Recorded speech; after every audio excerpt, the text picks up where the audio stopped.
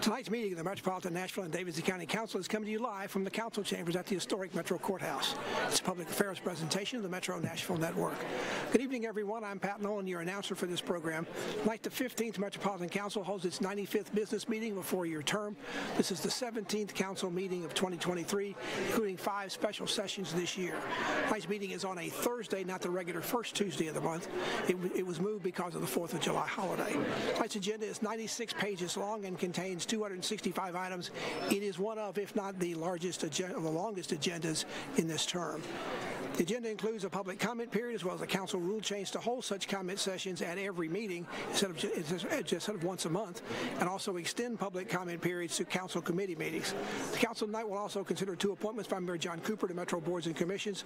They are to the Nashville Education Community and Arts Television Board and the Nashville Music, Film, and Entertainment Commission. Also tonight, the council will have three other regularly scheduled meetings before the term ends after tonight's meeting. You can see the last-minute rush of legislation is already Uh, well underway uh, looking at tonight's agenda. There are 112 bills, 110 bills on first reading, 95 second reading zoning bills on, on public hearing. Those numbers are likely records for this council term. There are 26 resolutions, 14 other second reading measures, and 23 ordinances on third and final reading that are on tap tonight. Under resolutions, RS 2023-2187 requests the mayor's office and other city agencies to evaluate a $1.2 million in housing bonds that were purchased with COVID-19 grant funds and now create a plan to activate the use of housing funds for sheltering the homeless population in Davidson County. RS 2023-2287 requests the city's solid waste division, waste services division to engage industry experts to conduct a comprehensive study assessing the costs and benefits of creating a department authority or other entity dedicated to solid waste disposal and associated responsibility as well as associated plan for the execution of whatever plan they come up with. RS 2023-2292 approves an agreement with the Defense Department to use city property on County Hospital Road at no cost for limited military purposes. Resolution does not further explain what kind of military training will be going on. RS 2023-2296 accepts a $1.7 million grant from the state with no local matching funds required for the Metro Health Department to achieve sustained control and enhance prevention to eliminate tuberculosis as a public health threat both here in Nashville and across the state of Tennessee. Colleagues, uh, tomorrow is uh, Councilmember Sandra Sepulveda's birthday, and we have a mariachi band out there celebrating her. So you're welcome. Gun reform during its upcoming special session in August. Also request Metro Nashville Public Schools to recently to use a recently approved $6.5 million in special funding to purchase ballistic film and radios to improve school safety. Now, the council, you might understand, allocates school funding but it's up to the school board to decide exactly how the money is spent. Under other memorializing resolutions, the council recognizes Chef Max and congratulates him, congratulates him as the 2023 International Food Service Manufacturers Association Silver Plate Award winner. And finally, the council will approve a sister city relationship with the government of Erbil in the Kurdistan region of Iraq and authorize the mayor, Mayor Cooper, to exercise a city, a sister city agreement. The controversial resignation of the Nashville Speedway at the fairgrounds is up for first reading consideration again tonight and has already been deferred several times due to a council rule that prohibits the body from considering legislation that requires bond-related financing during the budget season. With the budget now approved, the Speedway look ready to be considered on first reading tonight. However, there appears to be a requirement that a community meeting for any project of this size, $100 million, will have to be held and is scheduled for later in this month. There's already strong neighborhood opposition to the plan, and multiple lawsuits are pending in the courts over whether the approval of the renovation will require 21 vote, a 21 vote majority or a 27 super vote majority based on a new bill passed by the uh, state legislature. If the Speedway is deferred tonight and, and, at the recent council meeting, at the next council meeting on July 18th, there will only be two council meetings related remaining. That's not enough meetings to approve the Speedway ordinance unless a special council meeting is called in August by either Mayor Cooper or Vice Mayor Jim Shulman, which would likely add to the controversy. Legislation does not carry over from one council to another or from one mayoral administration to the next, so the legislative approval for the Speedway would have to begin again if it's not passed by the second by the final meeting, whatever, whenever that is for the council in August. Under second reading bills, BL 2023-1990, the council will consider a bill to reconstruct the city's voter-approved community oversight board after a new state law effectively stripped the current board of its investigative power. Under the new state law, the bill must receive a 27-vote majority twice during the legislative process and hearing of the council. The bill has already received one such unanimous 27 vote. Actually, the board, the bill received unanimous support on first reading and must now receive 27 votes either tonight or on third and final reading. Finally, under the new state law, the new advisory board like this must be be approved no later than the end of October. It seems likely the council will approve this pending bill, but if not, the new council not beginning its work until October. Approval of another bill under the next council would likely require at least one special meeting since they won't even get started with their meetings until October. Also on second reading, BL 2023-1869 would further spell out what the city's transportation licensing board can do with renewing the annual licenses of downtown party buses. The ordinance allows boards to reduce the board to reduce the number of licenses if that number is so great the board thinks that it sees the public need and adds to traffic congestion. The bill sets out criteria for the board to determine which licenses would not be renewed. Those entertainment buses whose licenses are not been renewed must cease operation within 100 days after their license is not renewed. Other bills on second reading include BL 2023-1991, which establishes the Office of County Historian, the appointment process for that position and the necessary credentials, as well as the county hospital, the county historian's duties and appointments to various boards within metro government. There has been a county historian for some years, but this establishes the post more firmly into law. On second reading as well tonight, there is ordinance BL 2023-1882 to establish a bicycle and pedestrian advisory commission. Uh, that's being that's been deferred at the last meeting here in the council. Finally, on second reading, BL 2023-1993 would ban the construction and demolition materials from local landfills. The bill would be phased in over the next few years. The construction and demolition materials would need to still be recycled or reused on off-site or for a beneficial use, including using qualified receiving and recycling facilities. Finally, there are two third reading bills of note. BL 2023-1886 would require landlords to provide persons 55 years or older a 60-day notice of termination of, of, of tenancy if the eviction is to make way for new property development. That appears to be a new, similar to a bill just signed into law by the state.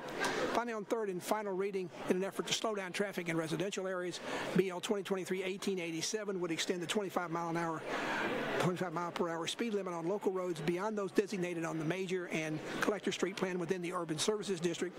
The ordinance now would lower the speed limit to, from 30 to 25 miles per hour on local streets throughout the general services district as well.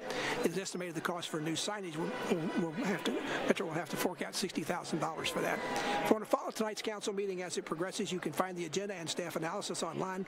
Just go to the Metro Council portion of the Nashville.gov website, then on to the Legislative Information Center. We'll also be placing the bill numbers on the screen when they come up for consideration so you can follow along and keep up where we are in the meeting agenda. Let's go now to Vice Mayor Jim Shulman. He'll be gathering tonight's council meeting into order shortly.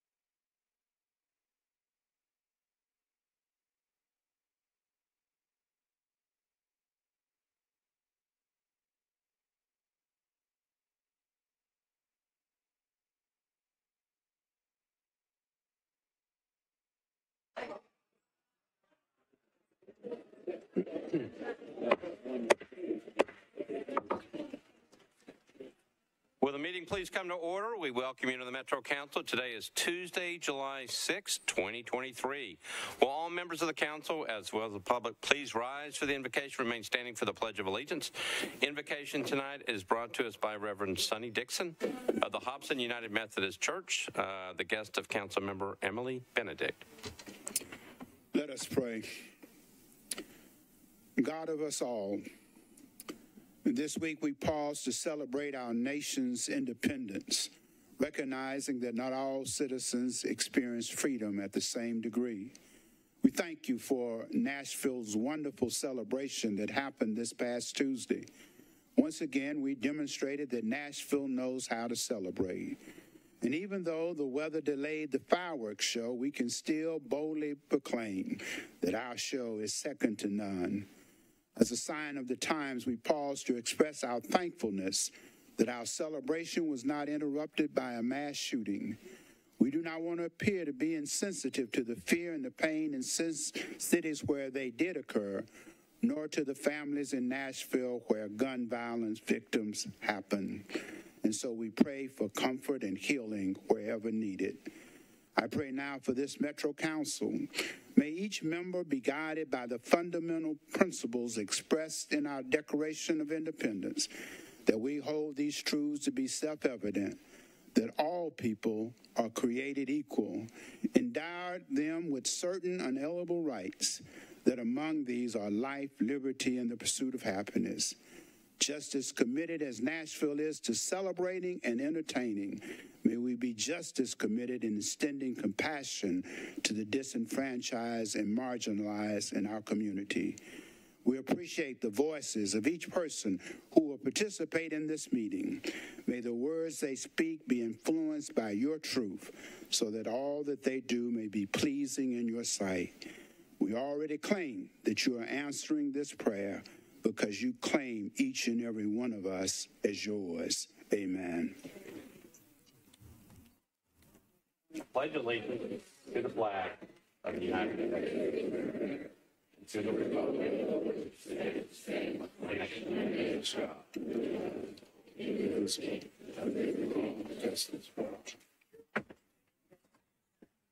All right, you may be seated.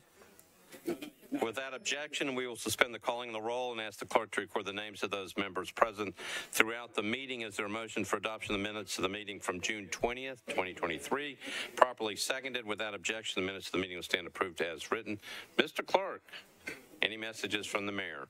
There are no messages from the mayor. All right. Um, so at the beginning of uh, our meetings now, we uh, allow any candidates that are running for office to come to the back podium and introduce themselves. Don't make campaign speeches. Speeches. Just uh, introduce yourself. Uh, tell us what you're running for, and that will be great. And uh, our first contestant is Ms. Ruby Baker. Hello, everybody. My name is Ruby Baker. I am running for Metro Council District 1. All right, thank you. Come on up. My name is Stephanie Johnson. I'm running for mayor of Davidson County. All right, thanks, Ms. Johnson. Come on up.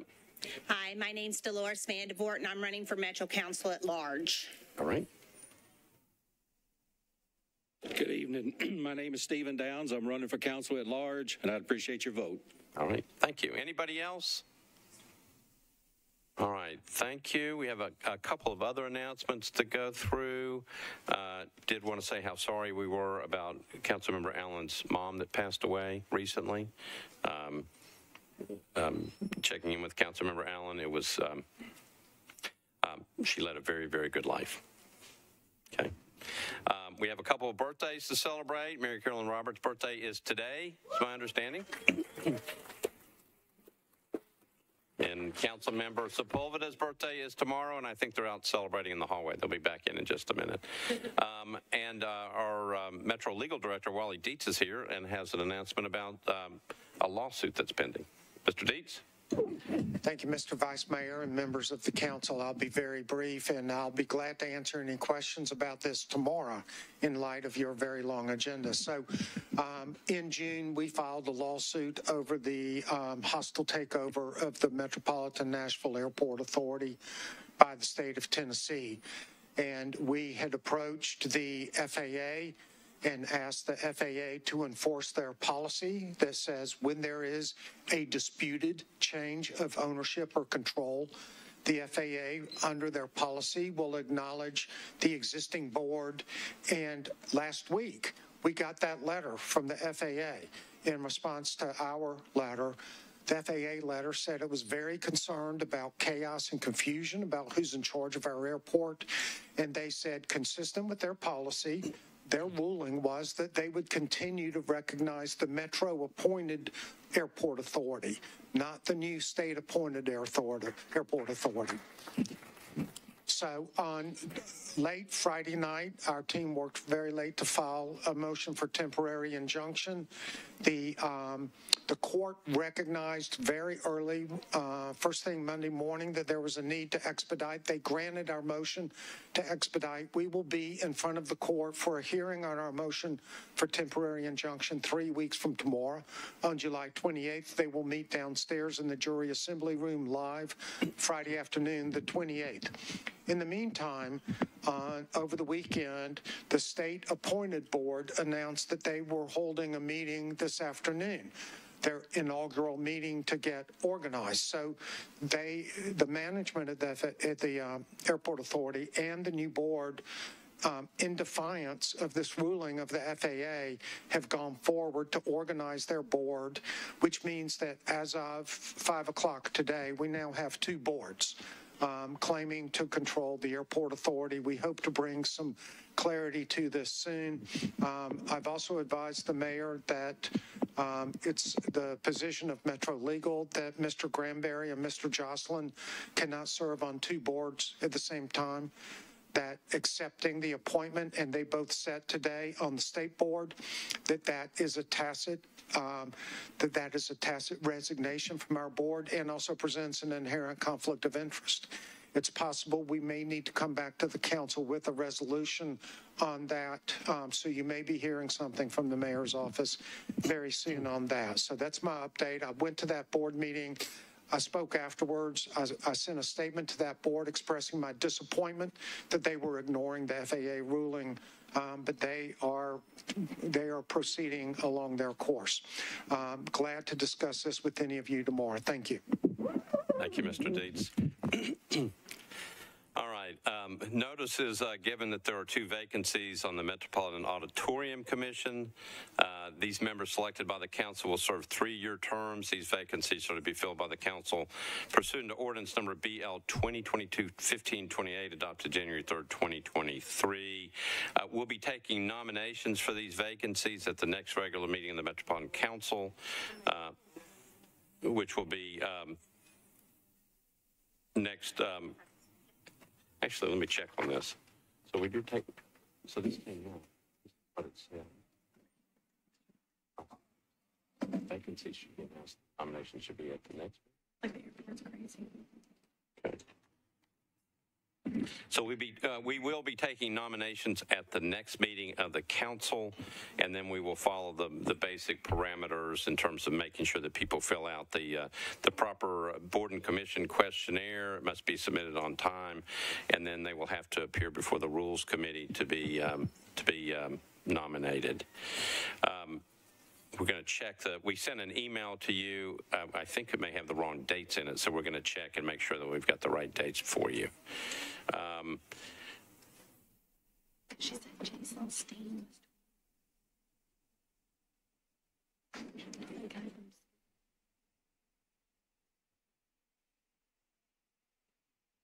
I thought it was council members talking about the It was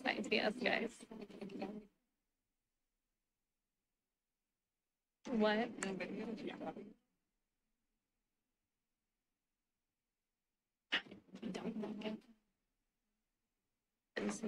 All right. So uh, we're checking the, the memorandum that went out says that uh, we're actually taking nominations tonight if you want. All right. So um, typically we announce the vacancies at the meeting. Uh, the letter went out. Um, so we can take nominations tonight or we can pass to the next meeting if people are not ready to make nominations. Is anybody ready to make nominations tonight or would you rather pass to the next meeting? Is that okay? All right. So we're going to pass to the next meeting. We'll take nominations at the next meeting, then we'll follow suit after that. All right? All right. Um, so, um, as I usually say at these meetings, please remember the people in the, uh, in the world in your thoughts and prayers, including the people of Ukraine. They've been in the news lately. Um, lots of problems still going on, including Nashville. Lots of uh, violence. Um, around the 4th of July and since. So uh, please keep um, hoping for peace all over uh, this land. Um, one other thing before we get to our uh, very long agenda, which I believe is a record agenda. I've never seen one that's 95 pages long uh, or has over 250 bills on it. Um, so I, I, hope that you're ready to stay for a while tonight. But before we get into the long agenda, I know some of the people in the audience, because I see a lot of red shirts uh, on both um, sides uh, of the Speedway issue. Uh, if you're here for the two Speedway ordinances on first reading, or for Councilmember Young's bill on second reading that deals with the hearings required, that's item number 231 on the agenda. Um, the, uh, the first two measures, which are item number 123 and 125, those two measures are going to be deferred by ordinance requirements, by requirements of our sitting ordinances right now. Um, those measures are going to be deferred tonight. They are not going to be heard tonight. The third bill um, which was um, heard last night by two of our committees. Um, those committees uh, deferred, so there's an automatic deferral. That bill will also not be heard tonight. So if there are no objections, we're going to take all those three bills right now so that we can clear them off the calendar, which will indicate that you're certainly welcome to stay, but if you're here on those three bills, none of them are going to be heard tonight. So we just wanted to let you know so that if you wanted to stay, you could stay. If you wanted to go ahead and leave, you can do that as well. Any objection to that? Okay, so let's take care of those two bills. Um, the first one is item number 123. It is on page 49 of my calendar. 123. It is BL 2023 1883. Uh, it's an ordinance authorizing the Metropolitan Government's execution and delivery of an intergovernmental project agreement and lease agreement with the Sports Authority, the Metro government relating to development and funding of an improved speedway facility proposed to be built on the Nashville Fairgrounds. Uh, the sponsors are Sledge, Rhoten, Johnson, Young, and others. And then item number 125, which is BL 2023-1995. That's an ordinance authorizing the Metropolitan Government's execution and delivery of an intergovernmental project agreement and lease agreements with the Sports Authority, relating to the development and funding of an improved speedway facility proposed to be built on the Nashville Fairgrounds. Um, that one is sponsored by Councilmember Young. Um, because of, an, of ordinances, those two measures cannot be considered on first reading tonight, so they will be automatically deferred. And it's my understanding the proper deferral is to the first meeting in August. It would be to the first meeting in August because it has to wait for the, the public hearing to be held, which is, I think, scheduled for the community meeting for July 25th. All right. So we can put them back on the agenda, but they'll just simply be preferred to the next meeting. So the proper motion or the, the proper motion, move is an automatic deferral. They will be considered on Tuesday, August the 1st at that council meeting. So those two measures are automatically deferred. And then we go to item number, um, it is item number 231.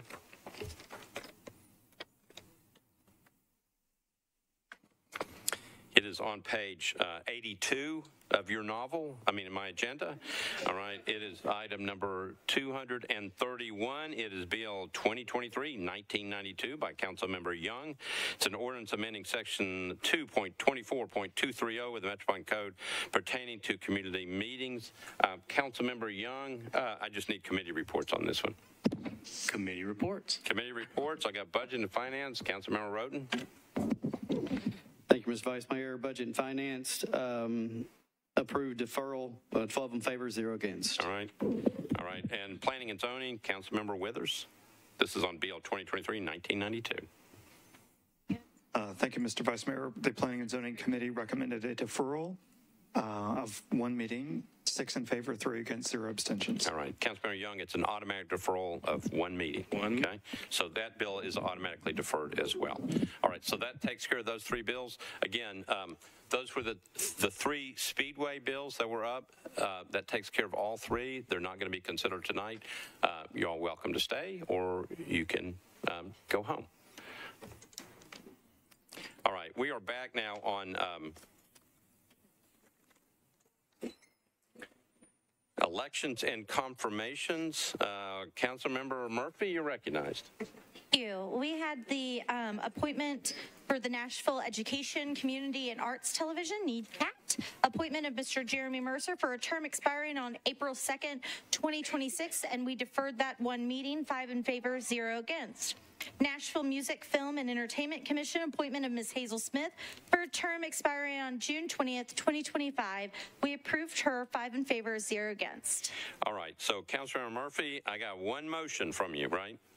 Yes. Motion to approve Ms. Hazel Well, Smith. two, two motions. One is to defer Mr. Jeremy Mercer, and then the other motion is to approve Ms. Hazel Smith. All right, so uh, we typically just go ahead and defer, but we'll take the motion. A motion to defer one meeting on Mr. Jeremy Mercer for the NECAT Board properly seconded. Any discussion on that one?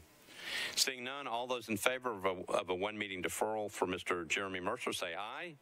Opposed, no. That one's deferred one meeting. And then uh, you want a motion to approve the appointment of Ms. Hazel Smith. Correct. All right, that's for uh, the new uh, Nashville Music, Film, and Entertainment Commission, uh, properly seconded. Any discussion on that motion? Seeing none, all those in favor of the motion to approve Ms. Hazel Smith, say aye. Opposed, no. Uh, Ms. Hazel Smith is appointed to the Nashville Music, Film, and Entertainment Commission. Ms. Smith, are you back there? Would you stand up, please? There you go. Thank you for agreeing to serve on the Nashville Film and Entertainment Commission.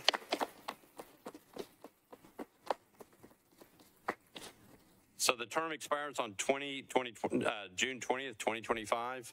Congratulations, I think. Okay. All right, we're now on the proposed rule amendment. Uh, this is um, Rule 28 amendment. It's a procedure, uh, proposed amendment to Rule 28 of the Metropolitan Council Rules of Procedure. Councilmember Murphy. Councilmember Murphy. There you go. Come on back. Okay, we're talking about the Rule 28 amendment. Uh, you're on that rule. Thank you. Um, this is one that we're still working out the amendments on to make sure that we are being as transparent um, and open as possible. Um, if I'll just remind y'all, this is the uh, this is the rule change because the state legislature believes that we should have open and transparent government, which, which I agree with, but it definitely does not apply to them. They did not make the law change for them, so bless their hearts. Um, but we're going to defer this to make sure that we get it right because we are an open and transparent government.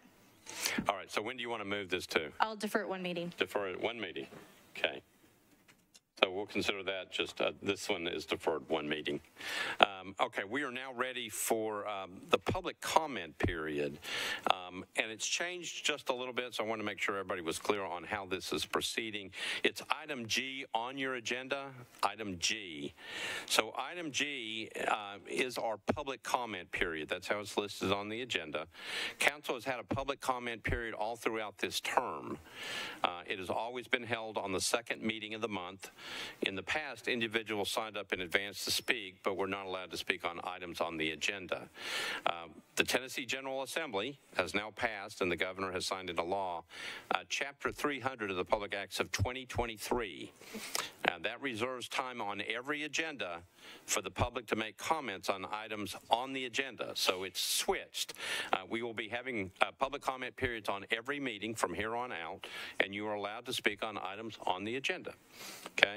Now, pursuant to the information contained on our council website, but um, as you just heard Councilmember Murphy, all this is subject to change pursuant to possible changes in our rules. Uh, we still require people to sign up in advance for our comment period. Um, you do not, because I think there was confusion about this, you do not have to sign up to be heard on zoning matters. So if you're here on a zoning matter, you do not have to sign up. But on public comment period, you do. All right. So we had two individuals signed up tonight to be heard on public comment. Let me see if I can get my list. Uh, the first one was uh, Mr. Uh, Davy Tucker. Mr. Tucker, are you here? I don't think we saw you come in. All right. Second person to sign up was Shane Smiley. Uh, Brush Hill Road, uh, and he is here to speak. So, uh, Mr. Smiley, uh, you are welcome and you're recognized. Uh, and you've got two minutes in which to speak. Thank you, Vice Mayor. Shane Smiley, Brush Hill Road, Nashville. Some have opined that the Bristol SMI Speedway Improvements Project has been rushed. The group behind me represents but a fraction of the men and women in Davidson County who care about this facility, who support this proposal, and who vote. The folks behind me have been working towards this since 1985. I've been bringing examples of sound absorbing wall to council since 2010. Many of these citizens, myself included, have spent the past two years attending community meetings, fair board meetings, five special work session meetings of the fair board, three public hearings, and countless hours of conversations and input to the pending Speedway improvement project passed by the fair board. The Volunteer Fair Board and thousands of citizens have taken valuable time away from their families, professions, hobbies, and dreams to support a proposal that gives the Speedway a long term lease, like all the other Metro sports facilities have, to ensure their success. We have worked to have our facility that has seen years of intentional neglect be brought to world class safety and amenity status, like all the other sports authorities owned, sports venues owned by Metro. We followed all the rules, policies, and procedures required by Metro. We ask you to show your respect for our citizens, the board and authority members with time invested in this legislation, and do your part of this process. We ask you to do the right thing and bring this legislation to the floor for discussion and three readings and votes. Many of you are campaigning and asking for our support. We, the citizens of Nashville, are asking you to show us that you support us. Show us you respect our time and efforts in the legislative process and the government process as a whole by bringing this legislation forward for debate and an up and down vote. Thank you very much for your time.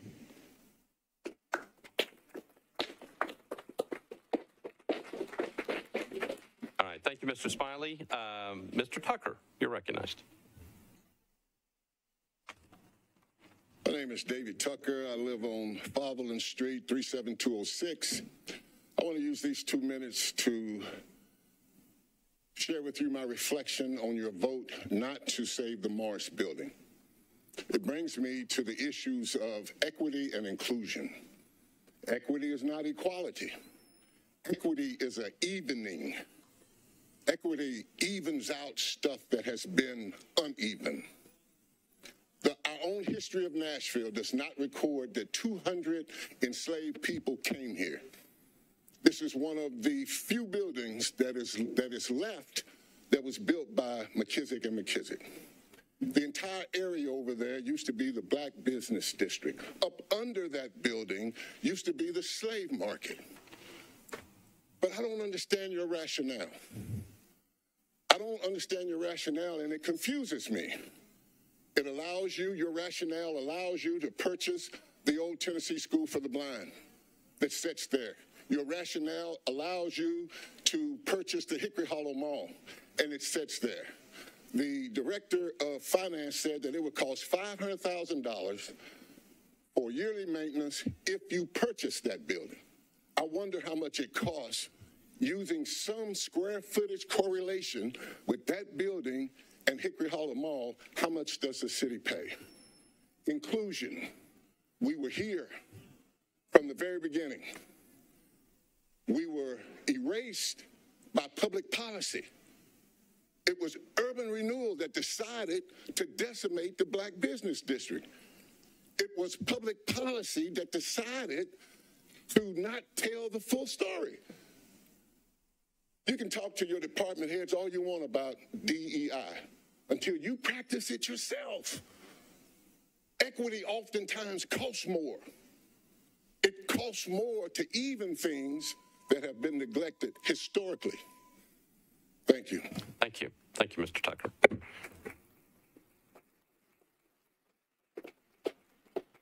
All right, that takes care of the public comment period. Uh, I'd like to go back. Uh, I thought we had taken care of this, but just to be clear on the record. On the proposed rule amendment, Councilmember Murphy, there she is. Uh, did the Rules Committee actually take up this, um, the amendment? We already took it up um, a few weeks ago. Okay. And so on the floor, we are deferring it. It's already been approved It's been a- previously by rules. Okay. That's the committee report, and then we are deferring it here Simply to get deferring it on the, so uh, let's just go, for purposes of this, we'll get a motion to defer. There was a motion to defer. Motion to defer one meeting, Mm-hmm. properly seconded. Any discussion on this? All in favor of the deferral of one meeting of the proposed rule change, say aye. Opposed, no. Um, Okay, so that one's deferred one meeting. All right, we are now on um,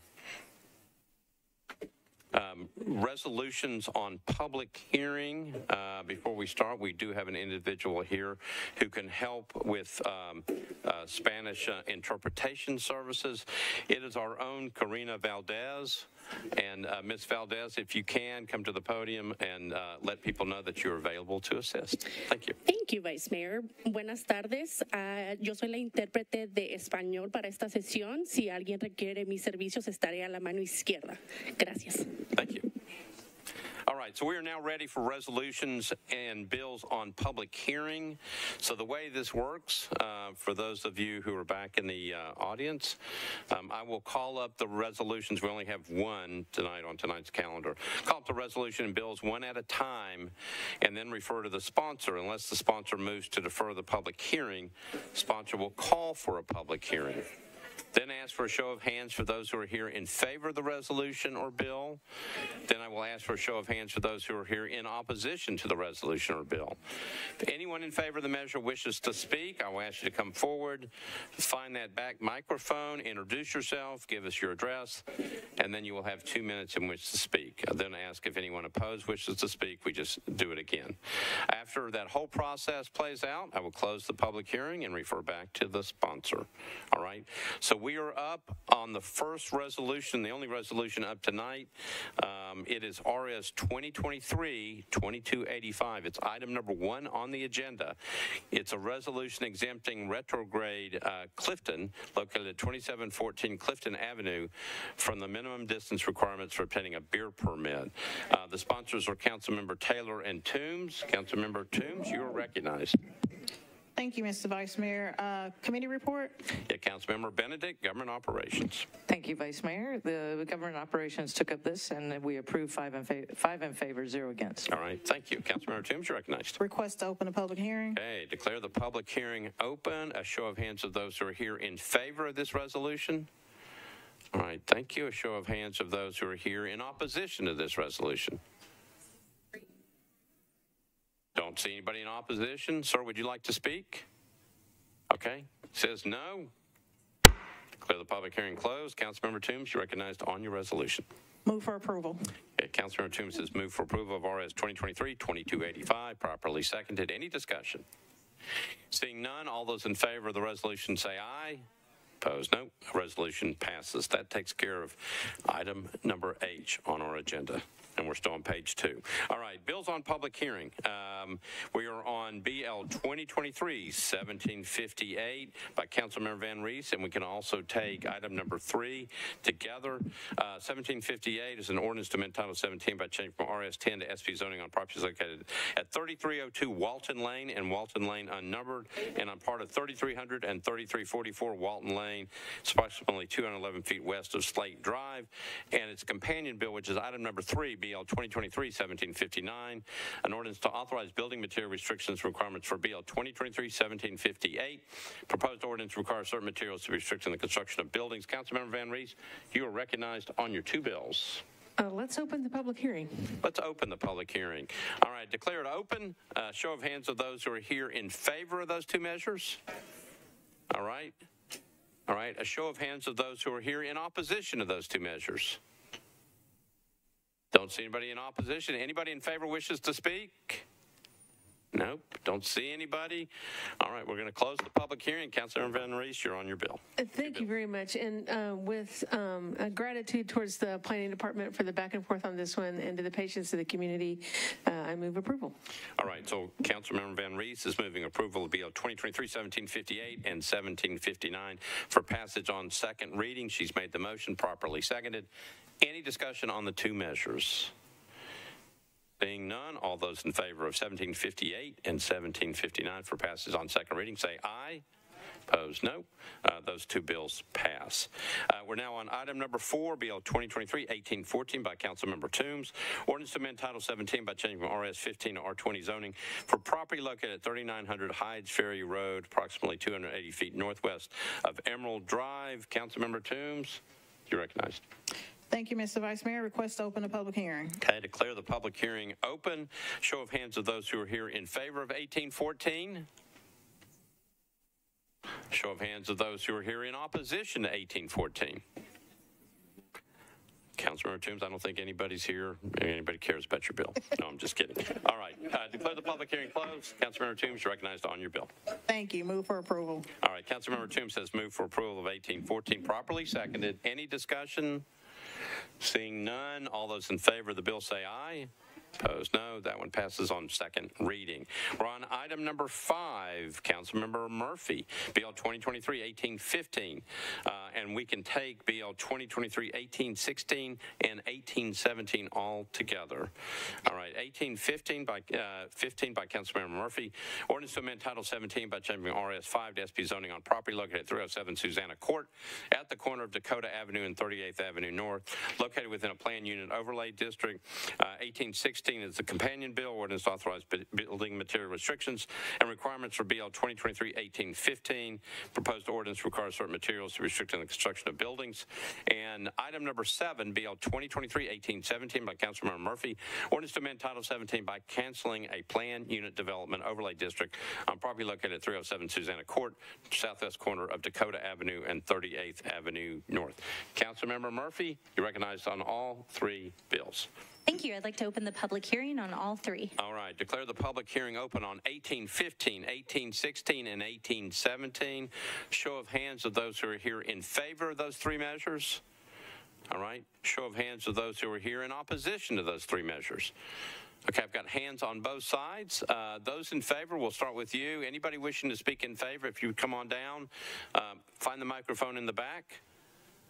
Um, and if you are in favor and you want to speak, come on up and get in line, and then we'll um, move to those folks who are in opposition. Uh, need name, address, and then you'll have two minutes in which to speak. Okay. My name's Charlie Nacero.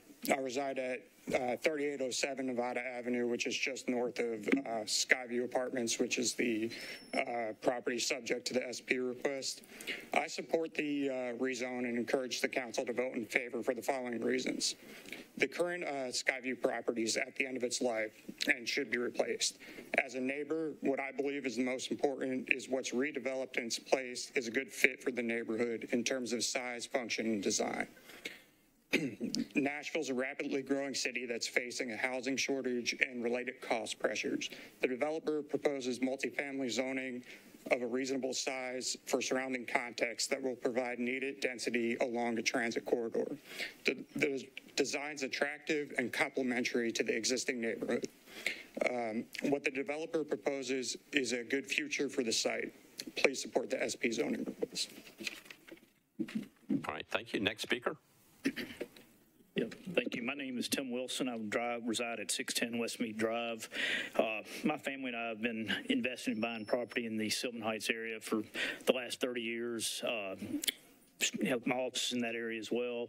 We strongly support this development. We think it would be good for the area. Uh, the existing apartments there have kind of been a blight on the neighborhood for some time, so we're here to speak in support of the uh, of the development. Thank you. All right, thank you. Next speaker. Good evening. My name is Alex Trent with Trent Development Group, an affordable housing development company based here in Nashville. We've been a stakeholder in this community for over two decades. The Skyview is well beyond its remaining useful life and needs to be redeveloped. We are fully invested in re- revitalizing the property through thoughtful design, development, and creating a place that honors the character of the surrounding community. Skyview currently holds 84 families. Those families are our first priority. We're committed to not only maintain the subsidized housing, but committed to working with the city and housing agencies to more than double the affordable units of, uh, afforded in a brand new development with more amenities and on-site nonprofit support near Skyview. All residents will receive first priority to live in the new apartments. All relocation expenses will be covered, and The support and communication will be provided throughout this lengthy process. Nothing will happen at Skyview until we've completed the new new construction of the new units and completed the relocation process. To date, we've put over two years into design with Sky with the Skyview redevelopment plan, with Councilmember Murphy, planning staff, and the Sylvan Heights community. I want to commend Councilmember Murphy on her diligence and the demanding process she's put us through. I want to further commend planning on their thoroughness. I believe it's created an excellent product the neighborhood is largely in favor of. We wanted to design something that fit the neighborhood, but also took advantage of the opportunity to add good density, the missing middle housing that we desperately need in this city. We prov- we've proposed a modest density with a quaint design. We've added to the total green space and elevated the streetscape. We've invited the neighborhood in with a privately maintained public park and grand staircase. I'm proud to present this plan to council and hope you can be supportive of this new missing middle and affordable housing. Thank you. Thank you. Next speaker. Name, address, two minutes. Hello, I'm Troy Gardner, landscape architect with Ragan Smith Associates, 315 Woodland Street. Um, we've been in coordination with Councilmember Murphy, planning and other metro departments, and have held two neighborhood meetings for this project. Uh, we've also been in coordination with WEGO and agreed to provide an upgraded inbound transit stop at Charlotte Pike and 39th Avenue. Agreed to the findings of the traffic study, coordinated with Metro Stormwater to confirm the stormwater discharge locations, agreed to prohibit short-term rentals, and will reduce parking as requested by the planning to meet the UZO parking standards. As far as the development of this actual site goes, uh, we have studied opportunities to better incorporate it with the greater Sylvan Heights neighborhood, and this was done through several ways, through building type selection, addressing public street frontages and architectural details, and proposing publicly accessible amenities. Uh, First, Skyview has a density, or a proposed density, uh, just under 20 units per acre, uh, and will be composed of manor homes, manor houses, and stacked flats. Uh, This density and these building types are all supported by the T4 neighborhood maintenance policy. Manor homes are located at the perimeter of the site to help transition from existing neighboring homes to the stacked flats in the larger building at the site's interior. Second, second, we are integrating Skyview into the community by fronting onto uh, Dakota Avenue and 38th Avenue. These public streets will also be improved with the installation of a five-foot wide sidewalk, a four-foot wide grass strip, and trees along the streets.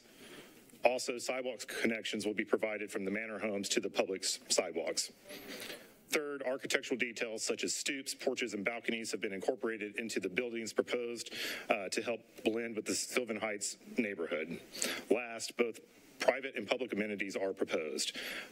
Private amenities such as a resident pool and plaza are proposed, as well as public amenities such as a dog park, the grand stairs, plaza, a walking trail, and public sidewalks.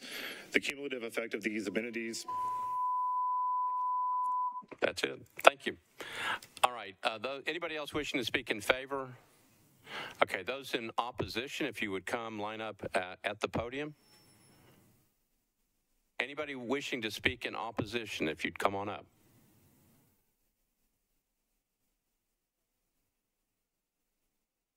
Hey, ma'am, that's awfully nice. You did not have to bring us flowers. All right.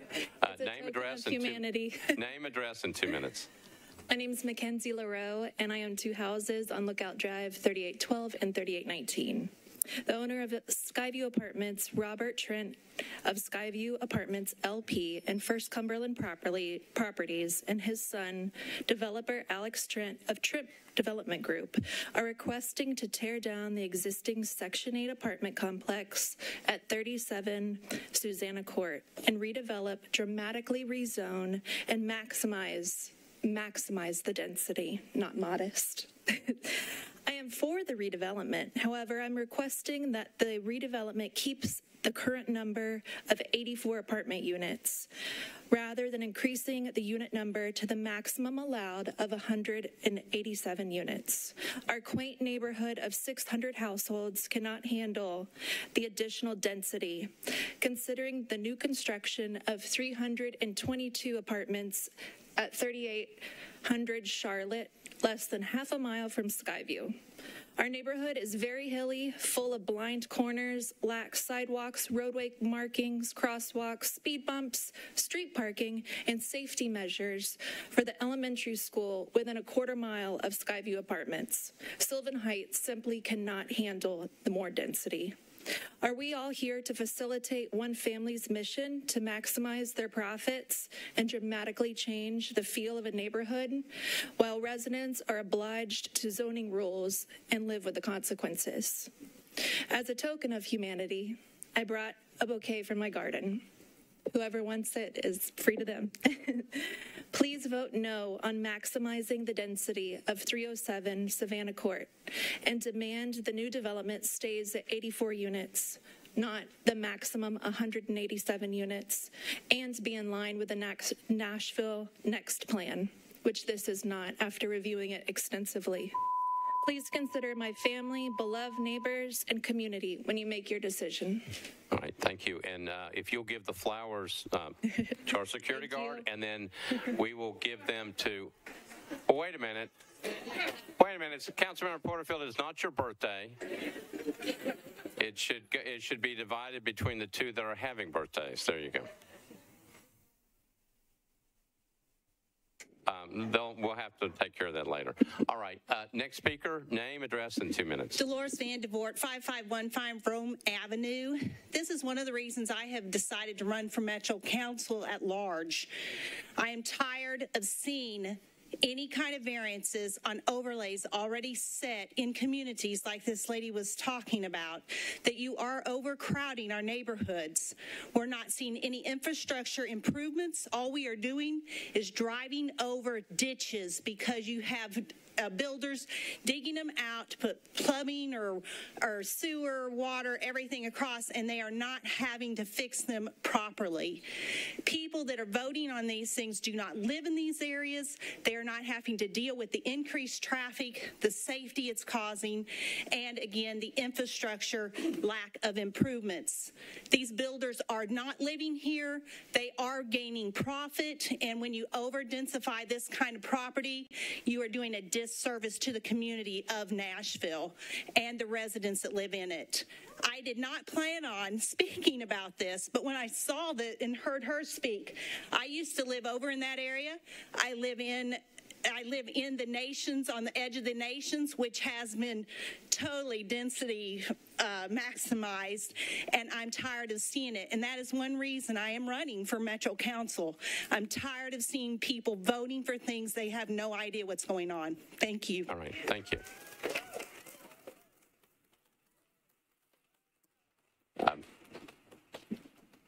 Ma'am. Uh, Name, address, and then Hi there. minutes. My name is Kelly Nagy. I'm at 3905 Park Avenue in Sylvan Heights. And just like Mackenzie, I am in favor of the re- redevelopment.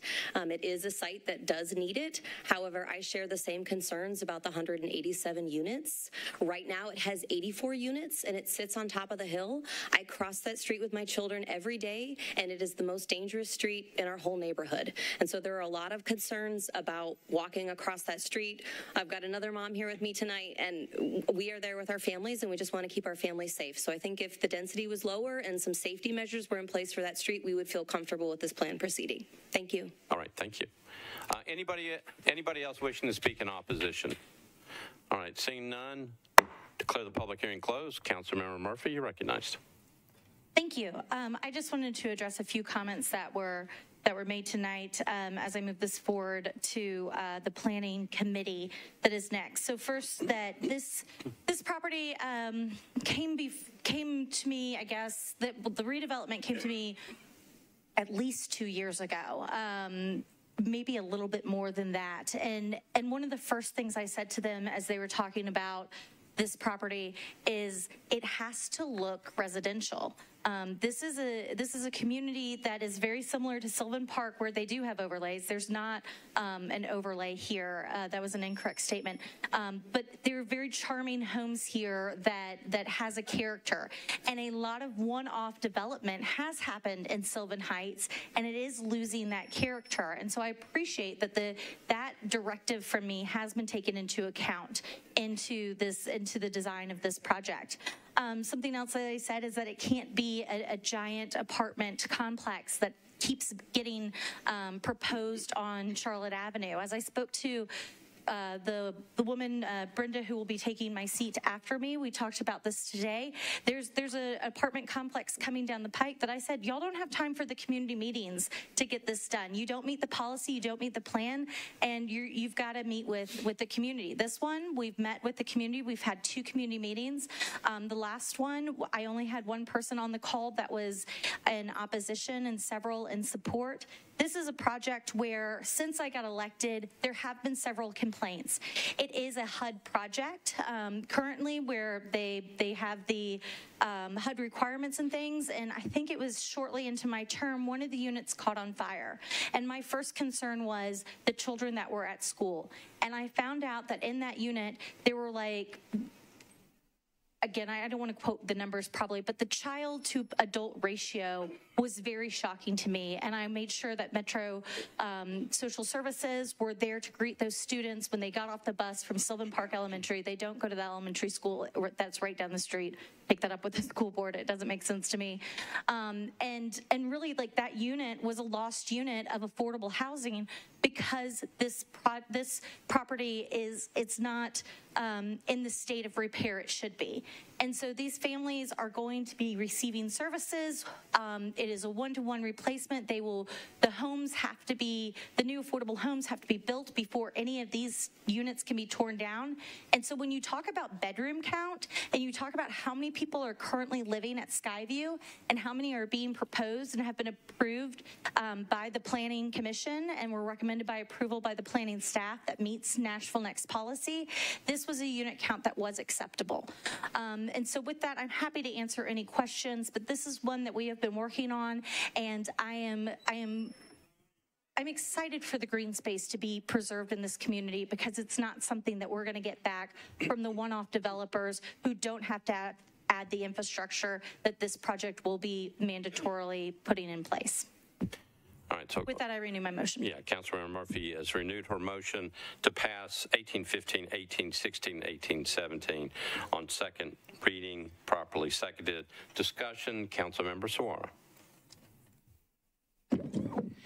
Thank you, Vice Mayor. Um, a couple of questions for the sponsor.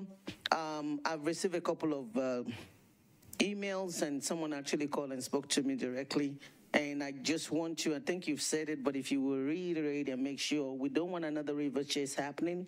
And what the person was worried about is that these are Section 8 residents and they were so worried about displacement of those people. And so, has that been communicated? Is that something that will be done where the people will be able to move to a place? Also, would there be an increase in their rents? Because moving them to another place where they cannot afford to pay for it, we don't want that to happen. We've seen that happen before. So, if you can speak to that, please. Councilmember Murphy. Thank you. Um, thank you for that question. So I wanted to put an amendment on this legislation requiring those things because it is a private contract. Um, it was recommended not to put it, but we're still working that out with legal. The, the great thing about this project being the, that it's currently in the HUD program is that the federal government regulates, requires, and does those checks to make sure that these residents will, that that the units will be replaced, that these residents are receiving the, ser- the services that they need, that relocation is provided um, and, and protected. And that way, because we know that Metro is understaffed and codes doesn't have the, the support to do that or planning doesn't have the support to do that. And this is one of those where it's the federal government, uh, the the developers are not going to get their green lights or their money if they don't follow the programs. And so all of that is guaranteed through the federal government program. Uh, and, and that includes the, the cost as well? Yes, as uh, Mr. Trent mentioned, the relocation costs are covered. Not the relocation oh. cost, but the rent. Oh, the rent, that is part of the HUD program, and so that is, that is uh, part of it as well. Are you saying like the, the dollar amount? The dollar amount, so if they're paying 850, then does it become 1200? No, since it is, since this is paid for by the federal government, it will be, Will be that is covered. regulated through there. And then one last question, mister Vice Mayor, is that do we know, and I'm just putting this out because these are some of the concerns that we've had in terms of the location of the new place. Is it where it's uh, the distance is close enough so that the school and everything would not be a problem for the residents? Is that being considered? I strongly um, advised and suggested that. I know that they are looking in West Nashville in the same area, and um, but I don't know the exact location that they have identified. But they've said that it's going to be in West Nashville, and so I've also asked that they work with the school board and with MNPS to make sure that those those children that are still at Sylvan Park Elementary can continue to finish out at Sylvan Park Elementary. Thank you. Thank you, Vice Mayor. All right. Councilmember Benedict. Thank you, Vice Mayor, and uh, thank you, Council Member Suara, for uh, many of your questions were similar to mine. I actually worked with this um, company, First Cumberland Properties manages uh, Berkshire Place Apartments in District 7, which is a HUD um, Section 8 eligible um, 195 unit uh, development. And this is one where we passed just this year an 800 unit SP with a plan amendment, and we're going to use um, the mixed income pilot to make sure that people are not um, going to be displaced because that displacement is a big concern of mine. I will tell you that I worked with this organization, First Cumberland Properties, and with this developer since 2020. From the very beginning, they put the residents first, which was my goal. The first thing I said to my community was, I don't care if you live across the street, you'll be impacted, but who's going to be, I do care. But what I care most is the, who's going to be impacted the most are the residents who live there today and what's going to happen there. Um, they are, uh, um, uh, they handled everything. They have a new development that's HUD um, eligible as well. And so they made sure that all of the processes were com- um, completed with HUD. Um, and so uh, everything worked just as they explained. They were upfront along every step of the way.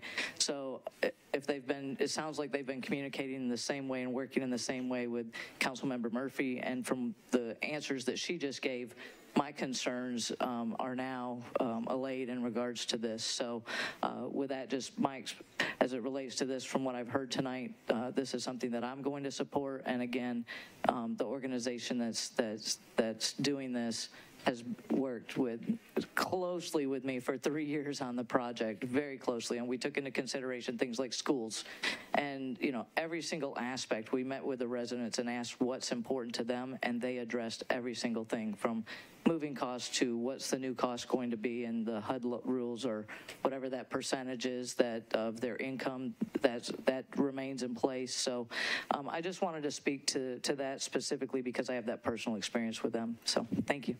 All right. Thank you, Councilmember. Councilmember Porterfield. Thank you, Vice Mayor, um, and thank you, Councilmember Murphy. It sounds like you have worked extremely hard, and sounds like this was a very thoughtful process. So thank you so much, and thank you to um, the developers and entity that have worked with you on this. Um, Councilmember Suara did have a couple of questions that, that I had, so thank you for answering those. And also thank you, Councilmember Benedict, for um, sharing your experience. Um, I did have two questions for the sponsor, Vice Mayor. Um, the first question is the current residents, have they been a part of the process? Have they expressed concerns or, or what type of feedback um, have the current residents given about the project? Councilmember Murphy. So this is one where I've had the two community meetings. I think some residents came to the first meeting. It was held last fall, and so my memory is it's been a moment, and those those uh, sign-in sheets are not readily available at this point. Um, I do not think any of them attended the second meeting. It was virtual, um, and I haven't heard from any residents up or up or down. Thank you so much. And then my second question. Um, I'm sorry, I got distracted with the bright yellow. Uh, my second question was um, Was there any consideration about um, possibly doing this development in phases in a way that the residents are not completely displaced so that, you know, units are created and then residents are moved into those units? So it's my understanding that the, the HUD guidelines is that a Skyview a, unit cannot, like one of the current units cannot be demolished until unit is replaced. So it is a one-to-one replacement where they have to be built. Residents can move into there before current units can be demolished. This also is not, um, so if you can, if you look on on the attachments, there is a, like a, a, an apartment complex at the top and then manor homes kind of surrounding that that appear to look not like an apartment complex. And so it's not necessarily something that could be rebuilt in phases. I would assume that way.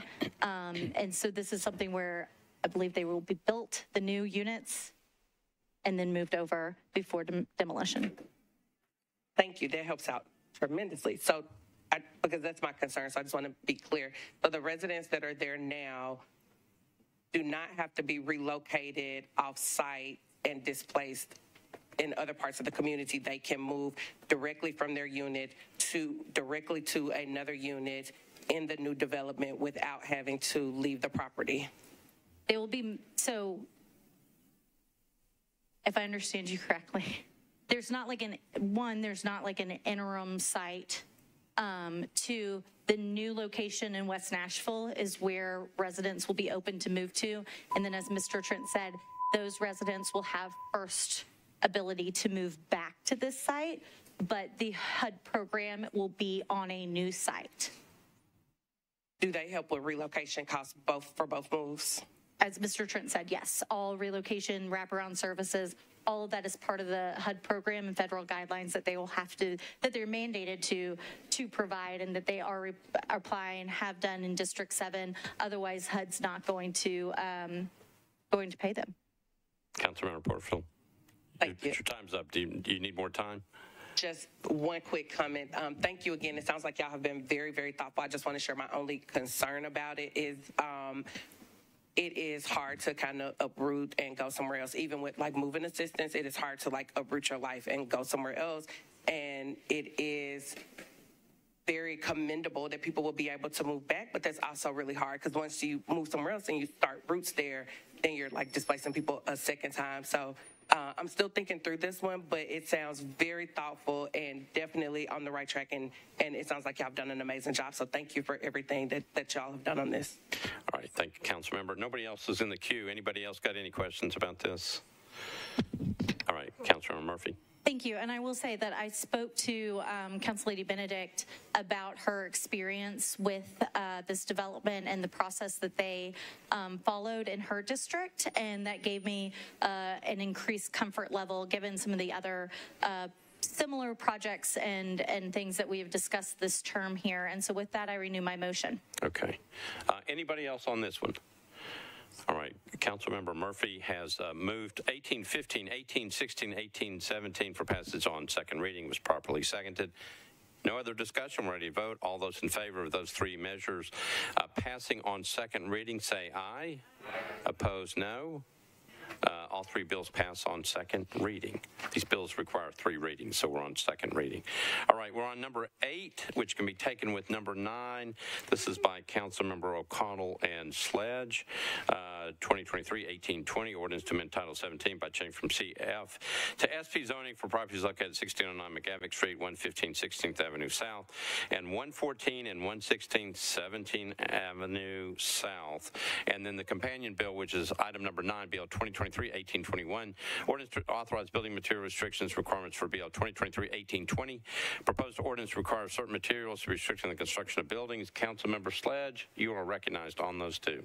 Thank you, Vice Mayor. My understanding is that on both of these bills, it will need to be deferred to the August public hearing because of notice issues. That's right. Uh, notice issue on both of them, so they'll be automatically deferred to the first meeting in August. Okay? Thank you.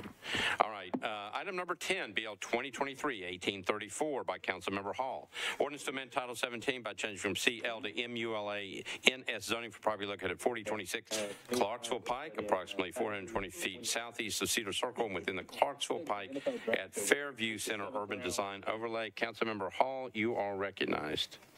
Open the public hearing, please. All right. Um, so um, declare the public hearing open. A show of hands of those who are here in favor of this measure. Show of hands of those who are here in opposition to this measure. Councilmember Hall, I, I didn't see anybody on either side. Declare the public hearing closed. You're recognized. Move for approval. All right. Motion is to approve 1834 on second reading, properly seconded. Any discussion on the measure? Seeing none, all those in favor of the measure say aye. Opposed, no. Uh, 1834 passes on second reading. Item number 11, BL 2023-1838 by Councilmember Toombs. Ordinance to amend Title 17 uh, by changing from RS 7.5 to RM 20A zoning for property located at Ewing Drive, unnumbered at the southeast corner of Knight Drive and Ewing Drive. Councilmember Toombs, you're recognized. Thank you, Mr. Vice Mayor. Request to open the public hearing. Declare the public hearing open. A show of hands of those who are here in favor of this measure. Show of hands of those who are here in opposition to this measure. Okay, we've got hands in opposition. Anybody in favor that I may have missed? It's number 11. Number 11. Anybody in favor? Okay, if you're in favor, all right, got hands showing in favor. All right, if you would like to speak, we've got hands on both sides. If you'd like to speak, go ahead and come to the microphone, uh, name, address, and then you'll have two minutes in which to speak. Okay, we are on item number 11, BL 2023-1838 by Councilmember Toombs. Uh, again, name, address, and then two minutes. You're recognized. Hi, my name is Tom Kesey. Um, I live at um, 1101 North 8th, um, Nashville, Tennessee. Um, I am a um, builder, developer. Um, I feel that this is going to be a really good project. It um, is within the Nash- Nashville Next um, policy. Uh, we have asked to do a regulatory SP. Uh, there's been a little bit of confusion around uh, unit count and stuff like that, so I think that that will squash um, those um, concerns. Um, we also asked for planning's recommendation in regards to um, what they would like to see, and we've uh, adopted all the recommendations that planning has uh, asked for. We uh, also will be adding sidewalks to the project. Um, there, that will also increase the visibility on the project. Uh, that corner has very poor visibility, and with the sidewalks uh, on there, we will increase the visibility uh, quite a bit, increasing the safety of the area. Um, we um, We've been working with um, historic, uh, with Graham Perry and uh, state archaeologist uh, Phil Hodge uh, in regards to the um, graves on the property, the uh, historic um, Ewing um, property, and uh, we're looking to in, enhance the cemetery area, and um, we um, have been checking into what it will take to make that a a historic area and also put a historic marker and, and make it a, a feature of the property and something that uh, people in the neighborhood can be proud of. Uh, we've uh, researched into the history of the area and we would like to uh, preserve the African American and the state history. Thank you. All right, thank you. Uh, next speaker, name, address, two minutes. My name is Reed Robertson. I'm one of the um, owner developers, like Tom, um, in the project, and um, I'd like to just re- reiterate some of the things that, that Tom said about, um, especially the the tree line along Knight Drive um, through our development of the property. We'd like to cut down those trees. Um, there's been too many complaints to count regarding the low visibility at the intersection because of the tree line. Um, our aim is to prevent accidents and improve sight lines for drivers and create a safer commute for people um, traveling along Ewing and Knight Drive um, in that intersection right there. Um, also to reiterate some of the things that Tom said, I'm excited about the aspect of the proposal um, regarding the um, the grave site because um, our plan is to create a historic memorial garden um, on the property, and uh, because of the graves found on the property and the history surrounding them, our aim is to create a feature to um, enhance the property's visual appeal um, in an effort to recognize and respect the history of Nashville and Tennessee. Um, the garden will be built overlooking our bioretention area. And um, it's, it's in the northwest corner of the property, which is where our bioretention area will be, and it will serve as a, um, a reflection of our community's past and a space for contemplation and um, a place where history can be visited for uh, many generations to come. Um, and like Tom said, we're working diligently to make this an official historical site, um, which uh, we hope would foster uh, community interaction in, in, the neighborhood and hopefully instill a sense of pride among the among the neighborhood residents. Um, so, all that said, we're aiming to um, enhance the property safety and historical reverence through the development, um, and so progress requires um, adaptation and um, we've thought a lot about this plan and about this development, and um, we're, we're, hoping to respect the past as well as do a development that would um, serve the neighborhood properly. Thank you. All right, thank you. Let me get your address. Um, 4476 South Carothers Road. All right, thank you. Franklin. All right, next speaker, name, address, two minutes. Yes, sir. Will do. My name is Walter Green. I live at 227 4th Avenue South in Franklin, Tennessee. I spent most of my life in Nashville and loved it and moved to Franklin eight years ago after my wife died. I have deep roots in Franklin, including six primary lines of cousins, all descended from Revolutionary War Captain Ewing, about whom we're speaking tonight, his former property. This past winter, Mr. Kesey of, of Stratus approached my cousin Leonora Clifford, who is here as well, to let her know about his plans for for the site, the former Ewing property. Since then, three of the six cousins who are at the head of their lines of descendants have had a number of meetings and uh, numerous phone calls with Mr. Kesey. We three and the other three primary cousins have always been appreciative of his desire to fully involve us in the process his honesty and openness with us, and his earnest respect for the legal process and for the dead. Those graves are important to us, and none of the six, even though we're descendants, has any financial interest in this property. All six, representing our descendants, support Mr. Kesey's plan to keep all the graves on site and to relocate several scattered graves to be with the largest group just a few feet away so that all can be protected and respected. Thank you very much. All right, thank you. Next speaker. Former council member Scott Davis. I want to be brief, colleagues. I know you got a long night. Um, just to wrap it up, Tom Kesey is a dear friend of mine and neighbor. Um, 918 Thomas Avenue in the fighting 5th District. Go Sean Parker. Um, Tom bought this property before he had the invested rights. Now, I'll be honest, I advised him against it. I said, get your zoning and let's talk to historic and get everything together. But he did that because that's the kind of guy he is. He always does the right thing. Um, Tom immediately, um, he started purchasing the property in October. Shortly afterwards, he reached out to the family members, both European and African American descendants, to get their input. And Tom is working with the state historic folks. He's working with the archaeologists, and we have lowered. He has lowered the unit count in an email to planning and to uh, the wonderful council lady, your speaker pro tem, and more importantly, um, he we are not he is not removing any trees. He's cutting them back. The plant, we asked the planning commission to we cut the limbs back so there's visibility because a lot of the trucks get bottlenecked because when they try to turn that corner, they have to go really, really slow so they don't hit anybody on the corner of Ewing and Knight Road. So we're not removing any trees. Okay, we're just going to cut them back so the trucks can see around, which will help with the bottleneck. We're not removing any trees.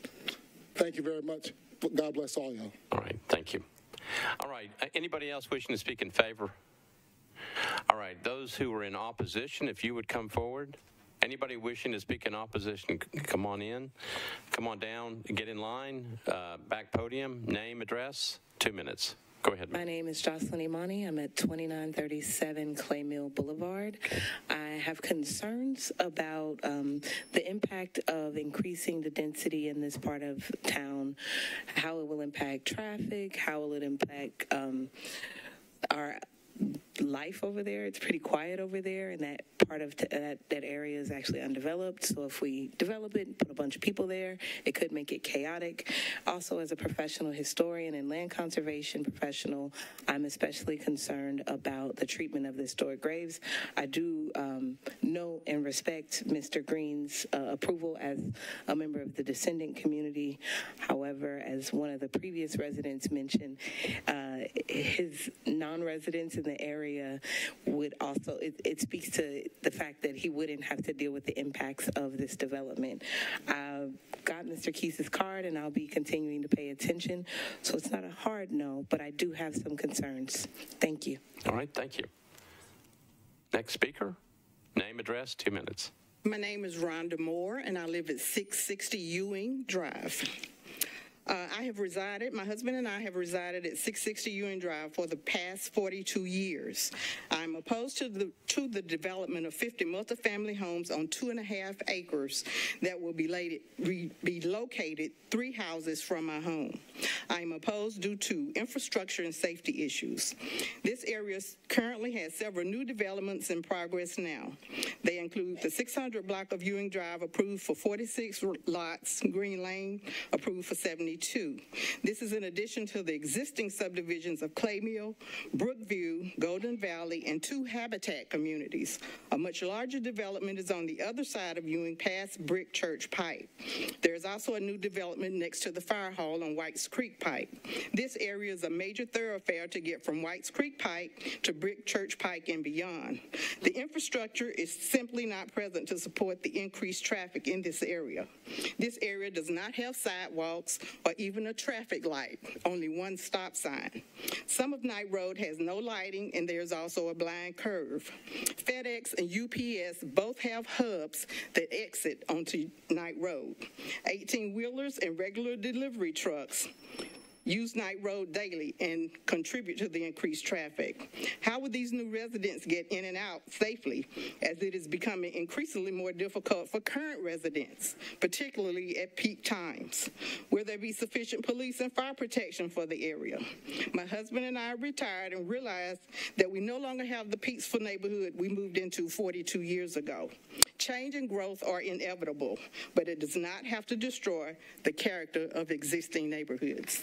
All right, thank you, Ms. Moore. Uh, next speaker. Name, address, two minutes. Hello, my name is Marilyn Branhan. I live at 2944 Claymill Boulevard. I um, have issues with this um, amendment for several, several reasons. First of all, the Planning Commission did approve with conditions. And what they did not say was one of the conditions was that if they find any more graves, that they have to be accommodated and not built upon. They also agreed to allow 20% at least set aside for the grave conservation. The area is only two and a half acres, so that means roughly two acres is left for the 50 units, which at the meeting they also expressed that that is the very, very top of the building allowed in this that they're trying to build. The rock quarry is directly across the street, uh, two lane street from these houses, uh, that this proposal. These units are going to shake tremendously um, it, I don't know if any of you have ever been in an earthquake. Well, I feel it a lot, and I'm quite a distance away from this new development. I don't understand how anyone would be allowed to build that close to a rock quarry. If you stood on the property that he's pro- proposing to build, you, without little um, skill, could throw a baseball across the street to where the blasting is. The dirt and the dust is tremendous. Also, the smell after a blasting is horrific. This is the wrong site to be building anything on. Thank you. All right, thank you. Uh, next speaker. Hi. My name is Claudia Wright. I live at 532 Mill Station Drive, uh, Nashville, which is part of the Clay Mills uh, subdivision. One, the first subdivision that, that has to flow out to Ewing Lane, uh, right behind where this proposed project would be. Please note that everybody that stood here for this project was a part of the project except for the descendant uh, of the uh, other um, persons who are buried there, of the Ewings, I, I suppose. So uh, I understand that there are slaves buried there, as many as nine. So let me stand as one of those descendants to represent the slaves who are buried there. Uh, everybody as I said, that has spoken for this are people who have a financial interest other than the descendant and who don't live in the area. They don't understand what we will have to go through when when and if this project is proposed. It has the wrong land usage. That's one of the reasons we're here.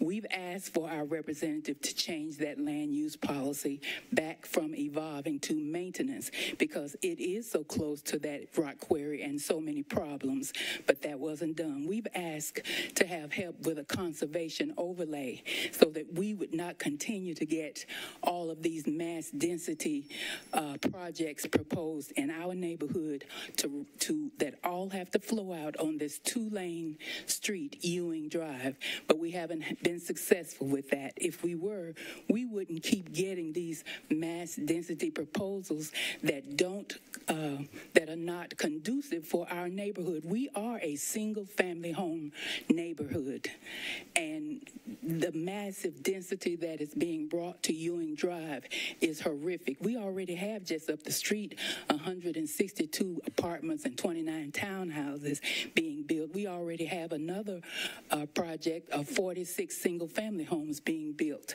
We have other Habitat Humanity uh, subdivision being built. We are massively dense, and please help us because you're our last help. Thank you. Thank you, Ms. Wright. Anybody else wishing to speak on this one? Okay, declare the public hearing closed. Councilmember Toombs, you're recognized. Uh, thank you, Mr. Vice Mayor. I want to uh, move for approval on second, deferring third reading to the first meeting in August with the comment.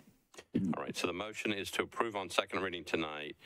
The third reading would be at the first meeting in August. That's the motion properly seconded. Back to you, Councilmember Toombs. Thank you, Mr. Vice Mayor. So Ewing Drive is uh, one of the more established parts of, of District 2. And I do want, I thank the folks who've come out to speak both for and against. I, I appreciate when people engage in the process. Um, I want to say this project is not 50 units. I know that was in the application, but I, as I stated at Planning Commission, whenever we get to the final version of this, it won't be 50 units. It'll be something significantly less.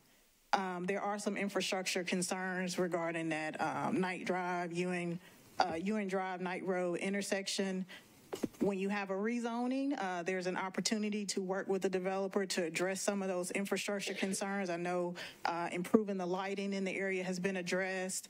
Uh, looking at whether or not a traffic light was feasible for that intersection has been addressed. So putting sidewalls, cutting back the trees so that there's more visibility, um, that it's safer uh, to get around. Uh, those issues have been discussed. Um, the property owner by right can build 14 units. Um, so there's not a scenario where someone builds nothing there and it remains empty unless someone buys it and keeps it empty. So uh, by right, there could be 14 additional units there with no infrastructure improvements. And so I want to make sure people are aware of that, that this is an opportunity to get some potential infrastructure improvements for the area. And I do want to address some concerns about uh, Ewing Drive. Ewing Drive doesn't qualify for a conservation overlay because there's been too much development along Ewing Drive. Uh, so it doesn't have enough of a, a, historical character to qualify for a conservation overlay. Plus, there are a lot of zero lot lines on Ewing Drive, which makes it not a good candidate for a contextual overlay. So I've looked at that. But what I did do, there was a piece of um, more central to the Ewing Drive area. There was a piece that was neighborhood evolving that plan was changed at my direction uh, and my application to neighborhood maintenance. So the vast majority of Ewing Drive is neighborhood maintenance. This particular piece of property is right, bumps up to industrial, it bumps up to a rock quarry, it bumps up to one of the major corridors, just as the multifamily development does at the end of Ewing Drive, it bumps up against Brick Church Pike. Um, so there has been efforts made to preserve Ewing Drive as much as possible. And there will be another community meeting to discuss this project July 20th at 6 p.m. I'm working on a location that's in that Ewing Drive area, so I will let the community know. Uh, but there is a Zoom link. It is tinyurl.com backslash capital D, number two, July, all caps, 20 TH all caps. So that's 6 o'clock, July 20th. That's a Thursday.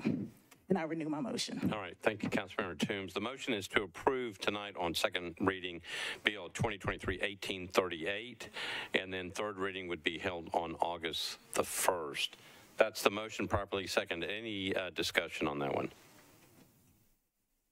Seeing none, we're on the motion. All those in favor of the motion say aye. Opposed, no uh, motion is adopted. Thank you, Councilmember Toombs. Item number 12, BL 2023-1866 by Councilmember Sepulveda. Uh, ordinance to amend Title 17 by change from OR 20 to CS for property located 5050 Linbar Drive, east of the intersection of Wallace Road and Linbar Drive. Councilmember Sepulveda, you're recognized. Thank you, Vice Mayor. I think this is deferred automatically due to notice. That's right. Um, so no notices, so it's deferred to the first meeting in August. Uh, item number 13, BL 2023-1870 29 by Councilmember Lee and Councilmember Withers. Ordinance to amend Title 17 by changing from CL to IR zoning for property located at 936 Firestone Parkway, the western corner of Gould Boulevard and Firestone Parkway. Councilmember Withers, you're recognized. Thank you, Mr. Vice Mayor. I'd like to request to open the public hearing. All right. Um, declare the public hearing open. A show of hands of those who are here in favor of this measure. All right. Thank you. A show of hands of those who are here in opposition to this measure. Don't see anybody in opposition. Anybody in favor wish to speak? All right, seeing none, declare the public hearing closed. Councilmember Withers, you're recognized. Thank you. I'd like to move for approval and look forward to Councilmember Lee uh, discussing any questions with us in Planning and Zoning Committee in two weeks. Sounds good. Um, uh, Councilmember Withers is making a motion to approve on um, second reading properly seconded. Any discussion? Seeing none, all those in favor say aye. Opposed, no. Um, passes on second reading. Uh, we're on BL 2023-1884. That's item number 14 by Councilmember Sledge, Benedict, and Welsch. An ordinance codifying an updated version of BL 2019-78, providing that non-owner occupied short-term rental properties be located at a minimum distance requirements from church, schools, daycares, and parks. Ordinance was approved during a council session, which the section of the Metropolitan Code to be amended by that ordinance was simultaneously moved to another title in the code, rendering uh, 2019-78 uncodifiable. Uh, Councilmember Sledge, you're recognized. Thank you, Vice Mayor. Open the public hearing, please. Okay, I think I've got a uh, committee report. Government Operations, Councilmember Benedict. Thank you, Vice Mayor. GovOps uh, approved this five in favor, zero against. All right, thank you. Now, Councilmember Sledge. Thank you for the committee update. Um, please open the public hearing. Okay, declare the public hearing open. A show of hands of those who are here in favor of this measure. Okay, uh, show of hands of those uh, who are here in opposition to this measure. Seeing nobody in opposition, anybody in favor wishing to speak? Seeing none, declare the public hearing closed. Councilmember Sledge, on your bill. Thank you, Vice Mayor. I, um, because I want to leave this open to be amendable, we're still working on an amendment with Metro Legal. I'm going to ask that we uh, defer second reading, one meeting to the second meeting in July. Okay, so we're not voting tonight on this. We're simply deferring second reading for one meeting. Is that right? That's the motion properly seconded. Any discussion on the motion? Seeing none, all those in favor of the motion, which means to basically defer second reading, uh, one meeting, say aye. Aye. Opposed, no. Um, motion is adopted. We are on item number 15, BL 2023-1888 by Councilmember Pulley. Ordinance amending the Metropolitan Code by changing the name of the Stormwater Management Committee to the Stormwater Management Commission. Uh, Councilmember Pulley, you're recognized. Uh, move to open the public hearing. Okay, I got a transportation report from you. Uh, we didn't hear that in transportation uh, today. Okay. Mr. Vice Mayor. I assume it'll be referred back to transportation on third reading. All right, so Councilmember Pulley is uh, requesting that I open the public hearing on this one. Um, Declare the public hearing open. A show of hands of those who are here in favor of this particular measure. Show of hands of those who are here in opposition to this measure. Didn't see anybody on either side. Declare the public hearing closed. Councilmember Pulley, you're recognized. I would move approval on second reading. All right, Councilmember Pulley is moving approval on second reading, properly seconded. Any discussion on it? Seeing none, all those in favor of the motion to pass on second reading, say aye. uh, opposed, say no. Uh, motion passes on second reading. Uh, item number 16, Bill 2023-1891 by Councilmember Mendes, Roten, Withers, and Allen. This is an ordinance approving amendment number six to the Arts Center redevelopment plan, amendment number one to the Bordeaux redevelopment plan, amendment number one to the Case, Cayce Place redevelopment plan, amendment number one to the Central State redevelopment plan, amendment number two to the Jefferson Street redevelopment plan, amendment number six to Phillips Jackson redevelopment plan, amendment number eight to the Rutledge Hill redevelopment plan, and amendment number one to the Skyline redevelopment plan. Councilmember Mendes, you're recognized. Um, Thank you, Vice Mayor. With this one, I'm going to withdraw it, but if I could have a brief explanation with that. All right, so this one's going to be withdrawn. Councilmember Mendes, you're recognized.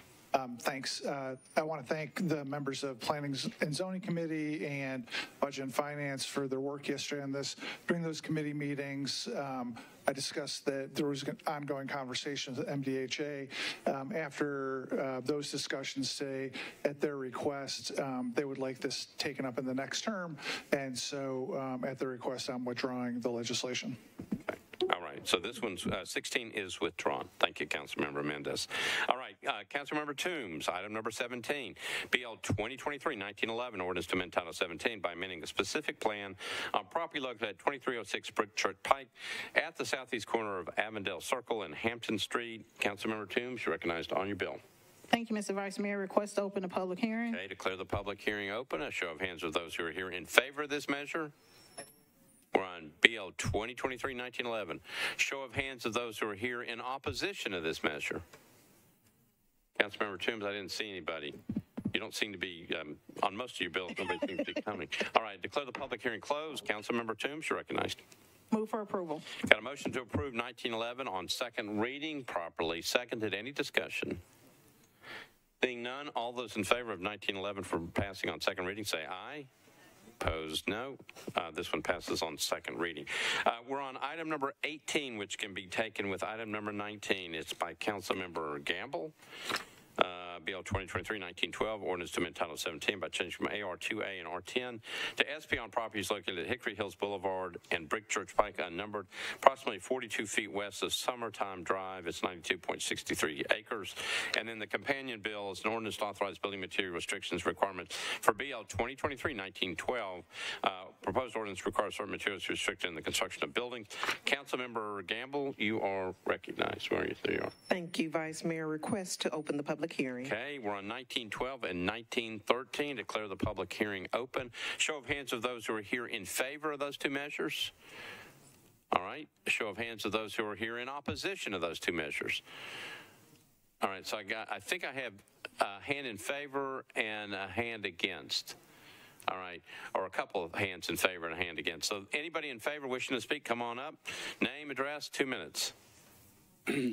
Thank you, Vice Mayor, members of the council. I'm Roy Dale, Dale and Associates, 516 Heather Place, and I'm representing the property owner on this zone change request.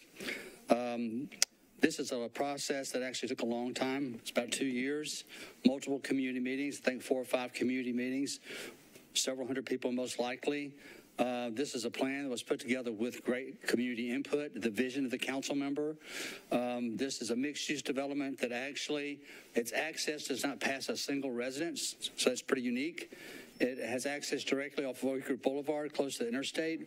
Part of this plan is actually to rework an intersection there that needs to be reworked. Um, This plan meets the land use policy. There was actually a policy amendment that went with this in order to make sure that everything was exactly correct, the way it should be. And so it's recommended approved by all the departments of Metro. It's endorsed by the community and hopefully the council member. I appreciate her vision. She's worked very diligently on this, and we appreciate it very much. Thank you. All right, thank you. Uh, Anybody else wishing to speak in favor? All right, uh, individuals wishing to speak in opposition, if you'd come forward. Um, Need your name, address, and then you'll have two minutes. Hi, my name is Susan Silvera, and I live at 109 Rachel Ann Court in the Cobblestone Creek subdivision. My backyard is adjacent to one of the parcels for which an application uh, for rezoning has been submitted. Uh, we chose uh, to build our property or to build our home on this property because of the peace and quiet and the safety that this area affords. Um, it's been very quiet, and our backyard is a sanctuary, a quiet place where our children love to play. But these advantages of living on our property would go away if a mixed-use development were constructed were constructed right behind our home. Our family and other families on Rachel Ann Court, Summertime Drive, Fall Drive, Autumn Ridge Drive, and Winter Place, to which parcel 067 backs up, would be dealing with more noise and safety concerns, as, as there would be people from outside our subdivision constantly coming and going right up against our backyards. Our area does not have the infrastructure to support this kind of development, with Old Hickory Boulevard east of Hickory Hills Boulevard being a two-lane highway, and the very short por- portion of OHB that is a four-lane highway west of Hickory Hills is simply to accommodate the on and off ramps to the interstate. At rush hour, we already have a lot of vehicles entering and exiting the three convenience stores near the proposed development. The residents of the Cobblestone Creek subdivision have long needed a traffic light to exit our uh, neighborhood at the intersection of OHB and Cobblestone Creek. And I'm concerned about the um, increased chance of accidents in our area. I strongly urge the Metro Council to consider how a mixed-use development would affect the livability of the neighborhood surrounding it and to vote against the rezoning request. Thank you. All right. Thank you. All right, anybody else wishing to speak on this one? Okay, declare the public hearing closed. Councilmember Gamble, you're recognized. Thank you, Vice Mayor, and thank you to everyone who came out to speak on this project. As it was stated um, earlier, this we've had multiple, over a two-year period, multiple community meetings regarding this project. It's gone through multiple iterations uh, to get it to the point where it had a broad community support. Uh, the cobblestone uh, community does back up to this property. However, there's at least a 40-foot um, barrier or between the Cobblestone Creek community and this project with, with screening of uh, trees that will not be disturbed. There will not be a connection, at least a driving connection to this uh, property. However, there will be a walkway so that the Cobblestone Creek community can enjoy the um, commercial and retail that this development will bring. There has been a lot of requests uh, over many years for more retail and uh, commercial development. This project brings that to this area as well as quality single-family homes and multifamily homes that are also needed. Uh, the project is off of a major thoroughfare, uh, Old Hickory Boulevard. It's also right next to I-24. It's 92 acres, many of which they will not build on because of the typo, uh, typo, typ topography uh, on the property. So I, I, understand and appreciate the concerns that have been expressed today. I, this is my first time hearing about a request for a traffic light at the Cobblestone Creek Old Hickory Boulevard intersection. I would will work with that community in looking at traffic calming measures because no traffic calming uh, application has been filed. So there are other things that we can do to address concerns for the community as re in regards to traffic calming. However, uh, this project, as I said, has been vetted profusely and has brought support and asked for your support today. All right, thank you, council member. Um, Any discussion? It's a motion to approve. um, On second reading, we're on items number 18 and 19, 1912, and 1913. Uh, It's a motion to approve on second reading, properly seconded. Any discussion on this? Seeing none, all those in favor of the motion to approve, say aye. Opposed, no. Uh, Motion is adopted. All right, we're on item number 20, Bill 2023-1914 by Councilmember Syracuse. It's an ordinance to amend Title 17 by amending a specific plan on property located at 1636 Lebanon Pike, approximately 1,000 feet west of uh, Clover Nook Drive, Zone SP. Councilmember Syracuse, you're recognized. Thank you, Vice Mayor. Open the public hearing, please. Okay, declare the public hearing open. A show of hands of those who are here in favor of this measure. All right, show of hands of those who are here in opposition to this measure. I only saw one set of hands, and it was in favor. Um, anybody in favor wishing to speak? No. See a head nodding no. Councilmember, um, declare the public hearing closed. Councilmember Syracuse, you recognized. Move approval. Thank you, Vice Mayor. Okay, I got a motion to approve Bill 2023-1914 uh, properly seconded. This is on second reading. Any discussion? Seeing none, all those in favor say aye. Opposed, no. This one's adopted. Councilmember Parker, Bill 2023-1915, ordinance to amend Title 17 by amending specific plan for various properties located in the northwest and northeast corners of Cleveland Street, Meridian Street to permit and increase the number of permitted hotel rooms and permit the construction of a new hotel. Councilmember Parker, you're recognized. Thank you, Vice Mayor. I'd like to open the public hearing. Okay, declare the public hearing open. A show of hands of those who are here in favor of this project. Okay. A show of hands of those who are here in opposition to this project.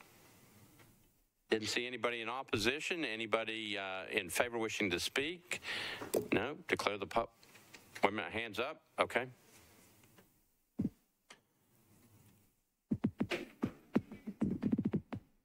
All right. Uh, need uh, your name, address, and then you'll have two minutes in which to speak. Thank you, Mr. Vice Mayor. Uh, my name is Robert Devitt, and I live at uh, 1113 Stockell Street um, in East Nashville. And I also I represent as deacon uh, to Faith Temple Church, which is located at 1600 Meridian Street. And pardon my lack of procedure. Um, first time ever attending a council meeting, but we as a church have questions. I believe it's on this zoning um, because one of the parcels is absolutely adjacent to our left of our church. And we are in concern as to what is going to be taking place there at, I believe the location is 1602, it might be 1604 Meridian. And what is, we also have question and concern on what is our fate? Is, is somebody coming after our property in the near future? Uh, I, I, I, I, I rest my case there. All right. Um, well, what I would tell you to do is after this is uh, after we get through this public hearing, I think Councilmember Parker would be happy to talk to you. Uh, I would appreciate a meeting with Mr. Parker, yes. Yeah, and that way you can get your questions answered and kind of figure out where it goes. Thank you.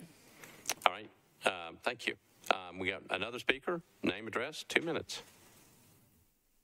Good evening, Chip Howarth, 7337 Cockrill Bend Boulevard. Um, Thank y'all for your time tonight. Um, this is actually 901 Meridian, corner of Cleveland Meridian Street. I believe the gentleman's thinking of a different property. Um, on this project in particular, we kind of border both McFerrin Park and Cleveland Park neighborhoods. We've had multiple meetings with both communities. Um, appreciate the involvement of the council member, council member Parker on this. Um, a long process through Planning Commission um, and have been working on this for over two years. So we would appreciate your support tonight and thank you for all that you do for Nashville. All right. Thank you.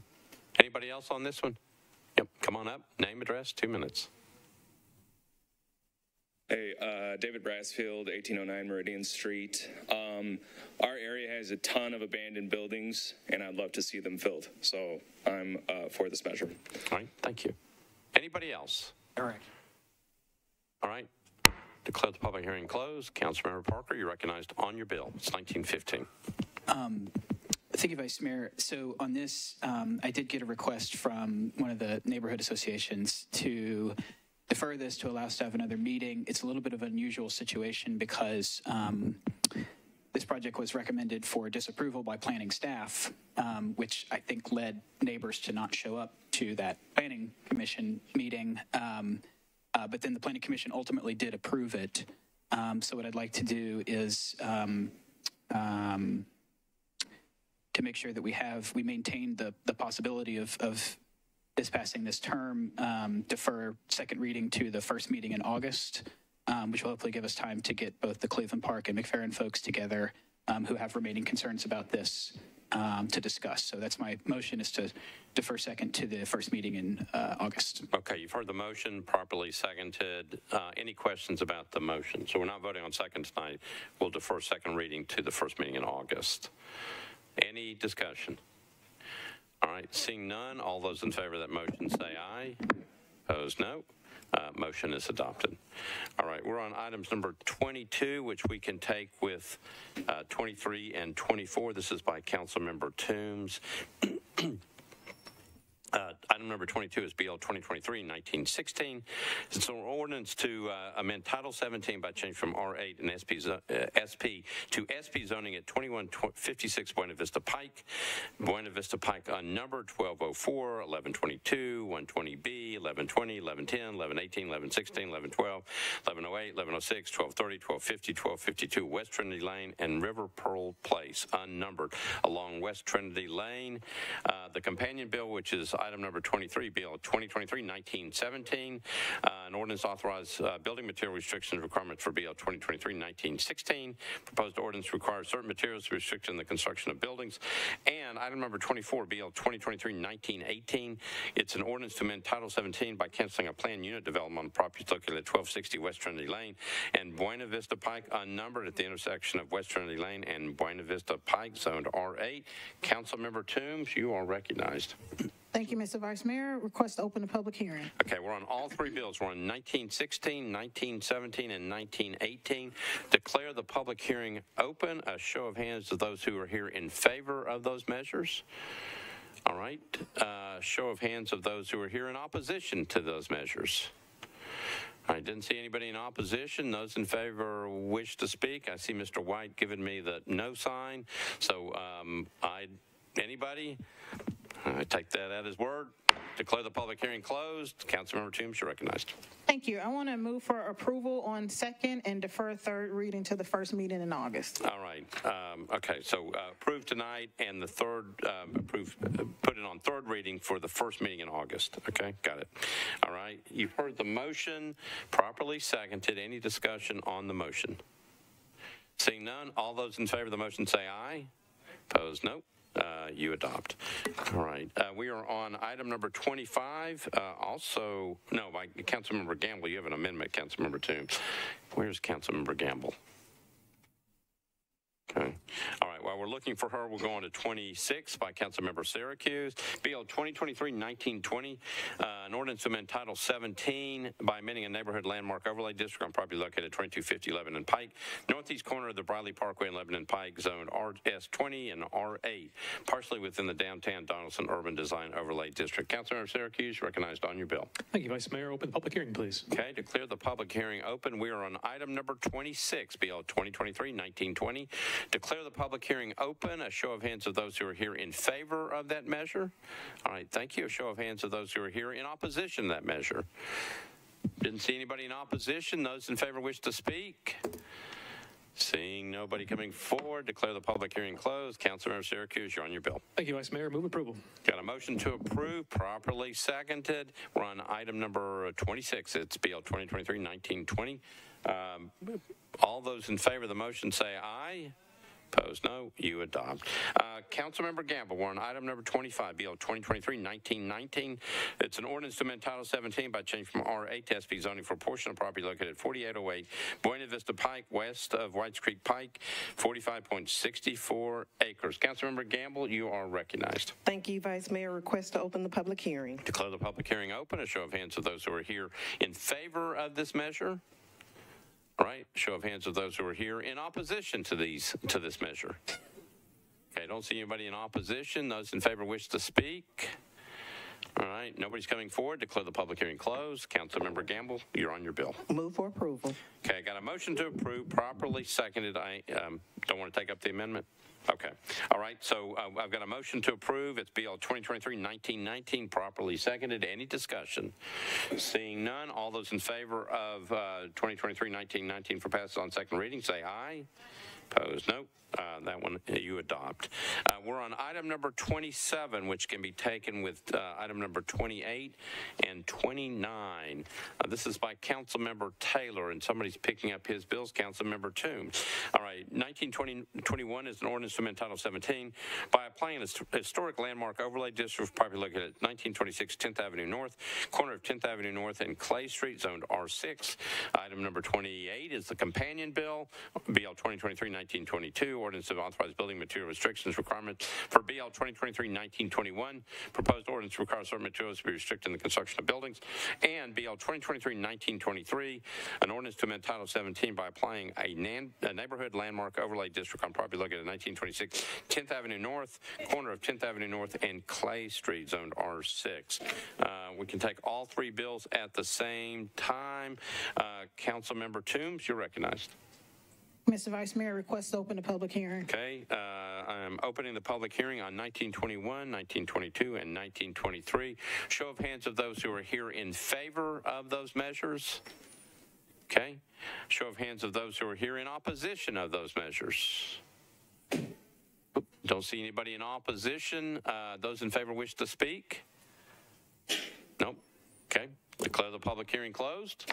Councilmember Toombs, you're recognized on all three bills. Move for approval. Got a motion to approve 1921, 1922, and 1923 on uh, second reading, properly seconded. Any discussion? Seeing none, all those in favor say aye. All those in favor say aye. That's better. Opposed, no. Uh, Those three bills uh, pass on second reading. Councilmember Toombs, it's your night, BL 2023-1924. Item number 30, ordinance to amend Title 17 by applying a contextual overlay district of various properties located north of Rich Acres Drive and east of Creekwood Drive, Zone RS10. Councilmember Toombs, you're recognized. Thank you, Mr. Vice Mayor. Request to open the public hearing. Declare the public hearing open. Uh, Show of hands of those who are here in favor of that measure. Show of hands of those who are here in opposition to that measure. Don't see anybody in opposition. Uh, Don't see anybody in favor. Declare the public hearing closed. Councilmember Toombs, you're recognized. Move for approval. Got a motion to approve. We're on BL 2023-1924. It's item number 30. Properly seconded. Any discussion? Seeing none, all those in favor of the bill passing on second reading say aye. Opposed, no. Uh, Bill passes on second reading. Uh, We're on items 31, which we can take with item 32 by Councilmember Gamble. Um, BL 2023-1925, ordinance to amend Title 17 by changing from R10 to SP zoning for property located at Whites Creek Pike, a numbered approximately 56 feet south of Green Lane, uh, to permit all uses of MUL, uh, with the exception of uh, uses listed uh, as prohibited within the SP and uh, the companion bill, BL 2023-1926, ordinance to authorize building material restrictions requirements for BL 2023-1925. Proposed ordinance requires certain materials to be restricted in the construction of buildings. Councilmember Gamble, you are recognized on the two bills. Thank you, Vice Mayor. Request to open the public hearing. Decla- uh, Declare the public hearing open on those two measures. Uh, Show of hands of those who are here in favor of those two measures, right? Uh, Show of hands of those who are here in opposition of those two measures. Don't see anybody in opposition. Those in favor wish to speak? No? Okay. Declare the public hearing closed. Councilmember Gamble, you're recognized on your two bills. Move for approval. Got a motion to approve um, on 1926 and 1925, 1925 and 1926 for passage on second reading, properly seconded. Any discussion? Seeing none, ready to vote. All those in favor of 1925 and 1926 for passage on second reading, say aye. Opposed, no. You adopt. Okay. Item number 33, BL BL 2023-1927 by Councilmember Parker. Ordinance uh, to amend Title 17 by changing a specific plan on properties located at 515 and 516 Foster Street, approximately 280 feet east of the intersection of Lischey Avenue and Foster Street. Councilmember Parker, you're recognized on your bill.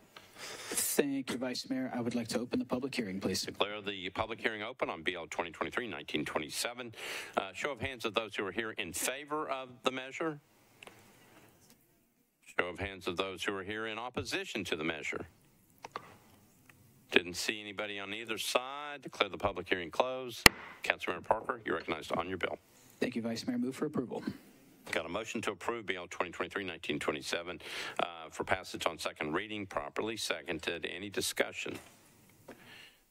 Seeing none, all those in favor of the bill passing on second reading say aye. Opposed, no. You adopt. Uh, BL 2023-1928, uh, item number 34 by Councilmember Syracuse.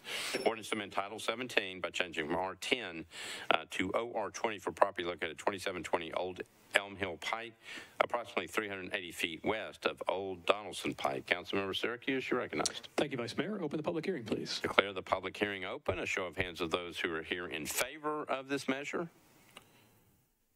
Show of hands of those who are here in opposition to this measure. Don't see anybody on either side. Declare the public hearing closed. Councilmember Syracuse, recognized on your bill. Thank you, Vice Mayor. Move approval. Got a motion to approve 1928 for passage on second reading. Properly seconded. Any discussion?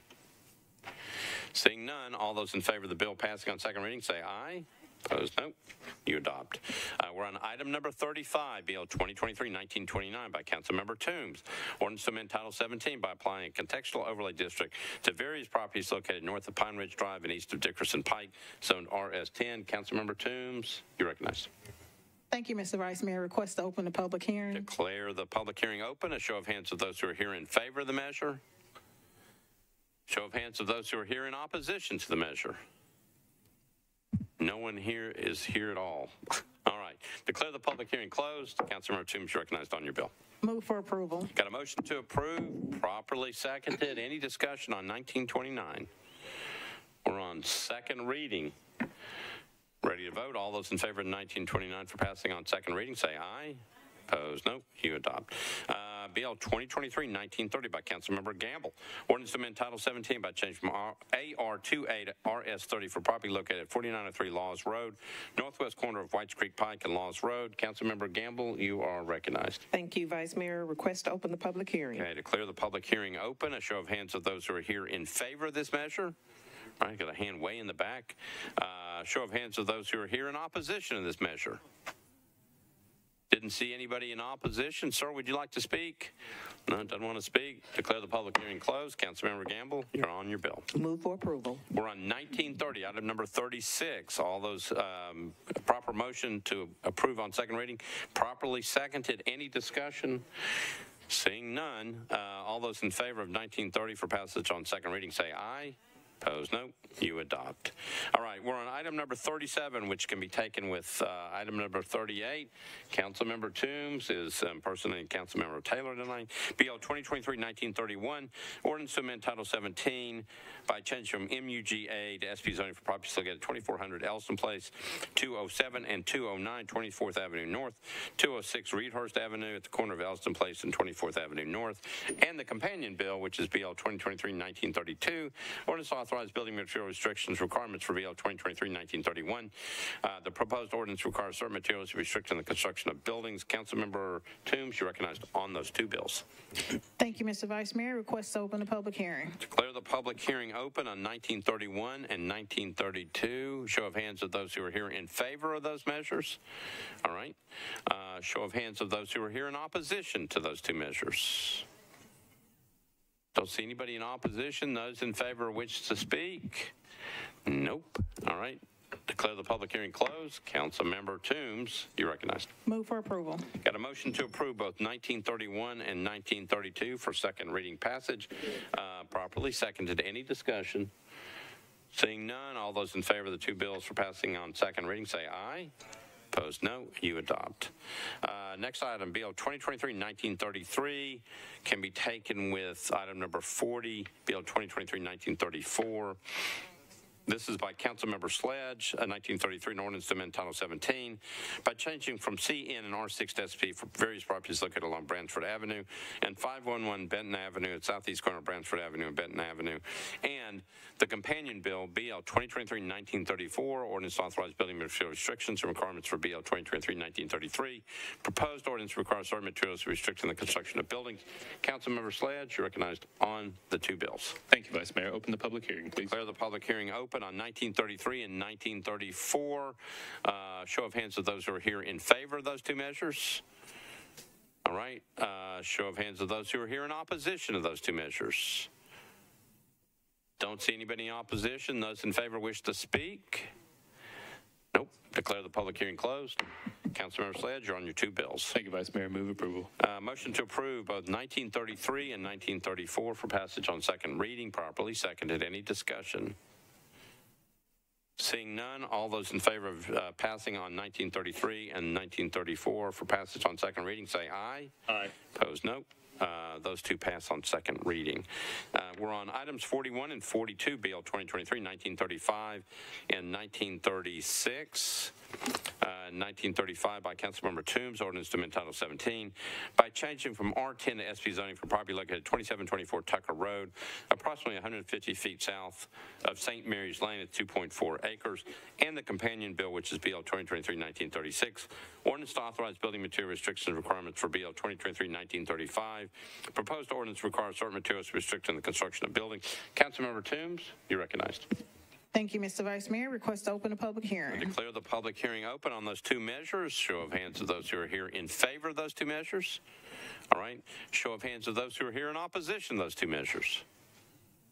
Don't see anybody in opposition. Would you like to speak? Nope. Good to go. Declare the public hearing closed. Councilmember Toombs, you're on your two bills. Move for approval. Okay, I got a motion to approve 1935 and 1936 for passage on second reading, properly seconded. Any discussion? Seeing none, all those in favor of 1935 and 1936 for pass on second reading, say aye. Opposed, no. Bills passed on second reading.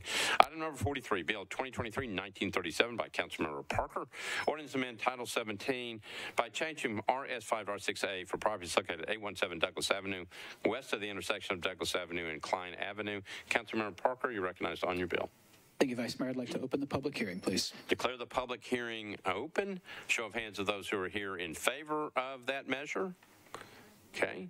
Show of hands of those who are here in opposition to the measure. I don't see anybody in opposition. Those in favor wish to speak. Anybody? All right. Declare the public hearing closed. Councilmember Parker, you're recognized on your bill. Thank you, Vice Mayor. I'll move for approval. Okay, motion to approve on 1937, properly seconded. Any discussion? Seeing none, all those in favor of 1937 for passage on second reading say aye. Opposed, nope. Uh, Councilmember Allen passes that one on her own. Item number 44, BL 2023-1938 by Councilmember Sledge. Ordinance to amend Title 17 by changing from IWD to MULANS for properties located at 1514, 1516 4th Avenue South, approximately 170 uh, 70 feet south of Bianca, Bianca Paige Way. Councilmember Sledge, you're recognized on the bill. Thank you, Vice Mayor. Uh, Move to open the public hearing. Declare the public hearing open. We're on 1938. A show of hands of those who are here in favor of the measure. A show of hands of those who are here in opposition to the measure. I have no hands either way. Declare the public hearing closed. Councilmember Sledge, recognized on your bill. Thank you, Vice Mayor. Move for approval. Got a motion to approve 1938 for pass on second reading, properly seconded. Any discussion? Seeing none, all those in favor of 1938 for passage on second reading say aye. Opposed, no. Uh, You adopt.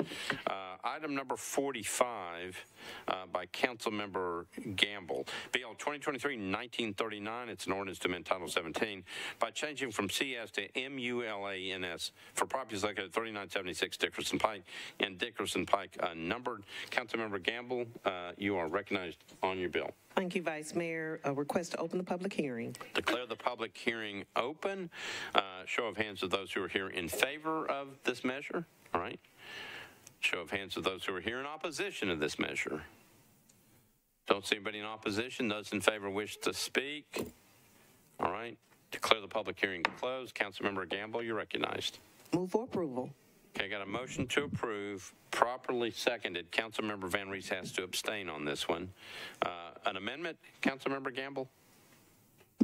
Yes, thank you. I would like to move my amendment. All right, so Councilmember Gamble is moving an amendment to Bill 2023-1939, properly seconded. Back to you for an explanation of the amendment. Yes, thank you. This amendment just adds in the um, whereas clauses that the developer will um, uh, adhere to recommendations in a traffic study that they also uh, commissioned that require or that recommends that there be a, a crossing signal at the intersection of Hunters Lane and Dickerson Pike and some other uh, traffic calming uh, measures on uh, involved in the project. So this amendment just adds those recommendations in the recitals for the bill.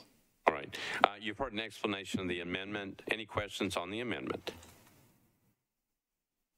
All right, seeing none, we are on the amendment uh, to Bill 2023-1939. Uh, Councilmember Gamble has moved the amendment, again properly seconded. All those in favor of the amendment say aye. Opposed, no. Amendment's on. Now, Councilmember Gamble, you're on your bill as amended. Move for approval as amended. All right, so Councilmember Gamble has moved approval of 1939 as amended for passage on second reading, properly seconded. Any discussion? Seeing none, all those in favor of the bill as amended for passage on second reading, say aye. Opposed, no. Uh, Bill passes on second reading. Um, We're on item number 46, which can be taken with item number 47. BL 2023-1940 by Councilmember Toombs, and the companion bill, which is BL 2023-1941. 1940, an ordinance to amend Title 17 by changing from RS 10 to SP zoning for property located at 3101 Doak Avenue, south of the intersection of Doak Avenue and Haley Avenue. Uh, and the companion bill, which is BL 2023-1941, ordinance to authorize building material restrictions requirements for BL 2023-1940. Proposed ordinance requires certain materials to be restricted in the construction of buildings. Councilmember Toombs, you recognized on those two bills. Thank you, Mr. Vice Mayor. Request to open the public hearing. All right, so we're opening the public hearing on those two measures, 1940 and 1941. Show of hands of those who are here in favor of those two measures.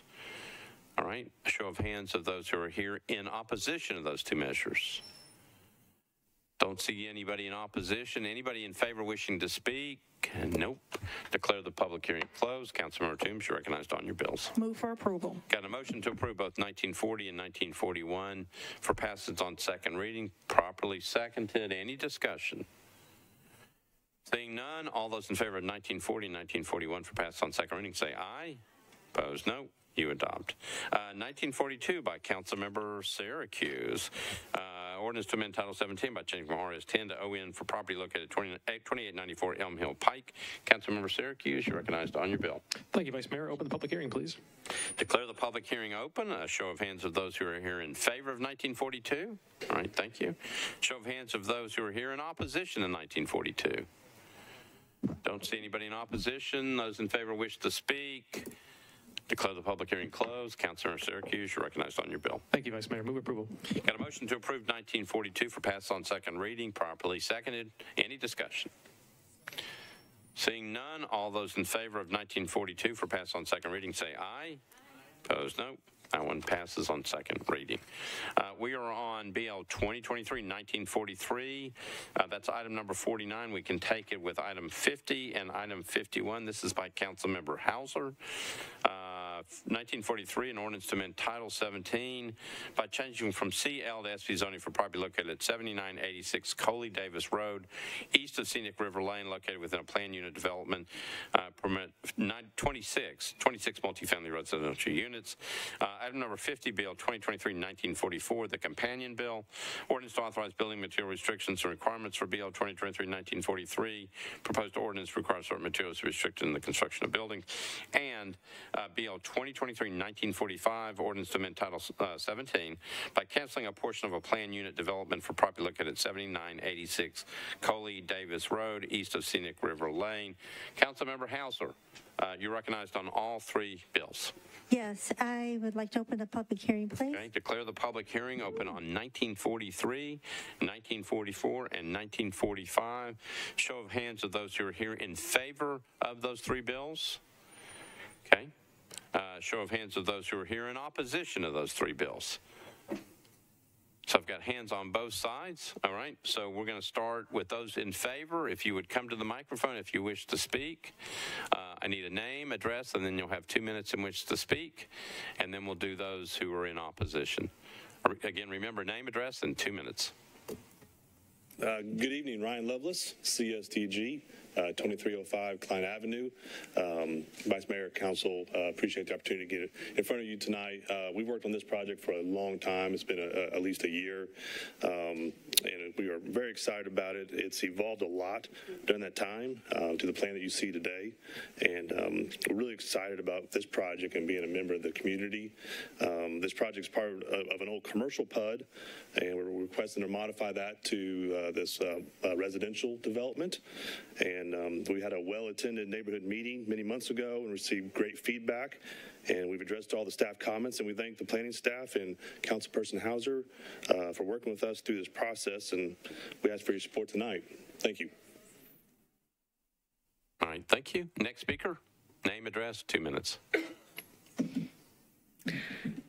Good evening. My name is Elizabeth Woodliff. I live at 3901 Elkins Avenue. I'm the Dir- Director of Operations for Springboard Landings. I am in favor of these bills so we can provide housing for adults with developmental disabilities. We are not a developer, we are a nonprofit trying to help people. This is an overlooked portion of the disabled population because of their high ability.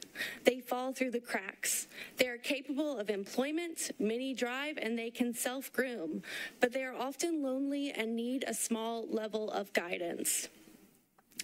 Springboard Landings was started by concerned parents who noticed that there was no appropriate housing options for their adult children. They need safety, community, and affordability, all things our project will provide. Our footprint is very small, but the quality of life impact for these adults with developmental disabilities will be very big. Thank you for your support. All right, thank you. Uh, next speaker, name, address, uh, two minutes. My name is John Cooper. I live in Bellevue in the Trayside neighborhood, 1208 Meadow. Did you say John Cooper? Uh, I, I, did, uh, not to be confused with our mayor. Yeah, okay. and thank you, Vice Mayor Shulman and council members. Um, we are building a home with heart. The genesis of Springboard Landings is to provide housing for a vulnerable population to help prevent isolation, and it answers the question what happens when my parents are no longer available? It's an intentional community. It is a safe community. The only difference between this population and the general population is that they are slower. They wake up every morning with a mild developmental disability that stands between them and their dreams. They want to be a part of the conversation, included and accepted. Normally, when a new home enters a neighborhood, eyebrows are raised. This is the opposite. We've been searching for this safe space for over five years, and we've been looking at police reports and sex offender registries. We believe we found the right fit. They are fairly independent and hold jobs, but they'll never get ahead financially on their own merit. Roughly half own or drive a vehicle. The exterior will look like a large house and something the neighborhood can be proud. It will reside on 1.27 acres, and we ask for your support to embrace this loving, giving community. All right, thank you. Next speaker, name, address, two minutes. Hi, my name is Kelsey Osman. I live at 132 Lucille Street in 37207. Um, I have been working in affordable housing development in Nashville for the past six years, and I know that the council is acutely aware of the dire need for housing um, across the board in our city. Um, but the folks that Springboard Landing serves are particularly um, acutely in need. Um, as we've heard, they face additional barriers not just to being able to afford housing, but to access it. And this project is a really critical opportunity for those folks and their families to um, to not have to worry about housing insecurity. Um, the organization that I work for actually has two similar projects in the Chestnut Hill neighborhood, and it's been some of the most successful and stable housing that we um, operate in partnership with another similar nonprofit. Um, so with the thoughtful conditions from planning staff and the unanimous approval from the planning commission, I urge council to vote in support um, and make this project a reality. Thank you. All right, thank you. Uh, next speaker, name, address, and then two minutes. Charlie Cooper, 412 General George Patton Road. Over 10 years ago, myself and several other parents started looking around for appropriate housing for this population. We traveled several places in the United States. We looked on the internet, and we personally inspected places. Everything at that time was built for the more severely handicapped. This population does not need 24-hour supervision. Many of them work, some of them drive, but they need, as was said before, a safe place and a place to avoid loneliness for this population. Um, so at that time, uh, I'm the, one of the co-founders. So at that time, since we couldn't find it, we decided to do it ourselves. So we filed for our 501c3 for Springboard Landings and began our journey over 10 years ago. And this is bringing us very close to a successful journey. And we ask for your vote. Thank you. All right, thank you. All right, anybody else wishing to speak in favor? All right, um, those who are in opposition, if you would come line up. Anybody wishing to speak in opposition, come on up to the microphone. Okay.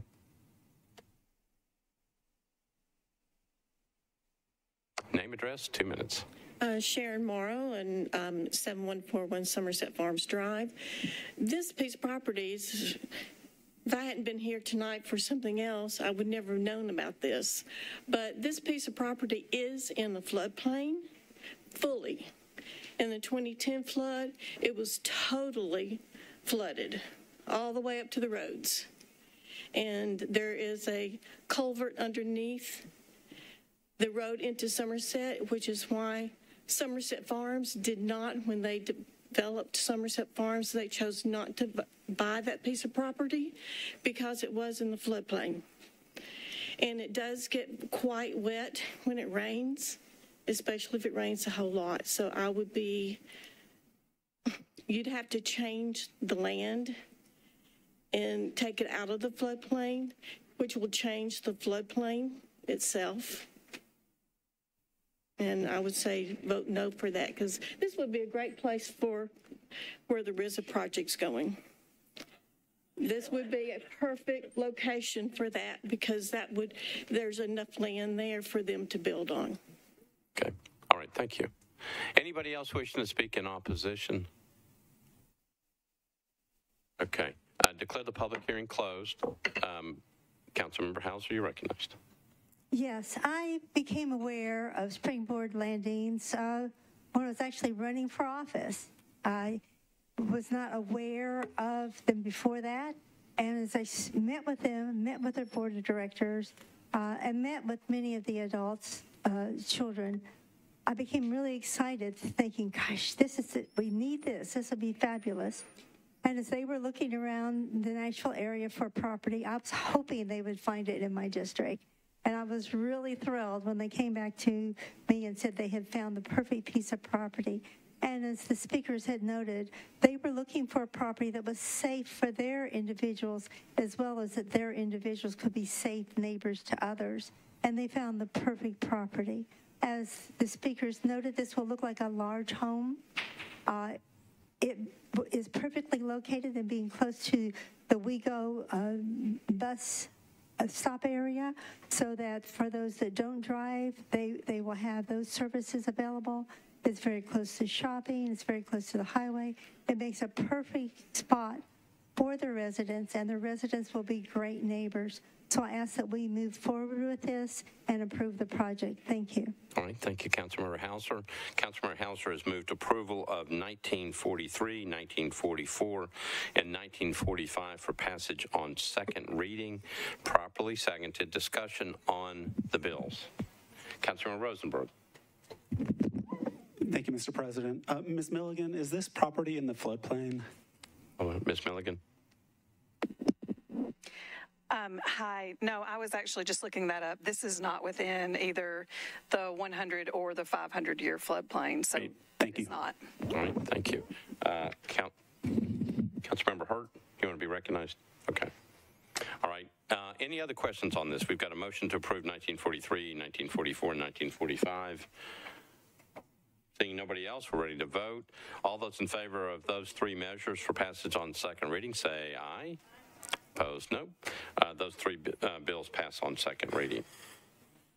Uh, We're on Bill 2023-1946 by Councilmember Hagar. Uh, Ordinance to amend Title 17 by amending a specific plan on a portion of property located at 3939 Old Hickory Boulevard, approximately 2,600 feet west of Old Hickory Boulevard, Zone SP. Uh, Councilmember Hagar, you're recognized. Move, move, move for an open hearing. Okay, so I declare the public hearing open. A show of hands of those who are here in favor of this measure. All right, thank you. A show of hands of those who are here in opposition of this measure. Didn't see anybody in opposition. Those in favor wish to speak. Nobody's coming, oh, nobody's coming forward. Declare the public hearing closed. Councilmember Hagar, you are recognized on your bill. Move for passage, please. Okay, got a motion to approve 2023-1946 for pass on second reading, properly seconded. Any discussion? Seeing none, all those in favor of 1946 for pass on second reading, say aye. Opposed, no. You adopt. Uh, BL 2023-1947 by Councilmember Sledge. Ordinance to amend Title 17 by changing from RM20A and S and OR20A NS to RM20A, RM40A, and OR40A NS for various properties south of Lafayette Street, generally spanning from First Avenue south to, to west of Lewis Street, along and north of Hart Street, and within the Wedgewood, Houston, Chestnut Hill Urban Design Overlay. Councilmember Sledge, recognized on your bill. I read all that, and he wasn't here. There he is. Councilmember Sledge, we are on Bill 2023-1947. It's item number 53. Thank you, uh, Vice Mayor. Apologies for the delay. Uh, Please open the public hearing. Okay, uh, declare the public hearing open. A show of hands of those who are here in favor of 1947. Show of hands of those who are here in opposition to 1947. Seeing nobody on either side, declare the public hearing closed. Councilmember Sledge, you're recognized on your bill. Thank you, Vice Mayor. Uh, Move for approval. Okay, got a motion to approve, properly seconded. All those in, uh, any discussion? Uh, All those in favor of the bill uh, for pass on second reading, say aye. Aye. Opposed, no. You adopt. All right, we are on Bill 2023-1948. Back to Councilmember Toombs. Ordinance to amend Title 17 by changing RS 7.5 to R15 zoning for property located at 574 Ewing Drive, approximately 185 feet west of Vista Lane. Councilmember Toombs, you're recognized. Thank you, Mr. Vice Mayor. Request to open the public hearing. Declare the public hearing open. A show of hands of those who are here in favor of 1948. Show of hands of those who are here uh, in opposition to 1948. Seeing nobody on either side, Councilmember Toombs, uh, declare the public hearing closed. Councilmember Toombs, you're recognized on 1948.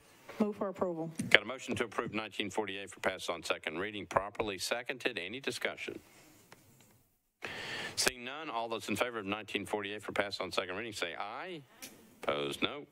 Uh, 1948 passes on second reading. BL 2023-1949 uh, can be taken with 1950. This is Councilmember Taylor and I guess Councilmember Toombs. 1949 ordinance to Title 17 by change from RS5 to SP zoning for property located at 3013 Batavia Street, approximately 100 uh, feet east of 31st Avenue North. Uh, and the companion bill, which is BL 2023-1950, ordinance to authorize building material restrictions requirements for BL 2023-1949, proposed ordinance requires certain materials to be restricted in the construction of buildings. Councilmember Toombs, you are recognized on those two bills. Thank you. Request to open a public hearing. Okay, we're on 1949 and 1950. That's item 55 and 56 on your agenda. Declare the public hearing open. Show of hands of those who are here in favor of those two measures. All right, thank you. A show of hands of those who are here in opposition to those two measures. Didn't see anybody in opposition. Sir, would you like to speak? No. Declare the public hearing closed. Councilmember Toombs, you're recognized on the two bills. Move for approval. Uh, 1949 and 1950, the motion is to approve on second reading, properly seconded. Any discussion? Seeing none, all those in favor of 1949 and 1950 for pass on second reading, say aye. Opposed, no. You adopt. Uh, We're on item number 47 by Councilmember Young. Uh, BL 2023, 1951, we can take it with 1952. Uh, Bill 2023-1951 by Councilmember Young. Ordinance amend Title 17 by change from R10 to SP zoning on properties located at 203, 205, 209, 217, 219, 253, 255, 257, 259, and 261 Liberty Lane, 215B, 257B, and 253B Liberty Lane, approximately 251 f- uh, feet west of People's Court.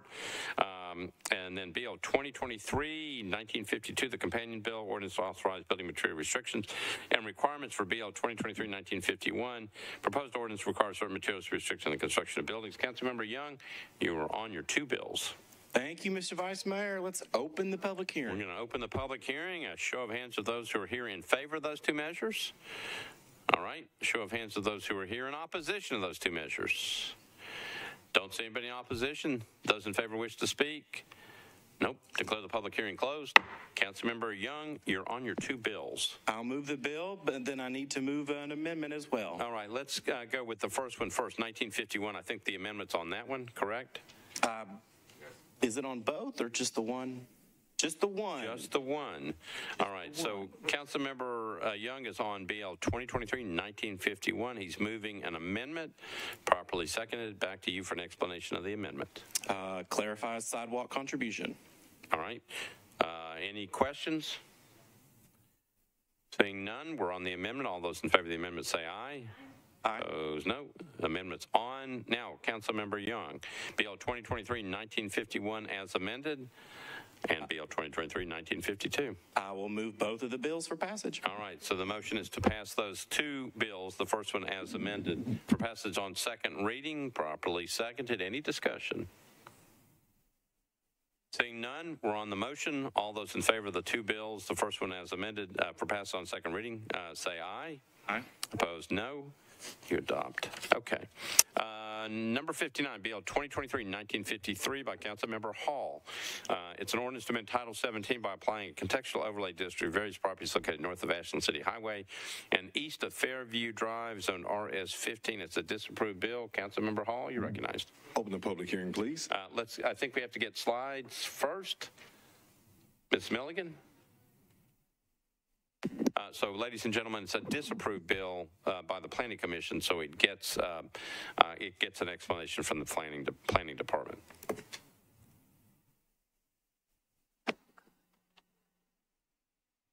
And Ms. Milligan has broken the um, cords. No, broken our computer, sorry.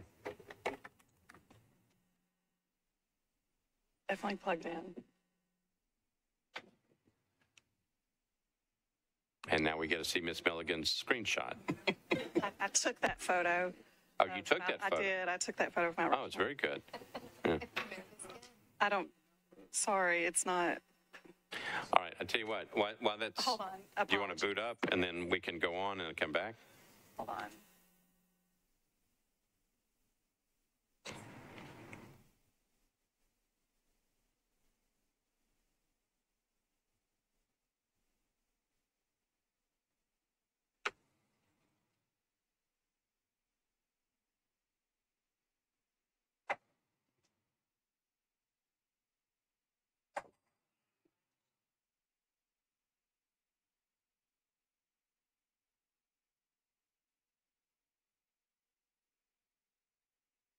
We should be good now, Vice Mayor.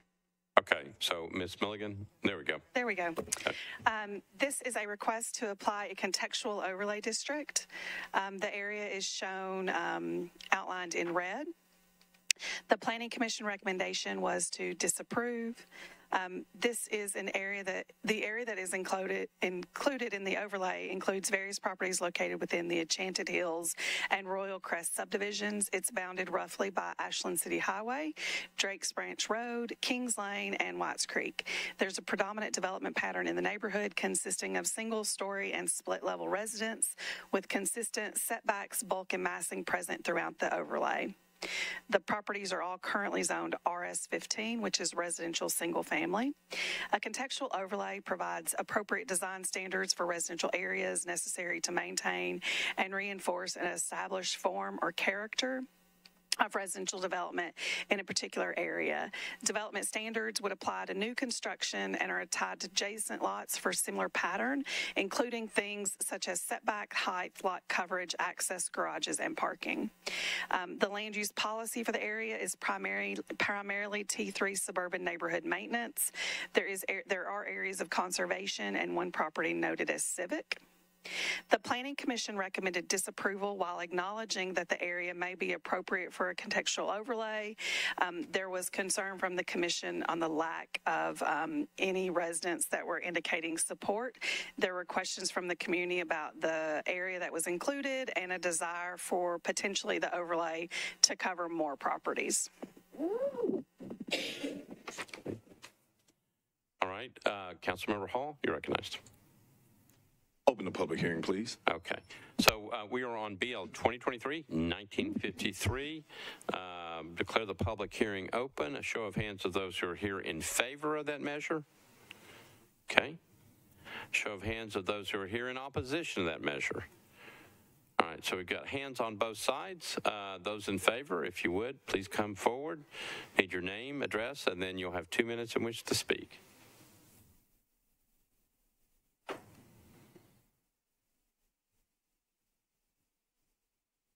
Uh, good evening. My name is Bill McDaniel. I say at 4223 Drakes Hill Drive.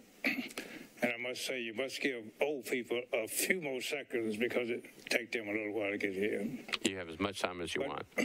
I'll give you five give you seconds. three points. Okay. Three points about this neighborhood. Across the street from me, my best friend died. His son moved back from New Jersey in the family house. Next door to me, doctor died. A new young couple, Dr. Dennis, just bought that house and is moving in it. There's a lot of good things happening in this old neighborhood that need protected. Uh, I bought my house years ago and repeated it. If you want to see some magic, look at the 4323 Drakes Hill Drive, and you see that there is good movement in that neighborhood. So I asked this group, I spoke at the planning meeting the other night, and I didn't make it. but you need to drive through Enchanted Hills before you change it for all these years. It needs to stay like it is. Skilled people, people are moving back, new homes are being built. And I just want to say, if you if you need another reading or whatever you need in this body, before you change the layout of that, that neighborhood, drive by my house and take a look and eat some barbecue in the backyard. All right. Uh, when, how when are you going to be serving? All right. And are you related to the individual getting ready to speak? So many of you I know um, very well. Um, today I'm just Bill and Carol McDaniel's daughter, Vonda McDaniel, at 4223 Drakes Hill Drive. Um, you heard from the planning folks uh, what has been presented. The, they meet community character manual standards. It meets the Nashville Next plan. It fits the land use policy, and it was recommended by the staff of planning before it was voted down. So I would ask that you approve the contextual overlay and stop by 4223. We'll get you some barbecue. Uh, next speaker, name, address, and uh, location of where the barbecue is going to be served at your house.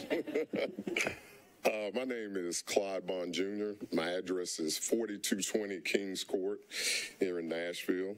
Um, I've been a resident of this area for 50 years, I guess two generations. I'm the second generation. Um, this is a neighborhood that does, needs to be preserved, as they mentioned. You know, there are very unique homes, you know, big lots, all the things you want in a neighborhood. And growing up in that neighborhood, you've got so many friends, family, people moving back, as Ms. McDaniel spoke about, that want to preserve this neighborhood. And I again would ask that you take a look at it and I vote, ask that you vote, you know, in favor of the contextual overlay. All right. Thank you. Sure. All right. Anybody else wishing to speak in favor of the measure? Okay. Uh, those who wish to speak in opposition, if you'd come forward. I need your name, address, and then you'll have two minutes in which to speak. Anybody in opposition, come on forward.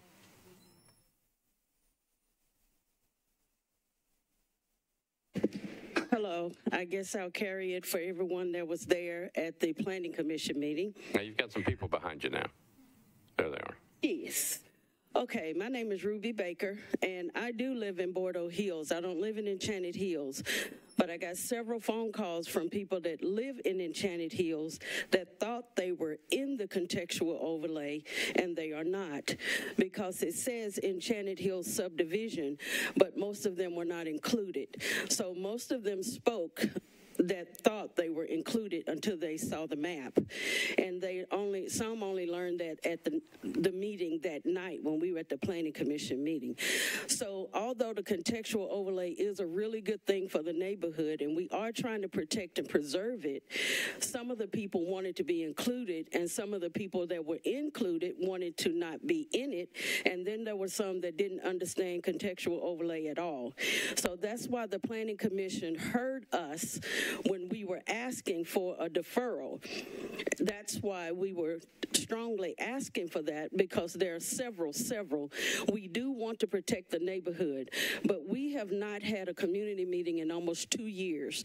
And it is very daunting trying to stay ahead of any bill that is introduced that has not come before the community to give an explanation.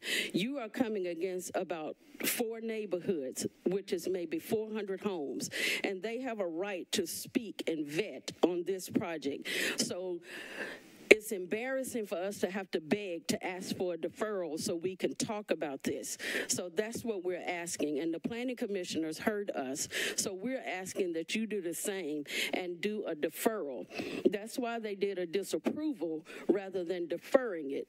So the council member will have to get at least 27 votes.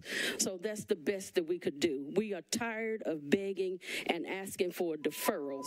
Help us, please. Defer this so we can talk about it. All right, thank you, Ms. Baker. Uh, next speaker, name, address, two minutes. Good evening. I'm Joy Kimbrough. I reside at 3901 Drakes Branch Road. I'm the owner of 3903 Drakes Branch Road as well. My daughter and granddaughter live down the street at 3952 Drakes Branch Road, and we are all in this area. I'm coming today to ask you, to plead with you, to ask to do what is just common courtesy and decency. Please allow us to have a meeting. We have not had a meeting, as Ms. Baker stated, in over a year. This proposal, and I think um, it's two bills, there'll be another bill as well, it covers almost 400 acres. And we have not had one community meeting. That's all we want. It may be good, it may not be good, but I think the community deserves to at least be able to have a meeting, ask questions, have planning come out, answer those questions, and then move. There is no rush. There is no rush. We're only asking, we're only asking that you not approve this this evening, that you give us time. And if we as a community decide that's what's in the best interest of the community, then we will come back. I'm sure with whoever is elected um, in August. Thank you. All right, thank you. Next speaker, name, address, two minutes. Good, af- good afternoon. My name is Joseph Bond. I live at 42, 4268 Kings Lane. Um, 4268 Kings Lane. I'm gonna take my head off on this one. Uh, my uh, uh, my neighbors, a bunch of them, retired. Uh, they're not here. They ask, you know, of us all the time. You know, we just see what's going on. Like the young lady said, we haven't had a meeting in almost two years or two years. I've, I've been very, very active in the neighborhood. Uh, my son was a mental illness person. Uh, I lost my brother. I have 18 stab wounds in my body right now. And because of my neighbor was for my wife going to my neighbor house at three or four o'clock in the morning to get some help. So please, sir, please, ma'am, give us an opportunity to work as a neighbor. Neighbors, uh, the Bible said, Jesus said, love your neighbor as yourself. Thank you. All right, thank you. Please vote against this bill. All right, uh, next speaker, name, address, and then two minutes. Good evening. My name is Erica Dixie, and I reside at 4020 Drakes Branch Road. And I would like to start off by saying I do not necessarily oppose um, this bill. I'm not for, I'm not against, but the problem I have or the concern I have is that, um, again, as a community, we have not had a chance to meet um, with our council person, to communicate with him, for him to explain um, the several hundred acres that are in this contextual overlay. How did he come up with the boundaries for this overlay? Um, just residents have not been able to discuss details. Um, the proposal was made without basic informational meetings with the community or the residents. Um, so I'm asking that you defer this to after the August um, 2023 elections so that residents can um, or who are going to be affected by this overlay have the opportunity to meet and discuss this proposal with a council person who is willing to um, listen and do the will of the people. Thank you. All right, thank you. Okay, anybody else wishing to be heard on this one? All right, declare the public hearing closed. Councilmember Hall, you're recognized. Move for approval. All right, so I've got a motion to approve on this one, properly seconded. Um, discussion on the bill. I've got people in the queue. Councilmember O'Connell, you're recognized. Councilmember O'Connell. Thank you, Mr. President. Uh, I'm asking about the the fact that it's a disapproved bill. I guess, Lisa, can you help me understand what what the uh, policy aspect of this was that the commission found? Ms. Milligan. So uh, there was a recognition by the Planning Commission that an application of a contextual overlay in an area of neighborhood maintenance is likely consistent with the policy.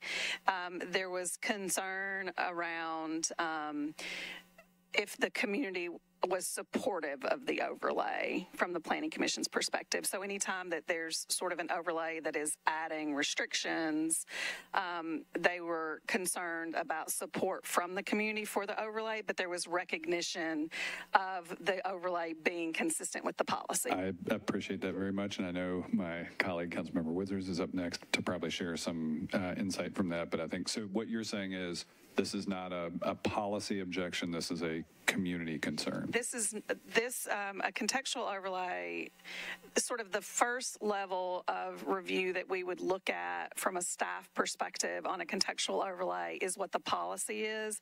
So if there was a policy that was neighborhood evolving, we would likely say no, that's a, a non-starter for us.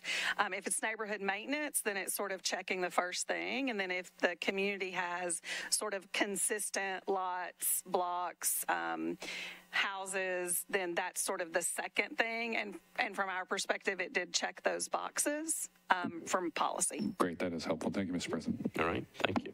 Uh, Councilmember Withers. Thank you, Mr. Vice Mayor. Just wanted to um, um, address again the, the items that Councilmember O'Connell asked and, and that we have heard. Uh, as well as from Ms. Milligan. Um, th- this one did have um, a, a, fair amount of debate, uh, I guess I would say, on the Planning Commission. Um, I, am really of the opinion myself that the Planning Commission is a policymaking body and that the political body is the council. Um, nevertheless, uh, some of the deliberation that we had on the Planning Commission in my personal opinion, uh, did veer into inserting personality and politics rather than policy. Uh, and so the mover of the motion to disapprove um, kind of cited uh, a little bit of a, a, history of potential a lack of communication or things of that matter in District 1 and moved for uh, disapproval in the interest of requiring 27 votes versus 21. Um, I don't think that, I personally, this again, this is my personal opinion. I don't think that is a good move necessarily for the Planning Commission to take. I think the Planning Commission needs to make a recommendation based on policy. That way, frankly, even if this does get deferred into the next term, it would potentially at least still have a recommendation that is based on policy, even if it were to be taken up later if the if the legislation were to die. Nevertheless, uh, that is that is the motion that carried. Um, I will say as well that um, the really the request from the community was not for disapproval; it was for deferral. Um, if the request is for community meetings, there frankly is still time. This item could be deferred and brought back this term. Um, and so again, I don't I don't know that a disapproval motion was um, the, the, the one that, that I would have wanted to have on record. But I, I think the, uh, really what this speaks to is the Planning Commission did have some concerns that there may not have been adequate community uh, engagement in the initial end. Um, there is still time for that to happen at this time. Uh, so um, I, I, will defer to uh, Councilmember Hall to, to let us know if he's willing to do a deferral to, to bring it back. But uh, what I will also say again is I, I, th- I think Councilmember Hall is right in bringing this forward. Most things that I've heard during my eight years uh, uh, uh, on this body from this particular community is that they do want to preserve the neighborhood character. They do have concerns about um, density. They do want to preserve um, somewhat of the suburban character uh, that a lot of members who initially bought in that community, they, they wanted the same things that other folks moved to suburban communities did um, and had been denied to African American home buyers. And they're kind of wanting to preserve that. And we, we've seen contextual overlays and con- conservation overlays be applied in some of those areas. So for policy reasons I support it, I would uh, invite uh, colleagues to listen to Councilmember Hall to see if he's willing to do a deferral during this term, but to potentially have some additional community meetings before it comes back to us on third. Thank you. Councilmember Hall, do you want to respond to the question? So just for a quick clarification point, there were community meetings. There were two. There's a third one scheduled. It's a reschedule for next Thursday. We would have already had it. Um, planning would have attended that meeting, but the facility we were, we were going to meet, the AC went out. Nobody knew until we got there, so that one had to be rescheduled. Um, so there is a third meeting or another meeting scheduled and hopefully the, the folks that attended the first two will be able to attend and help the others get caught up quicker. Um, if not, we can easily produce that, those sign-in sheets and those folks that were at those other meetings. Um, and you've heard again that the most of the concern on this was for people wanting to be included. And planning can speak to why those other additional lots weren't. Again, it was about consistency of the lot size and, and things of that nature. But overwhelmingly, this is something that's been asked for for two terms. Even before that, when Councilmember Hurt was our interim council person, when the first one was done in. Okay. All right, I've got other people in the queue. Councilmember Murphy, you recognized. Thank you. Um, I think everybody on this floor knows how I feel about disapproved bills, um, which is why at the Planning Commission, I hate disapproved bills. Um, which is why the Planning Commission, I went over to Councilman Hall during it and during, while this item was being heard, and the other contextual overlay that he has with the same vote, and said, I got you on this one because I had to sit through um, what was a very long night at planning already for because my case was was almost last on that one uh, on that agenda, and so I, I, listened to the whole debate and everything. And um, Councilman Withers eh, has characterized it correctly. Um, policy wise, this fits. It tracks. Um, planning commission should do policy work. We are the political body. I've said that there when I represented us then, and, and I've said it here as well. On this one, um, what I heard from the community was that the people in favor of it, and there were a lot of people in favor of it, were excited and happy and want to save the affordability of their area and kind of the character of their area. And the people against it were against it because they wanted to be included. Um, now, I, you know, Ms. Miller can get in, can get into why they were why they weren't. So can Councilman Hall, but like that makes me excited that people want to be in an overlay, but we shouldn't stop the overlay that's happening simply because we can't expand it. As we all know, we can shrink overlays once they're filed. We can't expand them, right? And so this does sound like that needs to be, you know, told to the community you weren't in it because of this reason or that reason. He can do that. He can get that done. Um, I don't think there's any reason to slow this one down because people want in it. I also, when I have uh, overlay meetings, I've got one coming up soon, I typically mail to the people who are in that overlay because I want to hear from those property owners who have filed and requested it, right? So you might not know about it if you're a couple blocks over.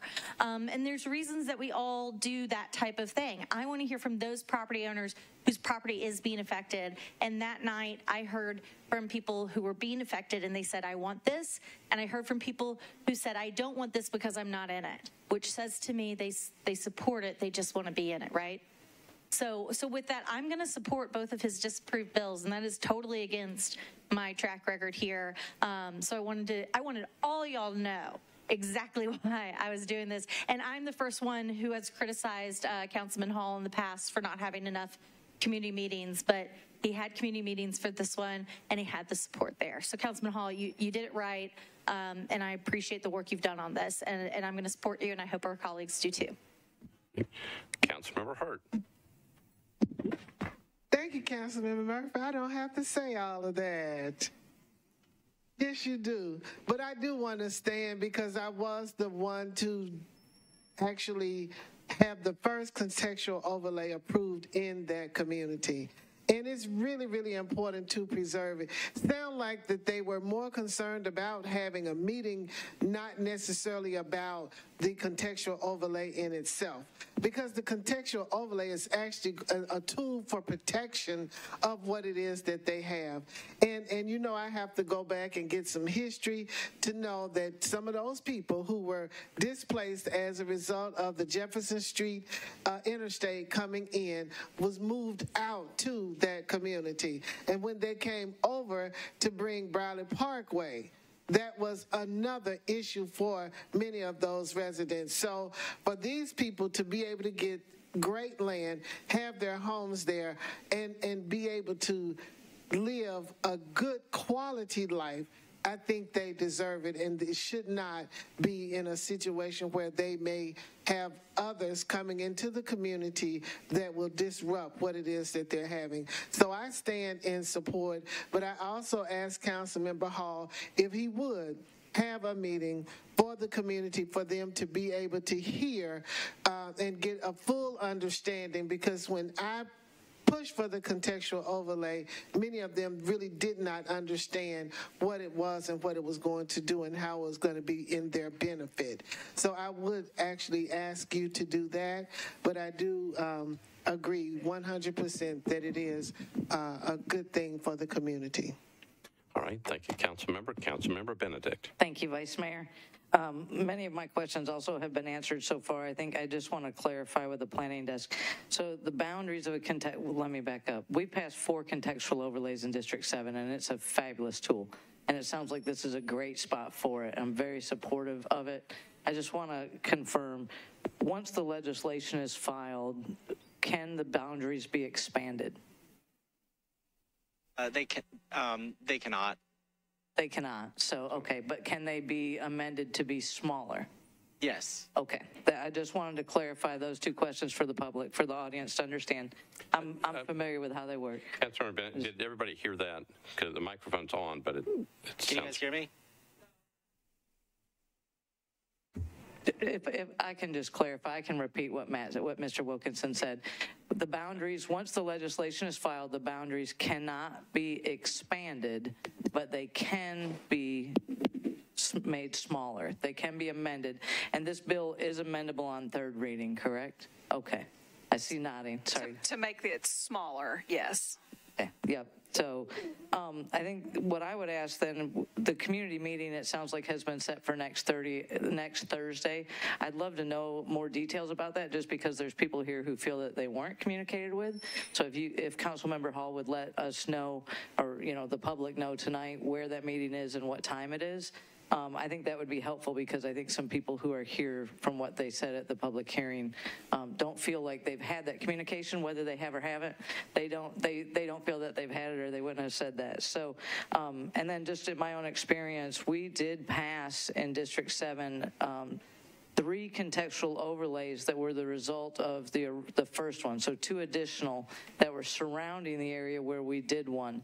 So it definitely can be done. And I would ask that if in that community meeting people do want it expanded to other areas, that um, as a as a as a handoff. I know when I came into office, my prior um, uh, council member let me know what was happening so that way I could be able to hit the ground running. So if folks do want this, maybe the next council member um, could be prepared and know what those boundaries are. I think that would be very helpful to the community as well as um, to the body. Thanks. All right, thank you. Councilmember Toombs? Thank you, Mr. Vice Mayor. I, I want to stand in support of, of passage on second reading because we do still have third reading. Third reading can be deferred if that's necessary to have time to have a community meeting. contextual overlay, overlays, I've done several of them. Um, they are really a great tool in preserving neighborhoods. It's been very important to me to preserve uh, historic and established neighborhoods. Enchanted Hills is one of those historic neighborhoods that needs to be preserved. Um, we all know that there's a, a lot of development going on and it's pushing north of the river. Um, and so looking after those uh, established neighborhoods and making sure that, that that character is, is preserved is very important. Um, I've spoken to a lot of folks who are District 1 residents uh, who were in support of the contextual overlay. Some didn't understand what a contextual overlay was, so they wanted me to explain it. And once I did, they felt like it was a good idea. Um, and so for those uh, reasons, I'm in support of passage on second, but I, I would. Uh, again uh, reiterate that there needs to be another community meeting. I know for me, when I've done community meetings for the contextual overlays, uh, Rosie has helped me send out notices to everyone who is within the contextual overlay so that they would know about the meeting. Um, so I would suggest that, that that same process be used so that everyone within the boundaries will know about the meeting and come can come learn about the overlay. All right, thank you. Um, Councilmember Allen. Thank you. Just to pick on what's been said, and I, I, appreciate the, the folks that have come to speak on both sides of this and, and do think that the contextual overlay is a fantastic tool for preserving the neighborhood. Uh, and I hope that the sponsor would uh, follow all the suggestions about the notification and hopefully then when we get to third reading, we'll either have lots of emails that say, great, we're good, or if we don't, if the sponsor would then be willing to consider deferral on third, if we, if it sounds like people still need to be communicated with, and I, I feel like that gives us the possibility to be responsive to what we've heard tonight. Right. Thank, you, thank you, Councilmember Allen. So uh, that's the cue. Councilmember Hall, back to you. Thank you, Vice Mayor. Um, and I'm completely open to that. Um, those are, again, the conversations that have already been taking place, and we've already had that one additional meeting. Um, we will have that one in before we get the third meeting. It's again, like everyone has said, it's a fantastic tool. I'm glad uh, planning recommended it, and it came from other rezoning pro- uh, projects in the area. Um, this is a very unique community in a lot of ways, and um, Councilmember Toombs had done one just up the road, and that area is called the Gold Coast for a reason. Um, it's one of the few places left in this city that average almost an acre-sized lot and minimum home size of 2,700 square feet but it was farmland when I was a kid. That whole area just got built up over time. These are doctors, these are professors, these are teachers, these are folks where two, three, four generations now, uh, my generation has moved back to. I live in this neighborhood. Um, and so this is one of those things where it's something, again, that they've been asking for for a decade at least. Um, Councilmember Hurt kicked the ball off when she was interim, and we've just kind of found our way through the process dealing with land policy and neighborhood maintenance bumping up against neighborhood evolving and those sorts of things. And so I think the timing is perfect on it.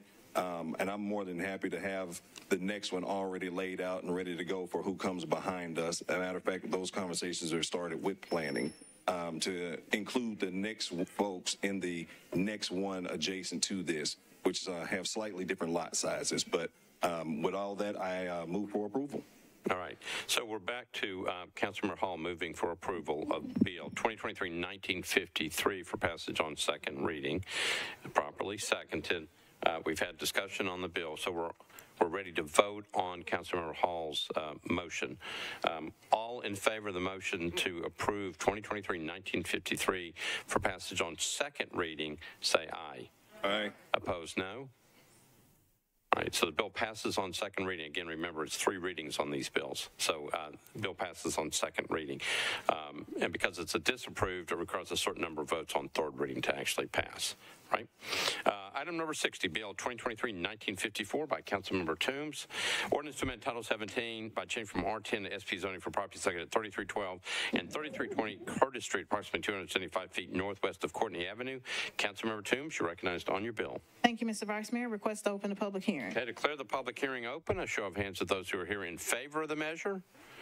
All right, thank you. A show of hands of those who are here in opposition to the measure. Don't see anybody in opposition. Those in favor wish to speak. Don't see anybody coming. Declare the public public hearing closed. Councilmember Toombs, you're recognized on your bill. Move for approval. Got a motion to approve 1954 for passage on second reading, properly seconded. Any discussion?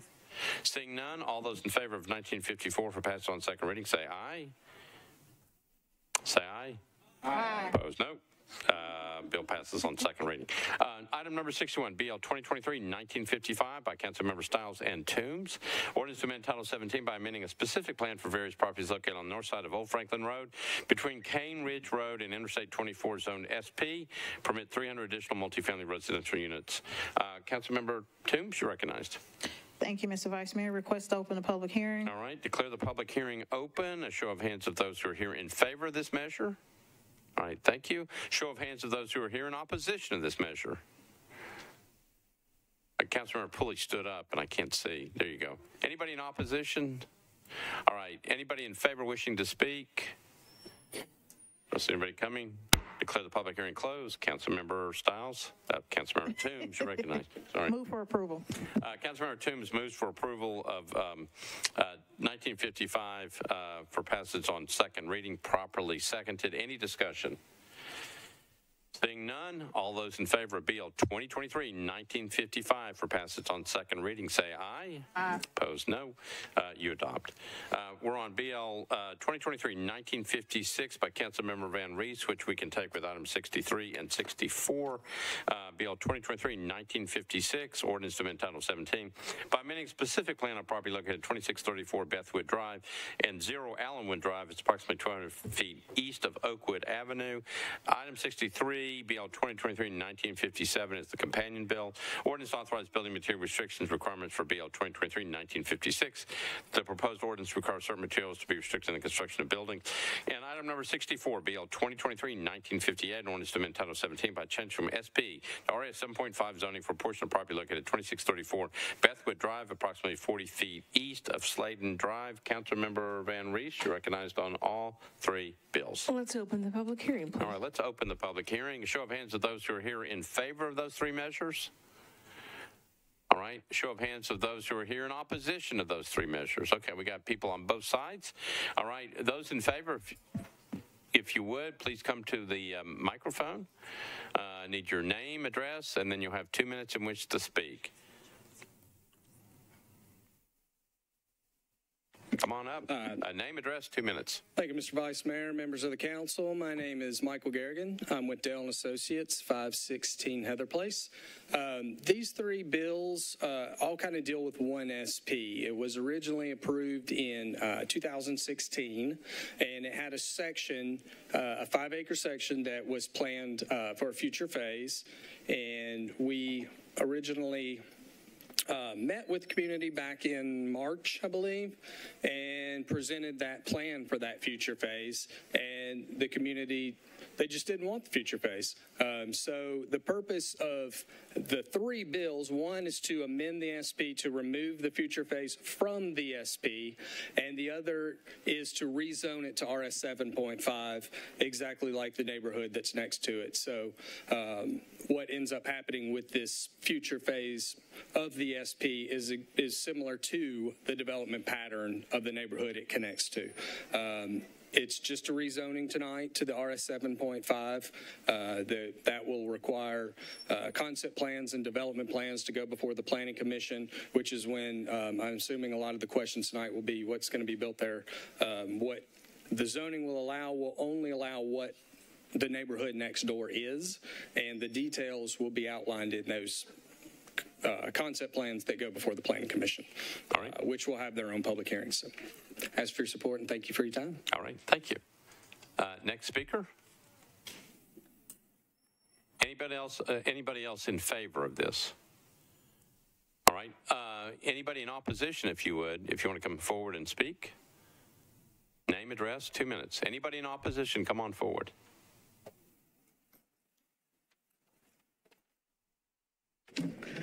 My name is Wanda Jordan, and I live at 2561 Slayton Drive. Now, when this bill was presented, all we kept hearing when it came to the meeting was about Bethwood and everywhere else, which we did not like it. And then all of a sudden it's, it's affecting Slayton Drive. We in the the back of my house was a whole field of trees, and they built about 20 apartment complex, 12 townhomes, and we accepted that. We still are not dealing with Oakwood, where all of us have to come out.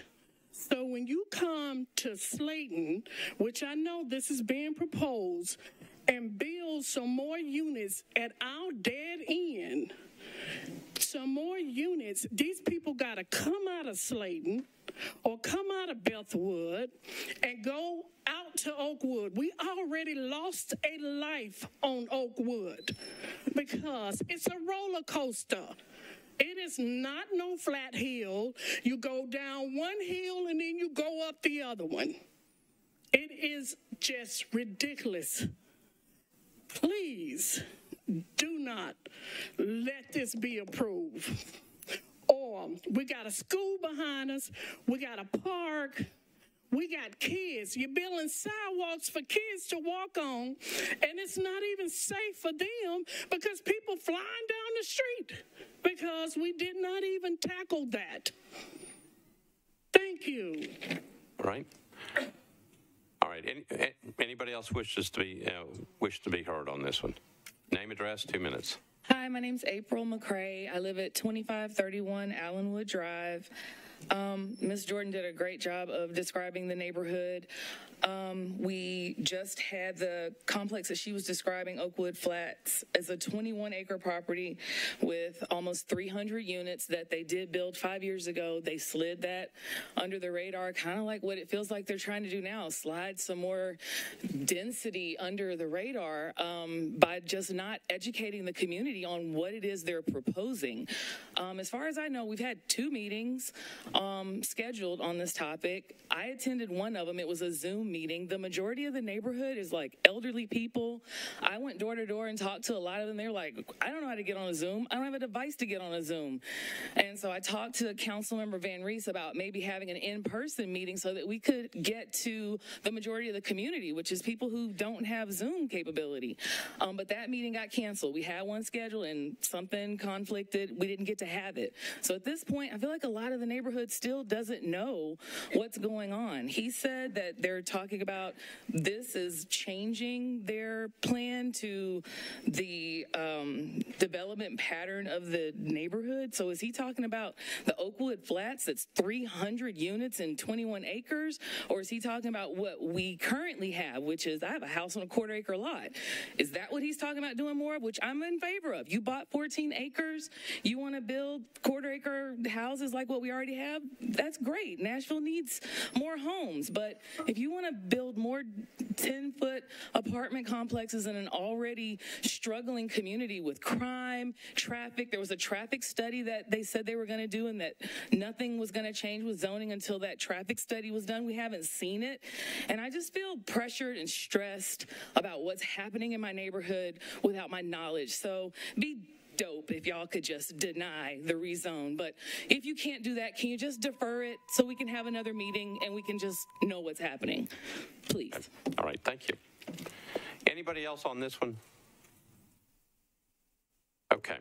All right. Declare the public hearing closed. Councilmember VanReece. Thank you so much. And I know that there's been a lot of passion because of a tragedy that took place on a young woman who was killed uh, from a speeding car on Oakwood Avenue. And we have worked very hard, and I've worked with Councilmember Parker on securing uh, traffic calming along Oakwood. Uh, we had a pretty good showing of neighbors at the uh, traffic calming meeting. We're at that phase, um, colleagues, where the plans are already there and now the balloting begins. So that's where we are on that traffic calming process. I know that you're all familiar with it. Um, the traffic calming will be, I'm sure, approved and installed before any of these, um, this development moves forward. Uh, and so I wanted to make sure that uh, everyone knew that that, that that took place. Traffic calming is a major issue. This technically is actually a down zoning because it was an original SP along Bethwood. There was a phase one and a phase two. Phase one was approved. This was phase two. When we went back to the community and said, there's, this is what we plan for phase two, they, as uh, was mentioned, uh, preferred the density not to happen on phase two. So uh, the developer has agreed to downzone it back to its original zoning. And so uh, by going back to, uh, I believe it's RS 7.5, um, then um, only the, um, the available uh, parcels uh, that would already be approved just by right uh, would be available to them. So, so this um, uh, landowner has agreed to uh, to do all the things that the committee has asked for. There were two meetings and the traffic calming meetings.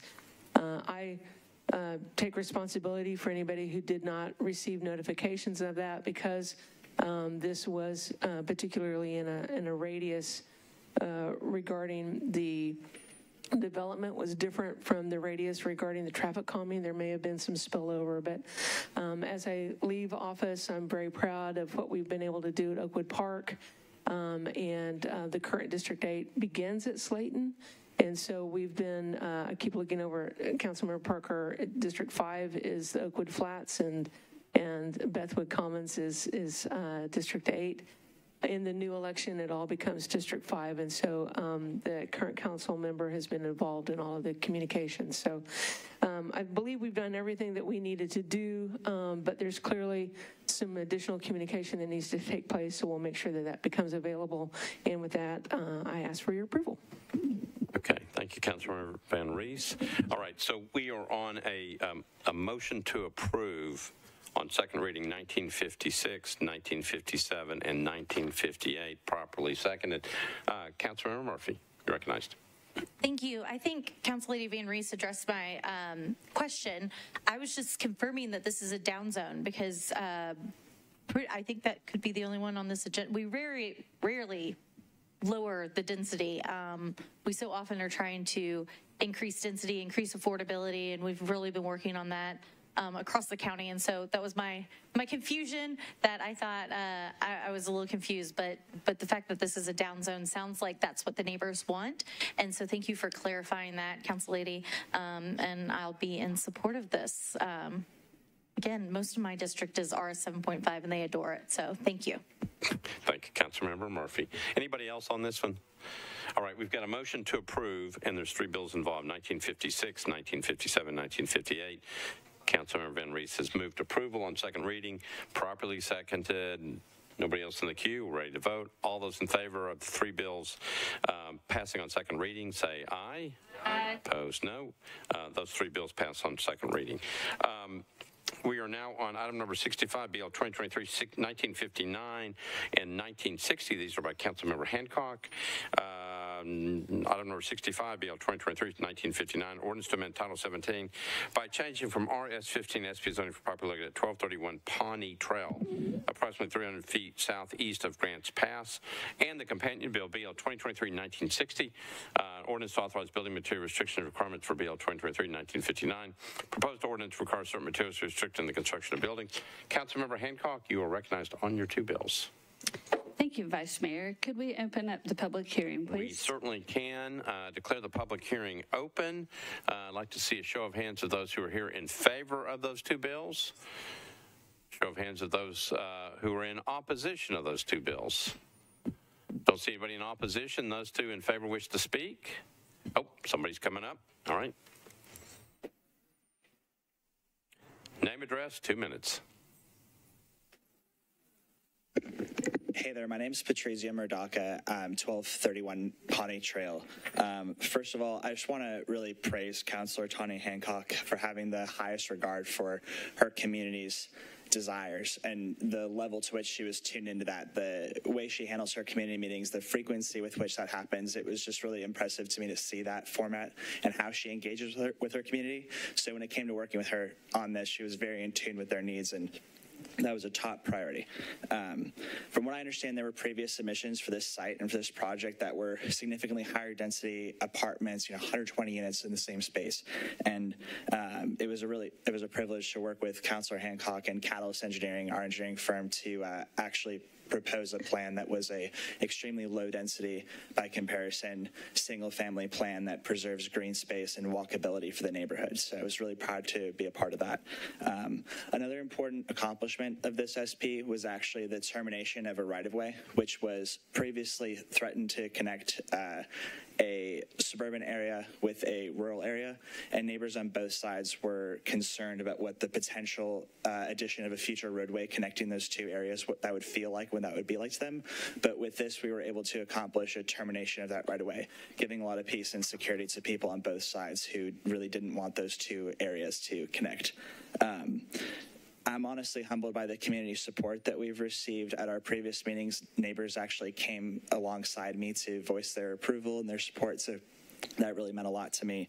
And uh, honestly, as a builder and a professional here in Nashville, I'm honored to get to be a part of contributing to Madison and legacy in the community with some really beautiful homes. So, like I say, just really grateful across the board for uh, all that this project has been and meant to me and the way it's evolved. So, thank you so much for all those involved and especially to Councilor Tonya Hancock. Have a great day. All right, thank you. All right, anybody else wishing to speak on this one? All right, uh, declare the public hearing closed. Councilmember Hancock, you're on your two bills. I'd like to move for approval with a brief comment. All right, um, Councilmember Hancock has moved for approval of 1959 and 1960 for a, a passage on second reading. Properly seconded. Back to you. So uh, this particular property that's involved here was the very first one I was approached by a developer within a couple of weeks of my being elected in August of 2019. And as um, Patrizio alluded to, there were several renditions over the course of the four years, none of which were suitable or um, spoken of favorably by either side of the community. And this is a pretty, you know, interesting area since it's right in between the division between T2 rural maintenance and T3 T3 suburban maintenance. Um, the 12 acre parcel also has a cemetery just beside it that has already been saved and preserved. And on one side of the parcel where the right of way was supposed to connect is a historic stone wall. So this um, win for the community was also to save this wall and not have the right of way, you know, kind of tear that history down. So that was um, pretty exciting to everyone the um, Cumberland Station neighborhood, where this is going to directly connect to, is a suburban neighborhood with sidewalks and, you know, um, separated houses, they, and they all have uh, similar size yards. And this was something that the community, through the regular HOA meetings that I've attended, was very concerned and insistent about is that the um, expansion with this 12 acres would be similar to theirs and have um, you know two-story homes. The garages in the same place. They were they were so very specific and it was just amazing to have someone come in and want to design something that fit their needs and and talk to them about it. And when they came out with the original design it, um, or the design that we have today it's actually better than anyone we've seen before. Instead of just a standard circle, it's like an oval shape. So if you've seen the plans, um, it's just beautiful. We're all very excited to have that. Um, you know, no one loves to have change, or not very many people do, but this one is one that the community on both sides are embracing. So um, with that, I'd like to move for approval. All right. Councilmember Hancock has moved for approval of um, it's 1959 and 1960 for passage on second reading. Can properly seconded. Uh, Councilmember Young, you're recognized. Thank you, Vice Mayor. Uh, I just I saw this is on Pawnee Trail, and I wondered, did we get any sort of recommendation from Leslie Knope or Ron Swanson? Thank you, Vice Mayor. Councilmember Hancock, do you want to even respond? I I, I think that Leslie Knope is always in favor of any legislation I put forward as a former Parks type employee, as 10 years with the YMCA myself. I think that we are in lockstep together. All right, sounds good. All right, so Councilmember Hancock has moved approval of 1959 and 1960 for passage on second reading. Properly seconded. Nobody else in the queue. Ready to vote. All those in favor of the uh, two bills for passage on second reading say aye. Aye. Opposed, no. Two bills pass on second reading. We are on, uh, once again, back to Councilmember Toombs. Uh, BL 2023-1961, ordinance to amend Title 17 by change from CL and RA to MULA zoning for properties located at 2605 and 2611 Old Buena Vista Road and 1001A and B West Trinity Lane at the northwest corner of Old Buena Vista Road and West Trinity Lane. Councilmember Toombs, you are recognized on um, 1961. Thank you. Request to open the public hearing. All right, declare the public hearing open. Show of hands of those who are here in favor of the measure. A show of hands of those who are here in opposition to the measure. Didn't see anybody on either side. Declare the public hearing closed. Uh, Councilmember Toombs, you're on your bill. Move for approval. Uh, got a motion to approve Bill 2023-1961 for pass on second reading. Proper motion, properly seconded. Any discussion? Seeing none, all those in favor of the motion to approve on second reading 1961 say aye. Opposed, no. You adopt. Uh, Bill 2023-1962 by council by birthday girl Councilmember Roberts. An ordinance to amend Title 17 by change from IR to R6A zoning. Properties located at 4421, 4423, 4425, 4427, and 4427B Michigan Avenue, approximately 250 feet west of 44th Avenue North. Councilmember Roberts, you're recognized on your bill. Thank you, Mr. Vice Mayor. I'd like to open the public hearing. All right, declare the public hearing open. A show of hands of those who are here in favor of the measure. Show of hands of those who are here in opposition to the measure. Don't see anybody on either side. Declare the public hearing closed. Councilmember Roberts, you're on your bill. Thank you, Mr. Vice Mayor. I'd like to move for approval, and I really appreciate you all giving me number 68 since I was born at 10 o'clock on 1968. That was really thoughtful.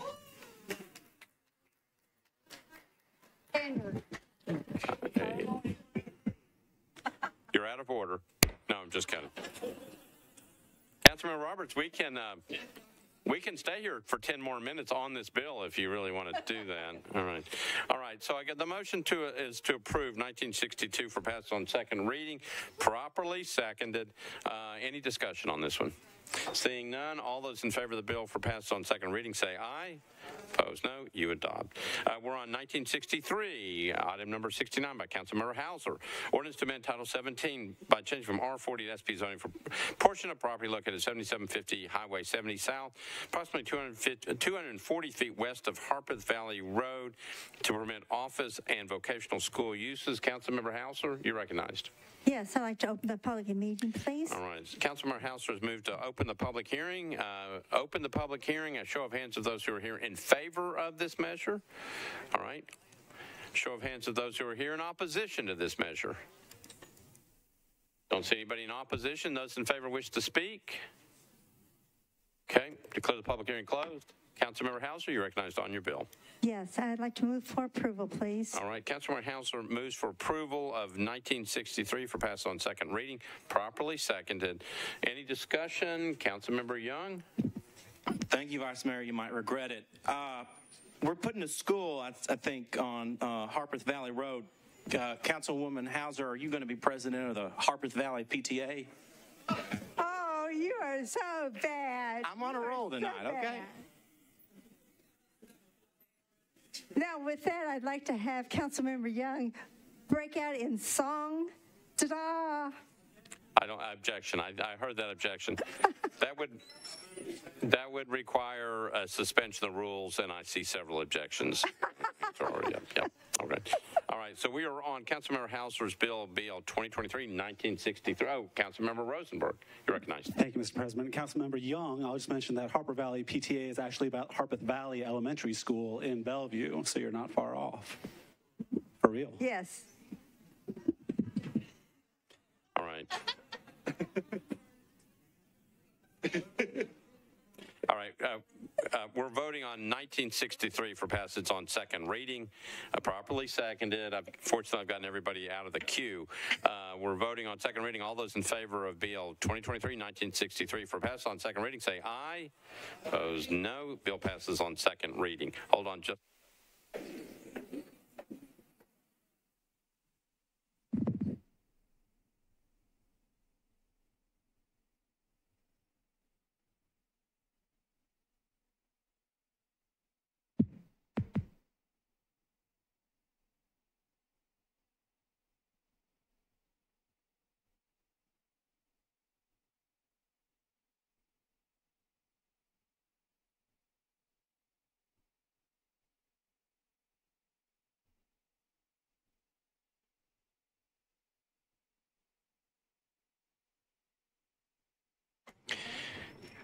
We are on um, uh, item number 70, BL 2023-1964 by Councilmember Hagar.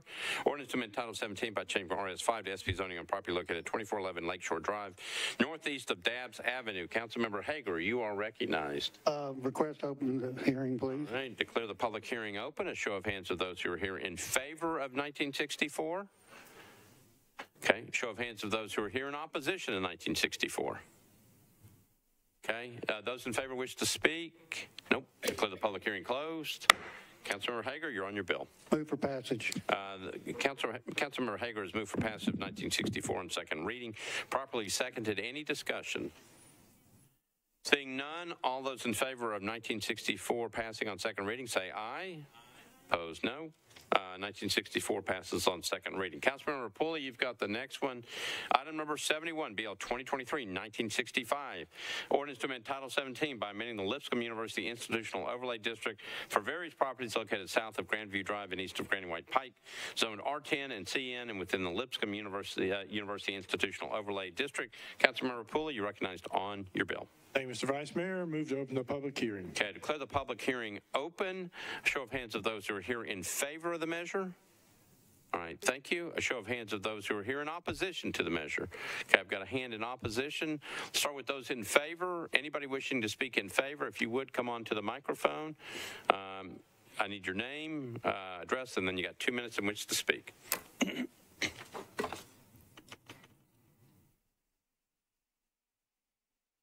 Brent Culberson with Lipscomb University, One University Park Drive. Thank you, Mr. Vice Mayor and members of the council. The institutional overlay that is before you in this amendment was originally adopted uh, in 2003 with amendments in 2006, 2012, and then a minor adjustment in 2018. Uh, the amendment really covers two main items. First, uh, internal adjustments to uh, building proposed buildings on campus, and then the addition of a retail strip that the university now owns on Granny White Pike. Uh, there is a third piece that was originally uh, intended uh, for an expansion of boundaries across uh, Belmont for university properties uh, that we own, uh, but we have now reevaluated those and are working with councilmen to amend that in the upcoming third reading after having both meetings in with the community and neighborhood in March. We met with the Avalon Neighborhood Association twice in June, and then Councilman Pulley held a community meeting last Thursday, June 29th. Uh, and so we've been in touch both with those meetings and then uh, a robust uh, phone calls, emails. And so with that, would appreciate your support of this bill. All right, thank you. Next speaker, name, address, two minutes. Yes, Chuck Miller, Anecdote Architectural Experiences, formerly Tuck Hinton Architecture, um, uh, 508 Houston Street. Uh, I've been uh, Lipscomb's architect for 30 years. Our firm has actually worked with Lipscomb since 1988 and formed our the master plan originally with them in 88. We were involved with the, as Brent mentioned, the 2003 uh, original overlay approval amendment in 2006, then amendment in 2012. This current plan um, actually um, increases, preserves more green space. It's removing surface parking that was shown um, on the uh, Granny White Pike side. It's improving the Granny White Pike entrance at Maplehurst. Um, there's approximately 21 buildings that are proposed in this plan. 12 of those are in the same location as 2012. Four of those are being relocated and five new are added. One existing building is actually being removed to improve the uh, Maplehurst entrance. Uh, We would appreciate your uh, vote on this. Thank you. All right, thank you. Uh, Next speaker, name, address, two minutes. Good evening. Jeffrey Bond, 3902 Granny White Pike. Uh, resided uh, directly across the street from the university, and in full disclosure, I'm also a member of the administration. So I had the pleasure of working on developing the master plan, and a couple things that I think are really exciting. Uh, the university is a very open space available to the community who use it quite frequently uh, for recreation. Uh, as we've gone through this, we've not only uh, maintained that, we've increased the green space on campus. We've also focused on trying to address uh, a, a concern that's increasing in our community, which is security, both for those uh, using our facilities and for our students. Uh, we focused in the future on improving the uh, security around campus, as well as the number of entrances available so that it's a much more secure environment for our community. Thank you. All right, thank you. Anybody else wishing to speak in favor of this one? All right. um, Anybody wishing to speak in opposition, come on uh, up, name, address, you got two minutes. Hello, my name is Michelle Vanderpool. I'm at 4201 Rockdale Avenue. I am three houses from the Lipscomb University Academy football and track. I believe in this project, but I have concerns pertaining to the stormwater and flood waterways. I would like to never see a Waverly happen to Lipscomb University. We are talking about children. I believe we need to hold this a little bit closer to our hearts. In our area, it has ex- extensive flooding, advanced floodings. Now the roads are going from a 100 year flood happening once a year to eight times a year. I have a creek that went from 10 feet to 30 feet in less than five years. We have no trees that are going to be holding this in. Lipscomb Academy sports fields are already in a wet floodplain. We have had group meetings. We have had numerous phone calls, but no movement forward on any above what the city requires. I really plead to your hearts. Please make it a little bit more strenuous for the whole entire area. Requirements, please put flood gauges, hold newer, more accurate surveys. I move to hopefully protect this area. It's not a, just about housing. It really, truly is about the children that we host in these areas. So I prop, I request the flood gauges in all directions of Lipscomb University's property within one mile radius and a warning system please put in place. I feel that you probably will vote and move this forward. If you do, please put safety measures in this. I thank you so much for your service. All right, thank you. Anybody else wishing to speak in opposition? Okay, declare the public hearing closed. Uh, Councilmember Pulley, you recognized. Thank you, Mr. Vice Mayor. I'd move approval on second reading with a very, very brief uh, comment. All right, so Councilmember Pulley is moving approval on second reading, properly seconded. Back to you. Thank you, Mr. Vice Mayor. We did hold uh, a couple of community meetings, one at the end of March, which I was unable to attend due to some unfortunate circumstances that you guys are all well aware of. Uh, and then we held another one last week and had some robust community conversations out of this. This got a lot of feedback from the community. And uh, one of the Lipscomb officials uh, indicated that there would be an amendment forthcoming that I'll bring to planning committee and third reading to address uh, the majority of the community concerns we've heard. So with that, I'd uh, ask for your approval. All right, Councilmember Pulley has moved for approval of 1965 for pass on second reading, properly seconded. Any discussion? All right, seeing none, we're ready to vote. All those in favor of the bill passing on second reading say aye. Opposed, no. Bill passes on second reading. We are now on item number 72. We can take for 73. This is by Councilmember Swope. Uh, BL 2023-1966, ordinance to amend Title 17 by changing specific plan for properties located at 6415 and 6419 Holt Road and 6401 Nolensville Pike, southern corner of Nolensville Pike and Holt Road, Zone SP and the companion bill, BL 2023-1967, ordinance authorized building material restrictions requirements for BL 2023-1966. Proposed ordinance requires certain materials to be restricted in the construction of buildings. Councilmember Swope, we're on your two bills.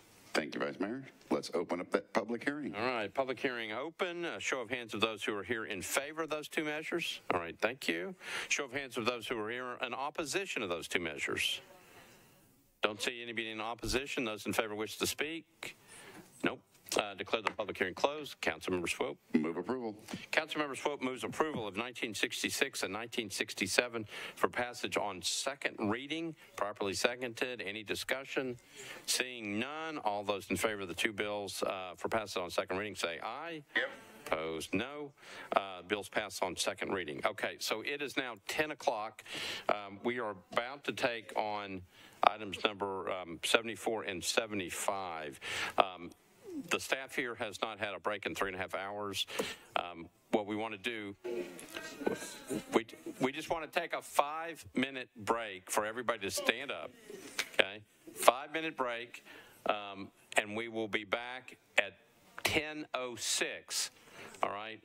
Um, Because we're going to be here, I think, for a little while, and we just need to give these people a break. 10:06, uh, we'll be back, five-minute break.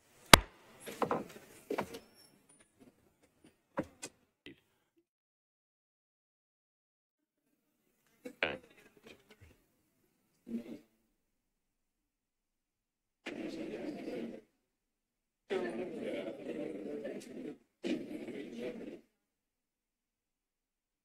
We got it?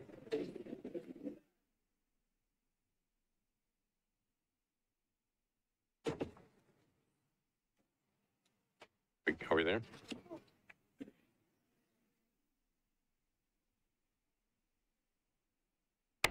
All right, we are ready to begin. Okay, so um, we learned at the break that we had a staff problem with one bill. Um, It is item 229. Um, It is Bill 2023-1990. It's on second reading. Um, That's the ordinance regarding the Community Oversight Board that Councilmember Syracuse has.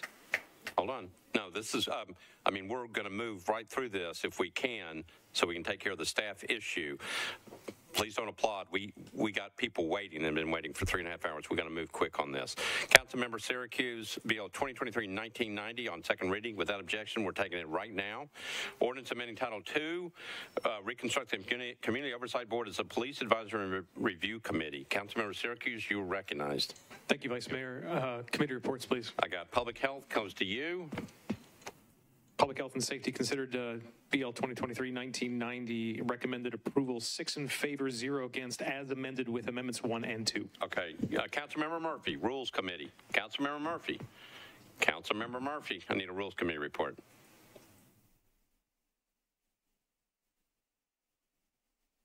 We're on 2023-1990. Five in favor, zero against on both amendments. All right, thank you. And the bill Sy- as amended. Councilmember Syracuse, you're on your bill. Thank you, Vice Mayor. Move uh, amendment number one. Okay, uh, the, the motion is to amend, uh, to move amendment number one, properly seconded. Back to you for an explanation. Thank you, Ms. Darby. If you could run through it real quick. Thank you. Put you on the spot. Okay. All right, one second. Let me pull it up real quick. I thought you'd be Uh, quicker than me. Amendment, sorry, amendment number one. um, This makes some uh, changes to the legislation that would uh, change the name Internal Affairs Unit to the Police Department Office of Professional Accountability. It also um, specifies that the, uh, the budget is to be prepared in accordance with Article 6 of the Metro Charter. Um, It uh, spells out the subpoena requirements and limitations um, rather than simply refer to state law that spells those out. And it corrects a um, typographical error. Okay, thank you. Councilmember Syracuse. Move approval. Councilmember Syracuse has moved approval of amendment number one, properly seconded. Discussion on the amendment. Seeing none, all those in favor of the amendment say aye. Opposed, no. Amendments on, that's number one. Councilmember Hurt, um, on, not on the amendment. Okay, Councilmember Porterfield, you have the second amendment. Uh, Thank you, Vice Mayor. Committee reports, please. Uh, We've already gotten them. Already got it? Okay, uh, move for approval. Okay, so Councilmember Porterfield has moved for approval of amendment number two, properly seconded. Explanation of what the amendment does. Uh, Director Darby, could you do the explanation, please? Yes, that. The uh, amendment number two changes the effective date from its passage to October 27, 2023. This is in line with the state law that requires that a new board be approved uh, within 120 days of the effective date of the state law, which was July 1. The 120 days runs on October 29, which is on a weekend, and so this uh, would make it effective on the Friday before that weekend. Okay, Councilmember Porterfield. Thank you. Move for approval. Okay, motion is to approve, properly seconded. Any questions on the amendment? Councilmember O'Connell on the amendment. Okay. Um, All right, any discussion? We're on the amendment. Amendment number two. All those in favor say aye. Aye. Opposed, no. Amendment, mum- amendment number two is on. So Councilmember Syracuse, you're on your bill as amended, tw- 1990 with amendment number one and amendment number two. Thank you, Vice Mayor. Move approval as amended with a brief comment. All right, Councilmember Syracuse has moved Bill 2023-1990 for passage on second reading as amended, properly seconded. Back to you. Thank you so much. I just wanted to say thank you so much to our COB staff, the board, for working uh, together and helping us to, to put this together to be as effective as possible. Um, so we're, we, I think we, we really got it right. So thank you. Move approval. All right, thank you. Councilmember Hurt, on the bill. Yes, I just wanted to uh, stand and thank uh, the sponsor and the COB staff and Metro Legal for working on this.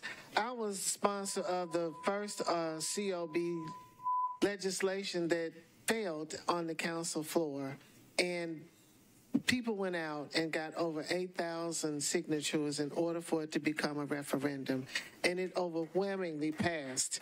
And I am so proud because I thought that was the greatest thing that happened on this chamber floor because the voices of the people spoke and they spoke loudly. And for the community to come out in droves as they did, and now Metro is respecting their uh, voices is a wonderful thing. So I'm just standing asking uh, uh, my colleagues to support this effort to let the people know that their voices do matter and we want to hear from them because we could not be who we are without them. That ex- exercise that we had, I think, was the most diverse. Um, exercise that we had in this chamber, and we made sure that that board looked and reflected like this community. And I'm just, it was, I'm just proud of it, and I just thank you all so much for uh, the efforts that have been made. All right, remember, we are trying to get through this very, very quickly. Councilmember O'Connell? Thank you, Mr. President. I, I know we're trying to do that, but this is a big deal to the citizens of Nashville. And I just, if we could, if Ms. Darby could help, I think for the general public, uh, describe what the, and summarize maybe just what the major differences are between the existing uh, state of the Community Oversight Board and this. Um, so remember, this is on second reading. We've got the bill on third reading. We, we've got a lot of people back understand here that, who, and I know that. who And we're in front of, and they're waiting. I appreciate that, Mr. Vice Mayor. This is one of the biggest things that the public asked for, and it is changing now. So um, I think it deserves its time. Ms. Darby, you're recognized. Um, some of the, the major areas that are changed are the uh, the way that the the number of board members, the way that the board members are um, appointed. They will be appointed by the mayor as, as opposed to the uh, the method laid out in the charter provisions currently. Um, the the work of the the board will be limited uh, as opposed to what they are currently um, able to do with regard to investigations. They will be limited to reviewing um, complaints and submitting those complaints to the police and then reviewing the reports that the police submit and um, back to the, the board. Um, uh, I think those are the, the primary distinctions. Um, The ability to issue subpoenas is limit, is limited, greatly limited by state law. Um, And that's been laid out in the, the ordinance as well. Um, uh, the, the board will no longer be able to receive uh, confidential or non-public information from the police department with regard to uh, the work that they do as well. Thank you. Thank you, Mr. President. All right. Um, um, That takes care of the queue. We are ready to vote. Because of the requirements of the state law, we are on the board. Okay, Mr. Clerk? Uh, We are, we are voting on approval of BL 2023-1990 on second reading, but it requires 20, uh, a two-thirds vote of those people who are voting. So we have to go on the board.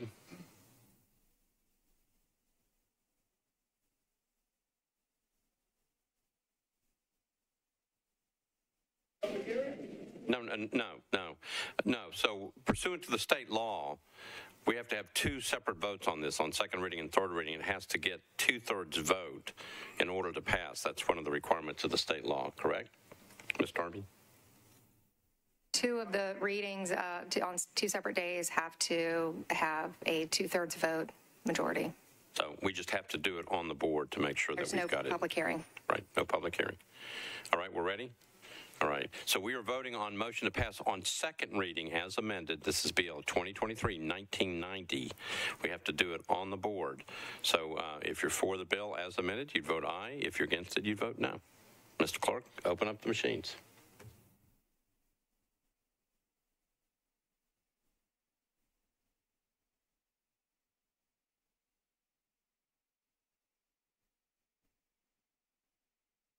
Good. Everybody in? Mr. Clerk, close machines. Take the vote.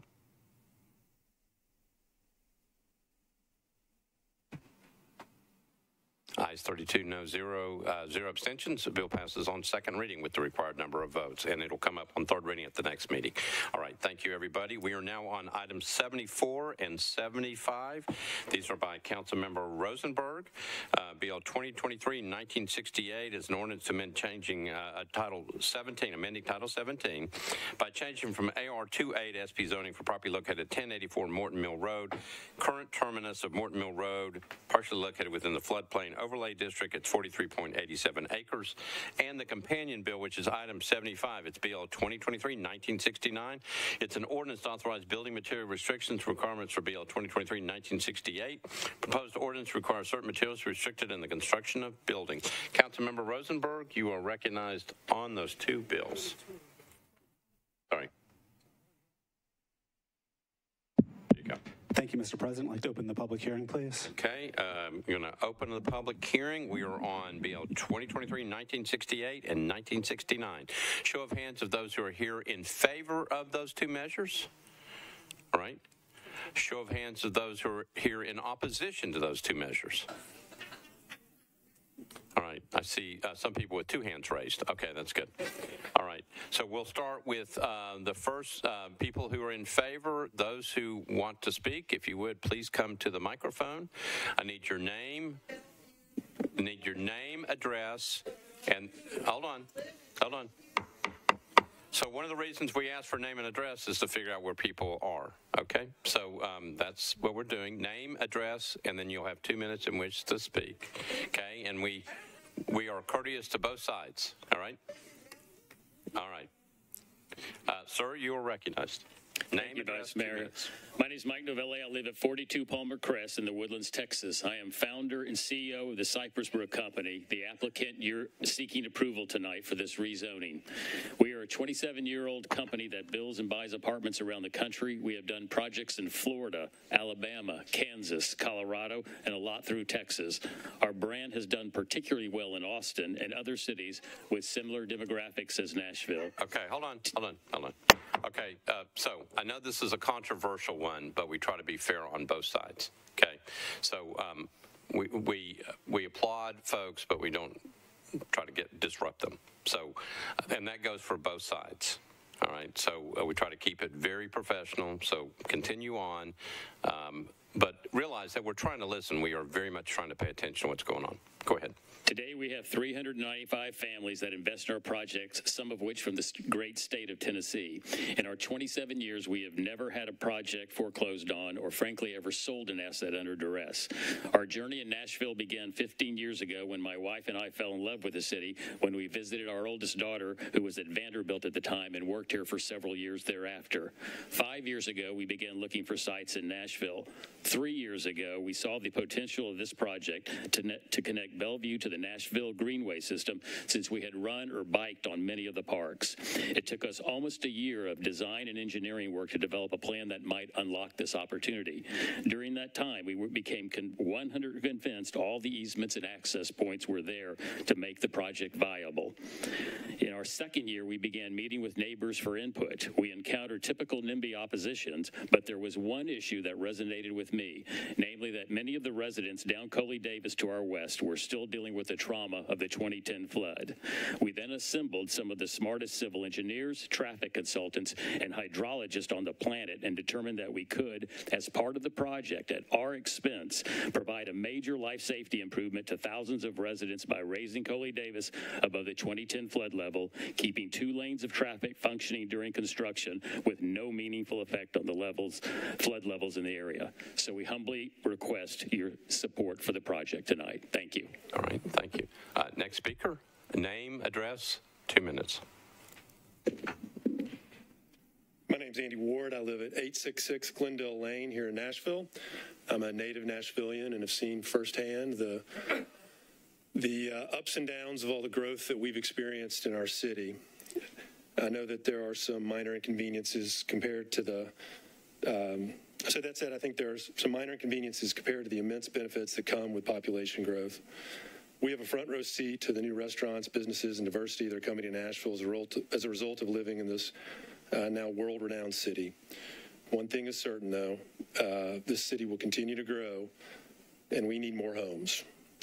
Right now, the cost of housing is skyrocketing. I'm concerned about the housing options for the middle class. I did some research on so home prices in Bellevue. The average home price is $440,000. At today's interest rates, around 7%. That's $2,800 a month. Um, when you compare that to average rents in Bellevue at $1,700 a month as a middle class family, um, it's a big difference. It's a really big difference. I think it's clear that more competition uh, and more diverse housing options will only help to provide more attainable housing solutions uh, for those uh, who cannot compete with today's competitive market and rising interest rates. I urge you to support this rezoning, and I thank you for your consideration. Okay, thank you. Um, next speaker, name, address, two minutes. Good evening. Good evening, Metro Ci- City Council members. My name is Sarah Ryburn. Um, I live at 5902 McCommas Boulevard, Dallas, Texas, and I work with the applicant seeking your approval on this bill. I'm a Vanderbilt graduate and lived in Nashville for 10 years. I spent many a day cycling the parks and using the greenways near where this development would be located, so this city and this project are very near and dear to my heart. Over the past year, I personally, with our team, door knocked and met face to face with hundreds of Bellevue residents and businesses to share the information and facts behind this development. In doing so, we collected letters and signatures from community members who supported the project, which you will find in the support booklet that has been provided to you. I'm extremely proud to be part of a project that has the opportunity to bring $12 million worth of public improvements to the community, including, most importantly, raising Coley Davis above the 2010 flood level. This is an opportunity to say yes to smart growth in Nashville, as well as solve a major public safety issue for the residents of Coley Davis. Don't miss the chance to approve a housing project that, in the broad context, checks all the boxes. It promotes public transportation being located near WeGo stations. It directs traffic to major artery roads and freeways rather than through neighborhoods. It includes public infrastructure improvements to bro- roads, bridges, and greenways. And it brings 417 needed apartments to Bellevue. I urge you to support this rezoning. Thank you for your consideration. Okay, thank you. Uh, next speaker, name, address, two minutes.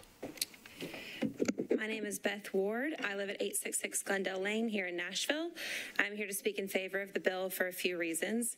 First, I'm an active user of Nashville bike paths, trails, and parks, and I think it's important we find opportunities to see that our parks are preserved and greenways extended, particularly as our city grows, because this is something that makes our city so unique and special. The project accomplishes all of those objectives. First, um, the developer will be extending the Greenway bike, path. I understand the opposition is complaining this Greenway is in the floodway, but my understanding is that virtually all the Greenways in the system are in flood zones. Further, this is a critical linkage point outlined in Metro's Parks master plan to play future Greenway system. Second, this project will donate two- 20 acres of land back to the city and help preserve green spaces. Third, this will also open up the opportunity for Metro to activate the exiting or the existing 51 acre Bellevue Park for public use. Lastly, I'm a small business owner here in Nashville. I have a heightened awareness of the rising cost of living in this town. And as costs increase, it's becoming more and more difficult to grow and hire new employees that can afford to live here or near my business. More housing will be a critical component to helping small businesses like mine survive. Thank you for your consideration, and please support this rezoning. Okay, thank you. Uh, Next speaker, name, address, two minutes. Good evening, Council. My name is Brian Ralston. I live at 2115 Buckskin Court uh, in Spring Hill, Tennessee. My role as part of this team is to review the hydraulics.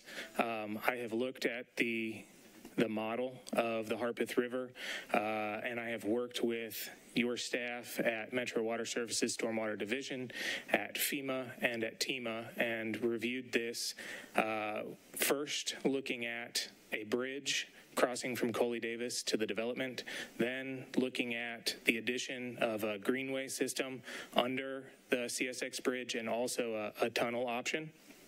And then lastly, we looked at raising Coley Davis Road above the 2010 flood.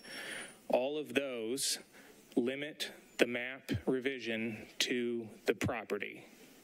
Um, we are in a draft stage right now, but that is because uh, we have not finalized all the plans. Once that is done, we will continue to work with your department and with FEMA to verify that all of this is correct, and we look forward to doing that. Thank you. Okay, thank you. Good evening. My name is Daniel Mota, and I live at 2 Howell Creek Place in the Woodlands, Texas. I am a development principal with Cypress Brook Company and will oversee the Bellevue project and ensure the commitments we've made are fulfilled. I would like to address several claims that have been made regarding the viability of key elements of the project. First, we have committed to the left turn lane from Coley Davis onto the public bridge to allow free flow of traffic and prevent delays for first responders.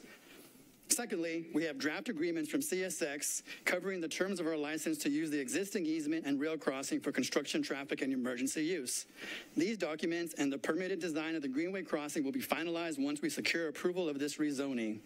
Additionally, I can confirm that we do have a contract in place for the Smith parcel north of the CS, CSX tracks needed for the Greenway connection.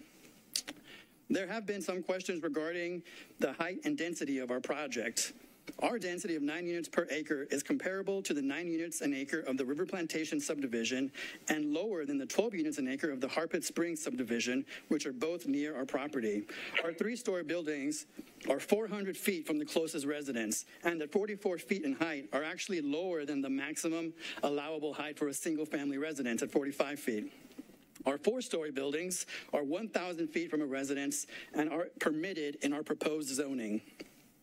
Finally, there have been questions regarding the absence of programming for the donated parkland. This space is left unprogrammed at Metro Parks' request. They have a process that usually includes public input to develop programming and parking plans for new parks. We understand the city park staff will do that programming in due course. I hope this addresses these issues and request you vote in favor of this rezoning. Thank you. All right, thank you. Next speaker, name, address, two minutes. Thank you, Vice Mayor and Council. Eric Wise, I live at 2249 Bell Creek Way in Bellevue. I'm a 25 year resident in Nashville and currently own my home in Harpeth Spring Townhouses just past the proposed development off Coley Davis Road. My elderly parents have lived at the Meadows Lakeshore Senior Living on Coley Davis Road since 2011. In addition to being a Bellevue homeowner, I'm an avid bicyclist. Who utilizes Nashville's greenways frequently.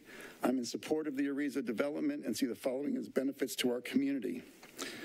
With a tight housing supply in Metro Nashville, I welcome additional housing in Bellevue and believe it is a good use of the land available and will enhance our community. This proposed project has lower density than our Harpeth Springs community in which I live. The improvement to Coley Davis Road by raising the road to avoid flooding such as we experienced in 2010, while it may be inconvenient in the short term, I believe in the long run, this improvement to the infrastructure will be good for all who utilize Coley Davis Road. The completion of the Greenway to the terminus of the boat launch, which will connect Bellevue residents to the Warner Parks via the Greenway, is a plus for cyclists as well as walkers and joggers.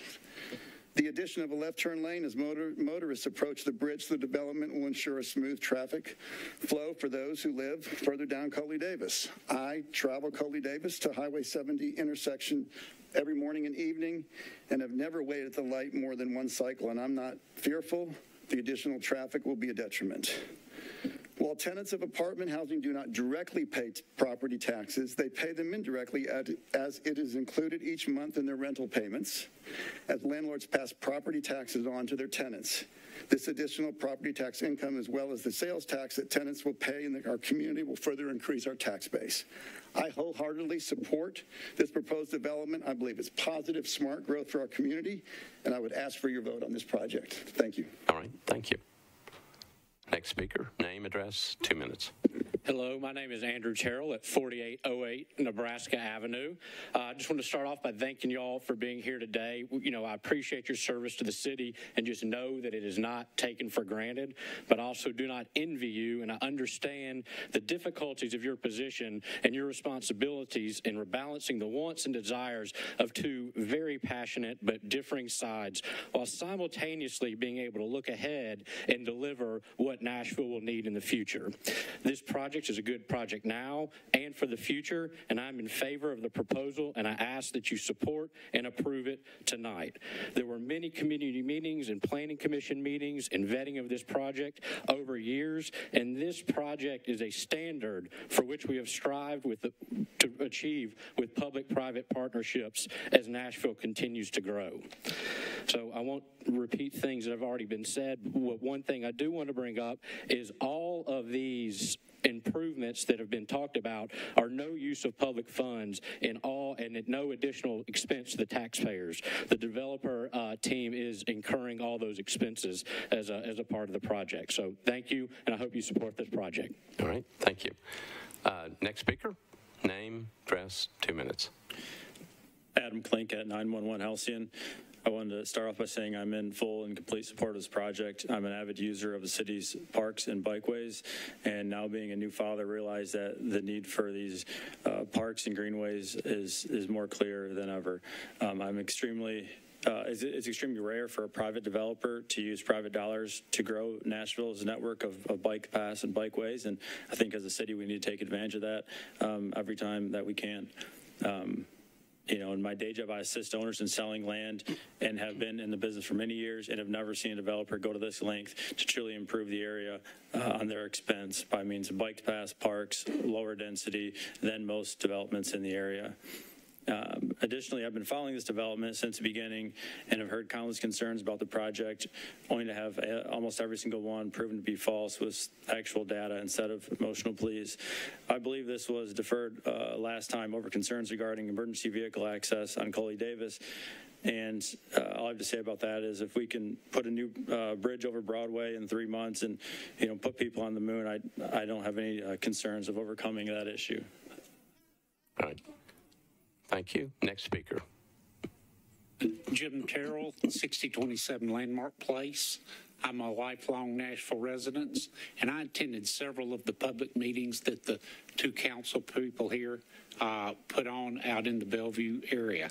At the first meeting, the, the main objection I heard was about life and safety. The people out Coley Davis, and rightly so, in the 2010 floods, it, part of it was underwater. They, they were worried about uh, emergency and safety equipment being able to get to them should they need it. And if it was me, I'd feel exactly the same way.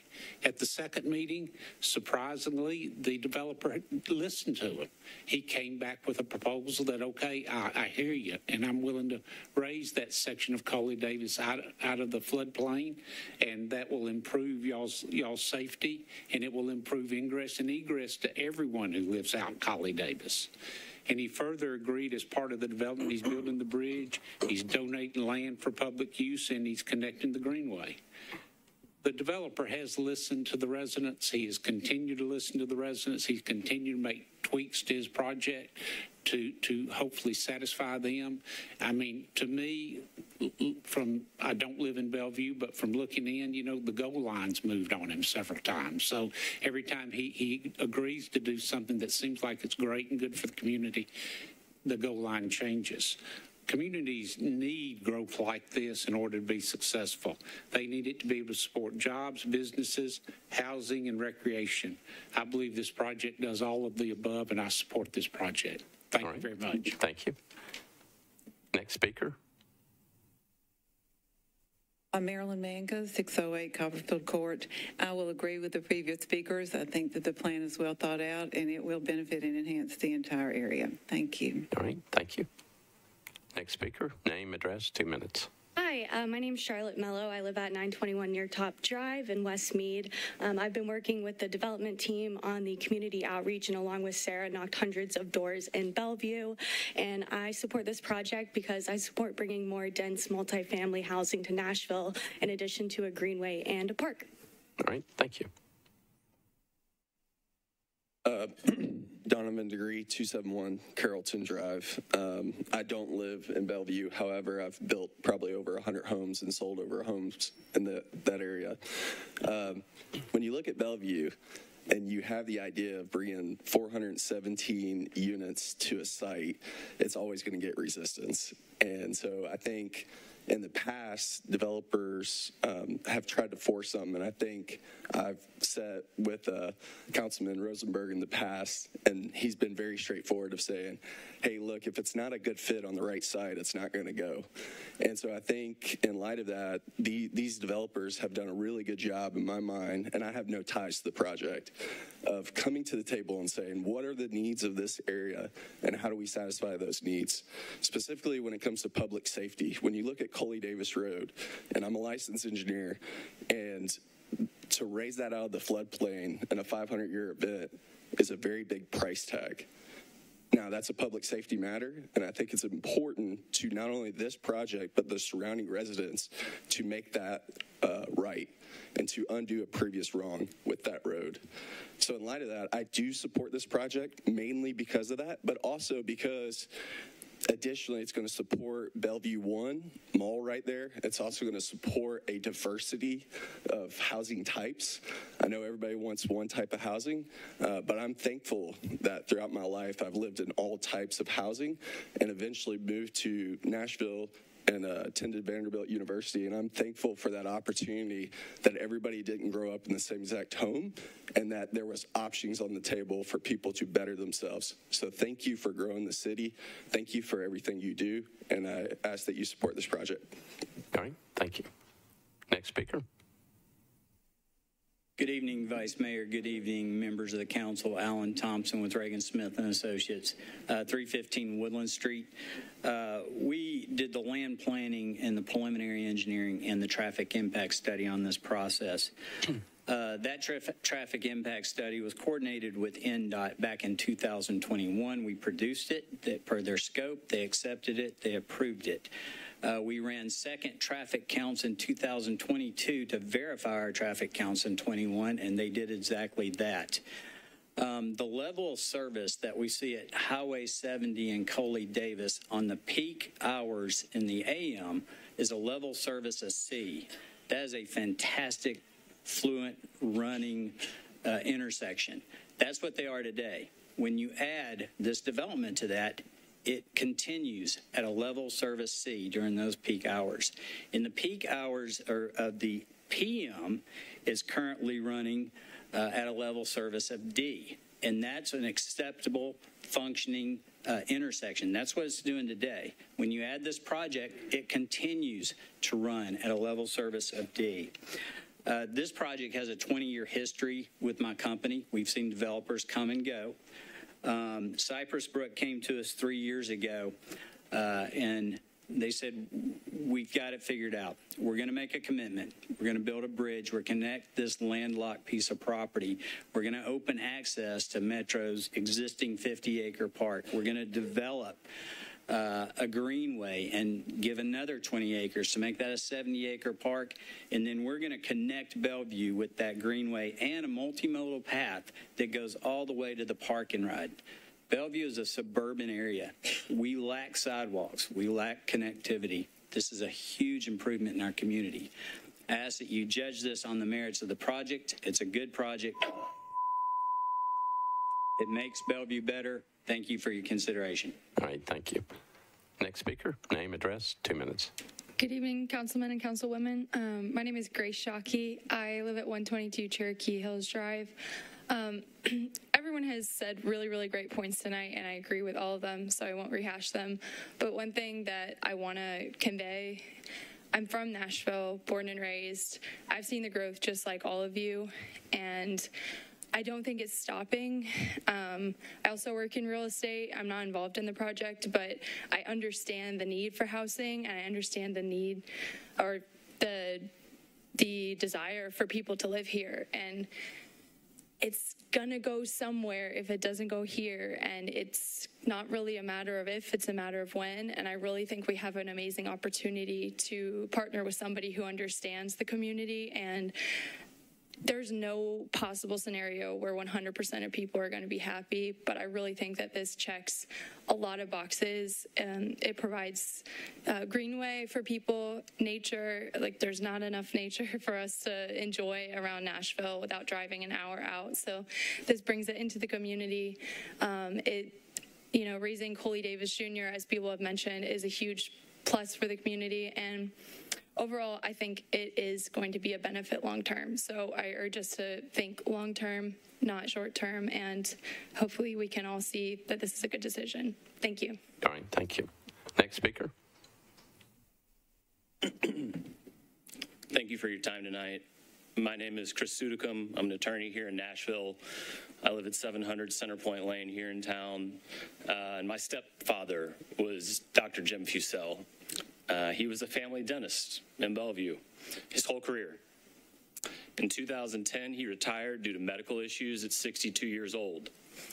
He's owned the piece of property that's at issue here since the 1980s. I think it was 1982 that he bought this property. The farm has been used for decades as a commercial horse boarding facility.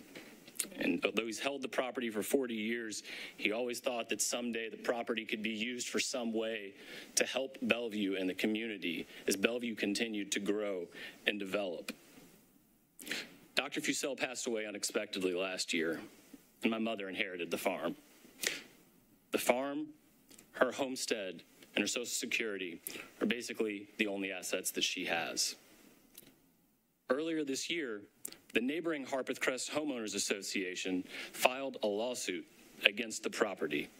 Even though that homeowners association did not exist when Dr. Fussell bought the farm in the 1980s. When he bought the farm in the 1980s, there was already an easement used to access the property. The homeowners association has filed a lawsuit attacking that easement because they want to delay and obstruct the property from being used to its best potential. They don't stop there. The lawsuit also tries to argue that there should be no easement for the property or any right of access to the farm. Even though the easement is noted on the recorded plat, and even though people have entered and left the property for decades on a daily basis. Two minutes isn't enough time to tell you how frustrating that is to see these arguments get made. The lawsuit should be seen for what it is a transparent attempt to manufacture the appearance of confusion about the property. The lawsuit is meritless multiple attorneys, including the legal staff of the city of Nashville. So we have to stop you at the two minutes. Have agreed my mother will prevail. Thank you. Mr. President. Members of the council, my name is Sean Henry, 511th Avenue North. Uh, you hear infrastructure from this microphone as the battle cry throughout Nashville from neighborhoods all over the county. Constantly, infrastructure, infrastructure. This project at $12 million is enabling you to not amend the capital improvements budget by adding $12 million for public parks and for street work the private developer, my client, is is is performing that. So we're going to have a new public road in Coley Davis, raising it out of the floodplain, new a new park, new greenways. Uh, and if you don't know where this property is, and it's hard to know where this property is, as soon as you pull on onto Coley Davis Road, you've got a five-story Hampton Inn on your right. You've got a WeGo Park and Ride on your right. You got soccer fields fields on your left, and a little bit around the bend, you, you're going to turn left across a brand new bridge to access this property because currently it's not accessible but for Morton Mill Road. You're going to hear opponents arguing that the easement that there that's there now uh, is not legal. Right now, it's an unrestricted uh, access to this property, to this farm. This project turns that into a secondary emergency access only. That'll have your traditional lockbox on it for the fire department to use only in the event there's an emergency. Uh, so you would think they would appreciate that. But when it comes right down to it, they don't want renters they don't want renters off of Coley Davis Road at the terminus of Morton Mill Road. That's really what's the under, underlying uh, common denominator here. The question for you all on any preliminary SP, and that's that's what you all consider, is whether the project is feasible your, your professional staff, NDOT, all of the departments and agencies that have reviewed this find this project feasible. Of course, it's subject to final construction drawings that will come at a later date when the final site plan is submitted. The neighbors want that now. That's premature. Once this council decides whether zoning is appropriate, my client is free to spend a heck of a lot more money in drawing up those those plans.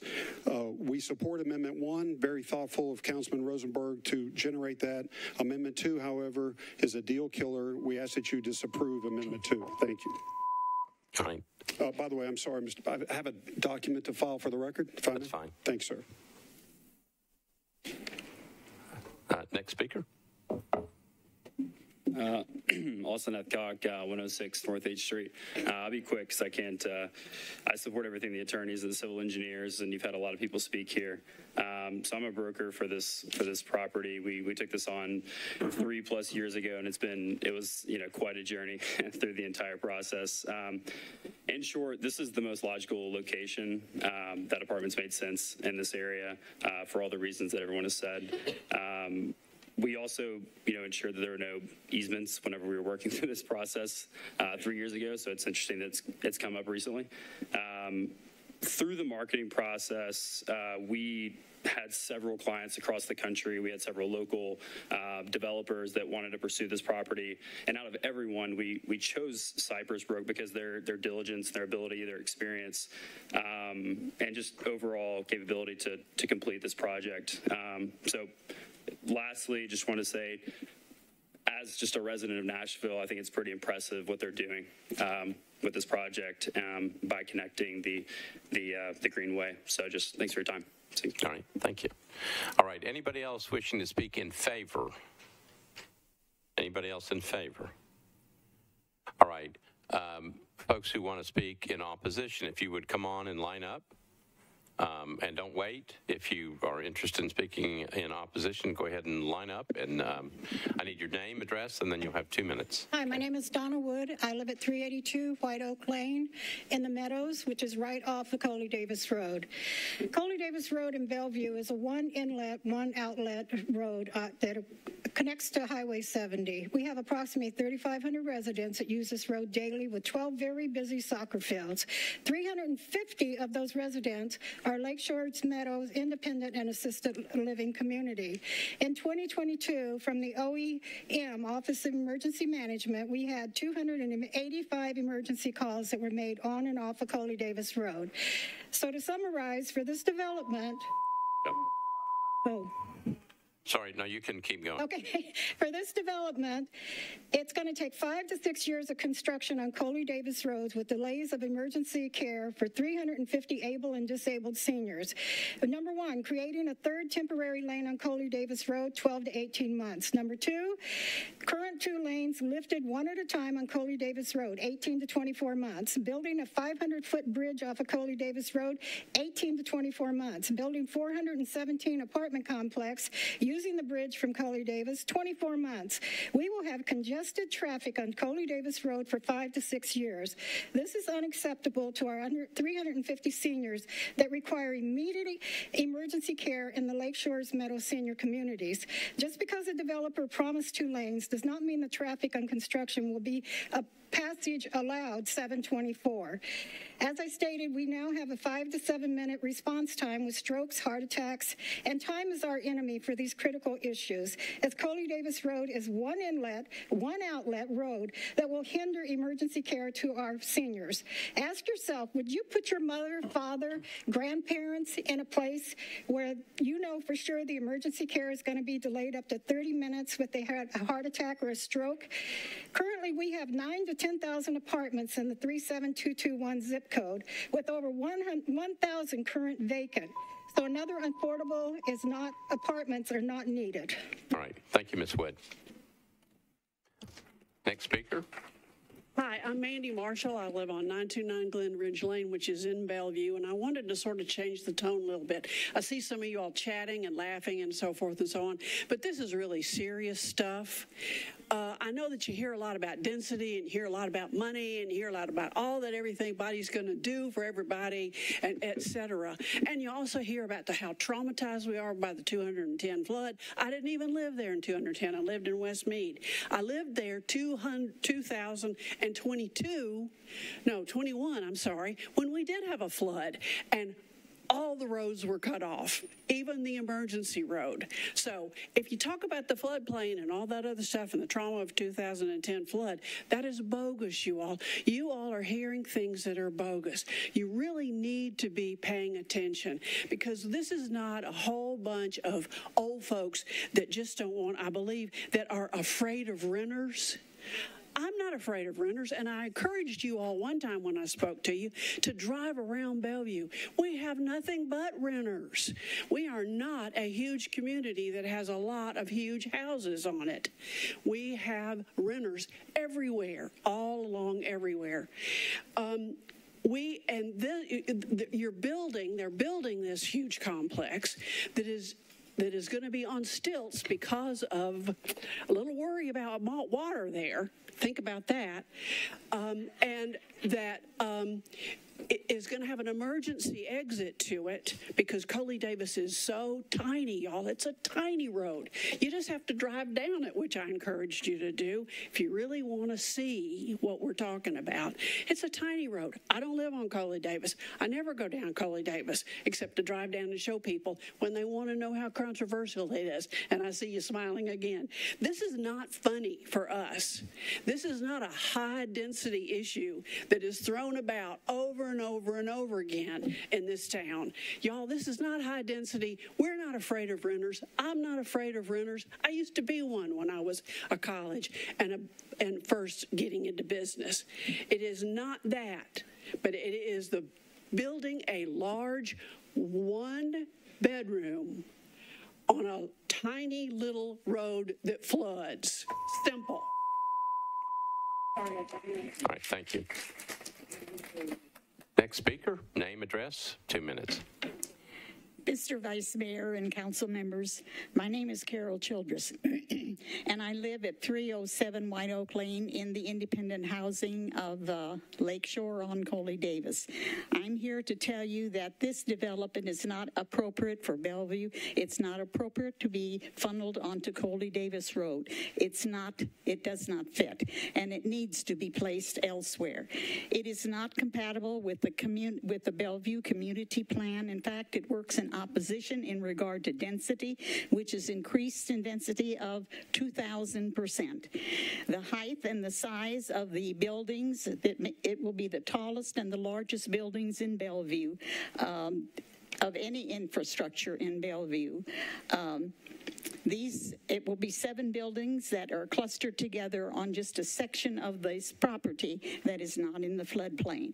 It needs to be rezoned, and with all of these dramatic changes, it is required that the residents impacted by this development would have an in-person meeting with the planning staff, which should have been done before this was even presented to the planning commissioners.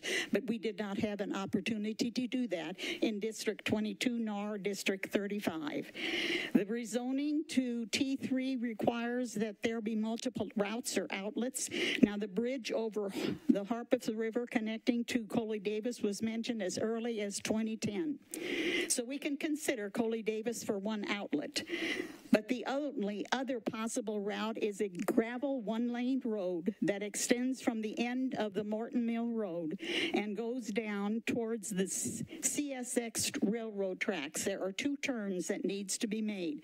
It has and still serves as a driveway for the residents that have lived on the farm and those that are still living on the farm. It is not intended for general public use and it's not appropriate for general public use. We were first told that the construction, all the construction and traffic of building the bridge would be coming from the Morton Mill side. Then we were told that emergency cars for the residents would come across the tracks by way of a gate, a gate with a code. Can I finish one more sentence? You can finish one more sentence. Now we're told that the only time that these emergency vehicles will be able to use that entrance off of Martin Mill Road is if Coley Davis is impassable. That's not both and. That's either or. So this is going to be rezoned. I think that's three sentences. One outlet. Thank you. Uh -huh. Thank you Thank for you. your attention. Good evening, members of the council. Jason Holloman, 4210 Park Avenue, and I'm here tonight on behalf of the Harpeth Crest HOA. Um, you heard reference earlier tonight to a lawsuit that was filed. Uh, that is my lawsuit. I filed on behalf of the HOA. And the reason that I did that is because there is dispute about whether or not uh, a driveway that crosses the HOA's property is or is not usable by this developer as a significant ingress and egress as part of this project. And I just want to call your attention that there's a yellow uh, envelope on your desk. Uh, you will see that when we filed this lawsuit, the court did not find it meritless.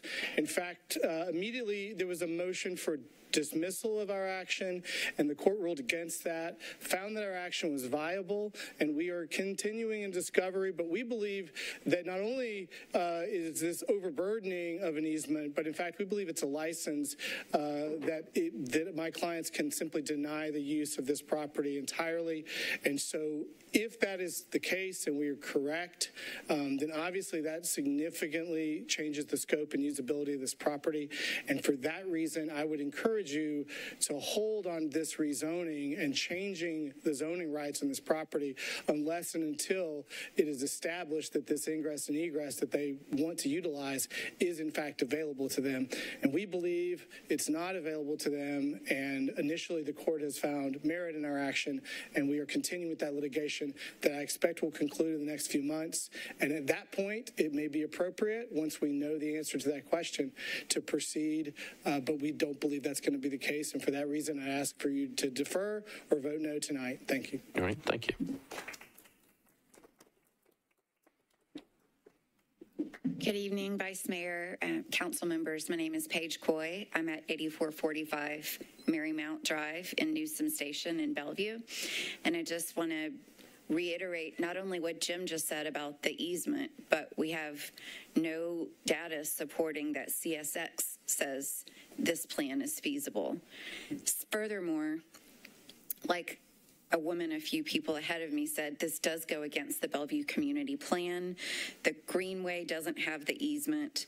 The problem is you saw the tremendous line of folks that stood up in support of this plan, one, one of them was from Bellevue. The rest, half of them aren't even from the state, let alone will they suffer the impacts from potential flooding or safety concerns. There's real concern here for me as to why the developers bundled the raising of Coley Davis Road and the Greenway into this development. And it's because y'all simply wouldn't consider it otherwise. In fact, at one of the meeting planning commission meetings, um, Commissioner Henry, is it Henley, said, can we reverse this zoning approval if the development doesn't go through? Y'all, that's a red flag that even the Harpeth Conservancy says this needs to remain as it is. Please hear the constituents that are in this district that's being affected, or the two districts that are being affected, and either defer or vote no on this tonight. Thank you. Thank you. Good evening. I'm Carol Casas, 308 Harpeth View Circle in Bellevue. Um, I'd like to begin by thanking Councilwoman Sharon Hurt, who took the time to write a personal response to my concerns about the environment of this project. The developer has said that they're going to be doing something for us by extending the greenway and by adding parks, and that it's not going to be any cost to the city but they're not taking into consideration maintenance of the greenway and maintenance of the park. And I walk that area every single day up to Martin Mill, Morton Mill Road, where the um, farm is, all the way down to the other end, um, nearly to Ensworth, School. And right now, the fence that separates the golf course, Sam Snead Golf Course, from the walkway is down. It goes down every year. And when I call um, the Metro Parks Maintenance Department, they tell me we are short staffed. We don't have the staff to take care of um, everything. And Sharon Hurt was kind enough to say that Metro Council has thankfully approved an increase in budget for Metro Parks, but there is no guarantee that any of it is going to maintenance. So I really don't think we're ready to have all this extra park space until we can actually take care of it.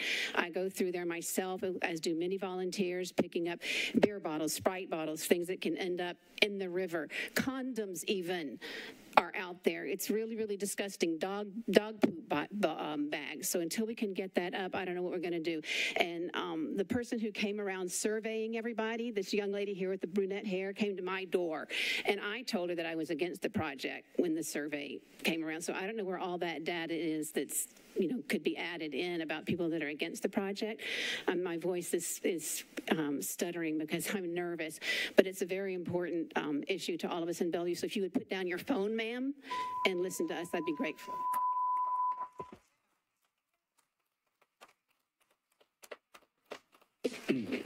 All right, uh, name, address, uh, two minutes. My name is uh, Ron Nave. I live at uh, 7345 River Bend Road in Nashville, not not Texas. Bellevue, Bellevue. Uh, in Bellevue. Um, I've you know been sitting here five hours. I've seen you approve bill after bill after bill in favor of density. Now, why would you not do this one? Why would you vote against this or defer this? Maybe because it's different, because it's dangerous. Why is it dangerous? I want to reiterate some of the things that people have said here before, um, uh, especially members of the Lakeshore uh, Assisted Living community. Coley Davis Road is a two lane road that cannot be widened. That's a fact. That's a given. No matter what the, the developer would do or any planning, you cannot widen that road. It's a two lane road. And uh, by Dave Rosenberg own numbers, the, congestion, the congestion will increase 56% on a weekday. So consider this scenario. You're 80 years old, which we're all going to be one day. You're living in the assisted living facility, and you have a heart attack or a, or a stroke. And, and you're sitting there waiting for the emergency vehicle to come and this project is going to increase the density by so much. Uh, that puts your life in an increased danger. Um, you don't want to have that on your hands. You don't want to uh, be responsible for somebody you know, not recovering from a stroke because uh, this huge project is coming to this neighborhood, increasing the, the, the congestion by such a huge number. So I ask you to not throw these people under the bus. Please, you know, help these people and disapprove this project. Thank you. Uh, next speaker. Hello, Kathleen Giewald, 3 18 White Oak Lane. Thank you for being here. Thank you for your time and your concern. I moved to Tennessee seven years ago, and uh, it's just a lovely place to be. If I had wanted to move to Texas, I would have moved to Texas. But it seems like Texas is now telling you how to run Tennessee. And Texas seems to have a challenge with their border where there's been up to 6 million people coming over their border and they don't seem to know what to do about it. So why don't they tell us how to run Tennessee? Please don't let them do that. The big problem with this project, and they've offered you all kinds of shiny toys, and I like shiny toys too, but the fatal flaw is it's a potential death trap. There's only one road going in. There's no other exit. Everybody has got to get out the same road if there's an emergency. One of the things about the times we live in is that we live in a time of unprecedented events. If somebody had said in 2015, hey, the whole world's going to shut down with the virus. We've all gone, yeah, fine, go away, go color. but it did. And there's lots of unprecedented events happening. And the fact that they're, they're, you're making nice plans and you're trying to care for us. But if there's a fire, if there's a terror attack, if there's a railroad derailment, because I'm I've got a railroad going right by my back door, we don't have any way of getting out safely. This isn't just, you know, somebody having a stroke. This is this whole population not being able to get out of there, including the firemen. There was an incident in Colorado years ago where a bunch of firemen died. There was an incident in uh, California, Paradise, California. Anybody remember that? 81 people burned to death because they had limited the number of, of access routes getting in and out of the city you're, you're making a potential death trap. Please, um, I know you, you care very much about your city and your state, and again, you're offering all these shiny toys. Please remember it's a shiny toy with a death trap. Bye. All right, thank you.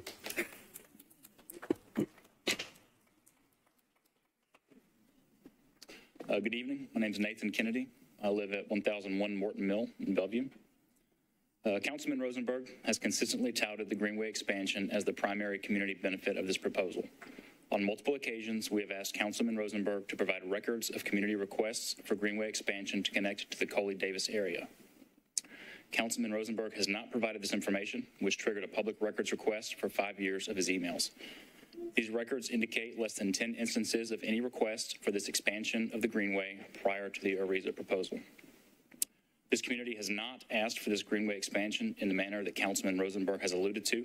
And in light of Cindy Harrison's comments from Metro Parks, publicly stating in last week's community meeting that Metro Parks is underfunded and understaffed, how can it make sense to further expand this Greenway? The existing Greenway is not adequately maintained today. Furthermore, uh, I'll call your attention to the yellow packet you have. Uh, the council has been provided with the existing recorded plat from 2002 showing the agreed upon design for the Greenway. Nowhere in the plat is there any indication for this greenway to expand anywhere beyond what is shown in the plat today. Additionally, the design actually loops backwards, indicating a clear end to this path. The plat is very specific to all details associated with the greenway design and what can and cannot be constructed. This proposal requires a public taking in violation of a previously agreed plat. Are you concerned about the precedent that this taking sets for future Greenway dedications, particularly in light of the Knight versus Metropolitan Government of Nashville and Davidson County court case? Thank you. Right. Thank you.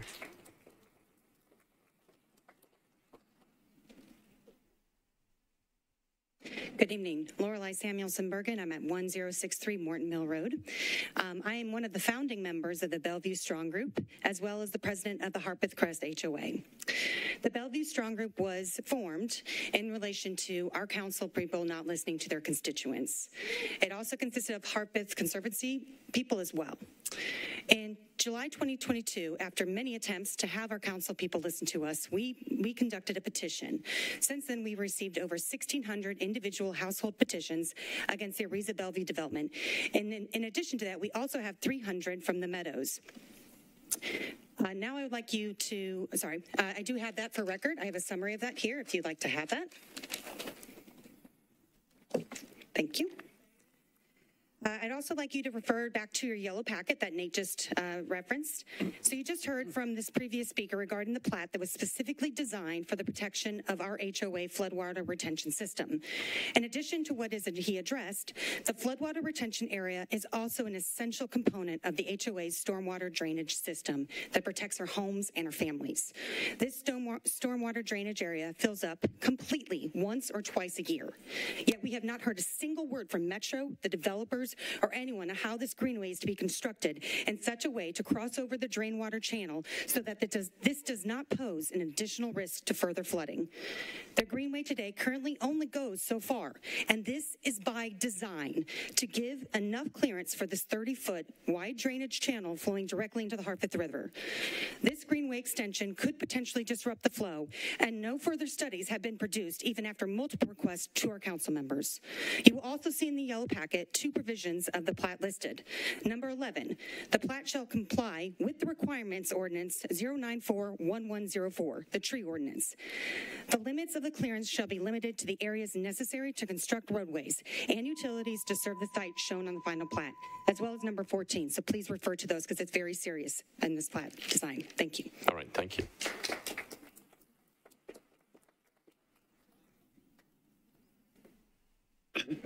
Good evening. My name is Natasha Long. I live at 209 Clady Court in Bellevue. Um, this is not affordable housing. Entry point for a one bedroom starts at $1,668, and high point for a one bedroom at 2,662. Affordable housing is deemed at 30% or less of total income.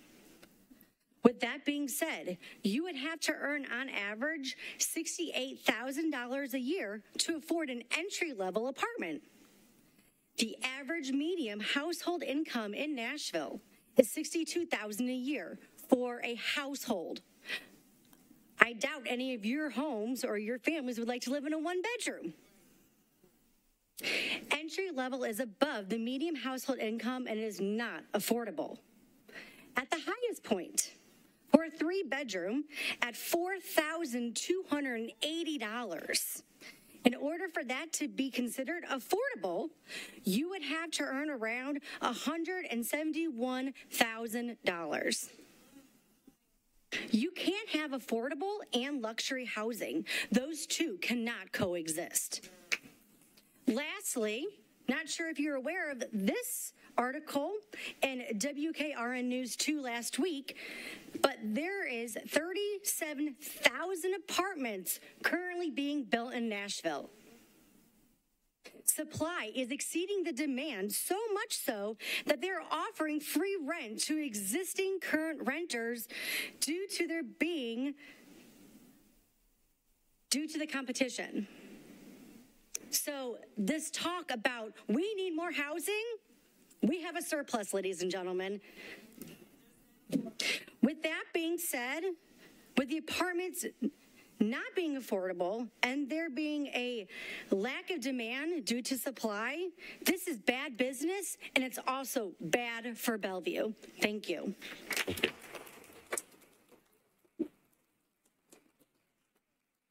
Good evening. My name is Michael Riggs. I live on 1042 Morton Mill Road. Uh, on Morton Mill Road, we are always concerned with flooding. I have lived uh, in the residence on Morton Mill for uh, 19 years now. We've seen, uh, we've lived through uh, the 2010 flood. Um, obviously, we lost a lot of homes, as many did uh, there. And what we've seen is a constant a constant rise in the water with less less rain. It just it, it's happening. I'm watching it, and I have been for a long time. So to think that this area that they're looking to build in won't flood, it's very surprising to me. I'm not sure how that how that that can be calculated. I also think that raising it up, raising it up on stilts, raising up Coley Davis, the water's got to go somewhere. Um, and it's just going to make things even worse for the current residents who are there. We really feel that way.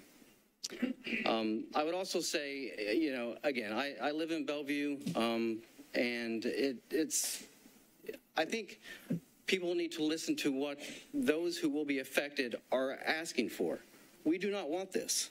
We do not want this, and, you know, we just don't understand why the need to pass something that's going to negatively affect uh, the people who it will affect, and that is us. So I ask you to vote no, and thank you. All right, thank you.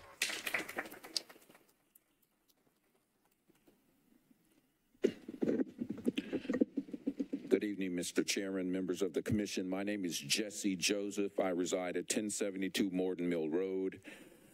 Given that the Planning Commission for the entirety of metropolitan government has stated twice, first in 2015 and again in 2017 within the Nashville Next Community Plan, that the policy for this parcel, which is map 141, parcel number 17, was and remains T2 rural maintenance, meaning that the entire parcel should be intended to maintain rural character as a permanent choice for living within Davidson County. The intent of the community plan in this regard was that higher density zoning or development is not to be expanded. However, the developer here seeks to place a 417 unit higher density development on this rural parcel with the maximum gross density higher than the maximum of, of one dwelling unit for two acres, which applies currently to T2 rural maintenance property. It appears that the recommendation of the Planning Commission staff and the vote of the Planning Commission to allow this community plan to be to change a portion of this parcel to T3 suburban neighborhood evolving is inconsistent with the Nashville Next Plan and with the current rural character of the parcel and may constitute impermissible spot zoning. Given that the Planning Commission has voted and this council has before it legislation to single out this small portion of parcel 17 for a use classification totally different from that of most of the larger parcel itself for the sole benefit of the developer and the new property owner and metro government given the free greenway extension, the free bridge from Coley Davis, and the donation of rural acreage to Metro for green space. We ask that you vote this proposal down. Thank you. All right, thank you.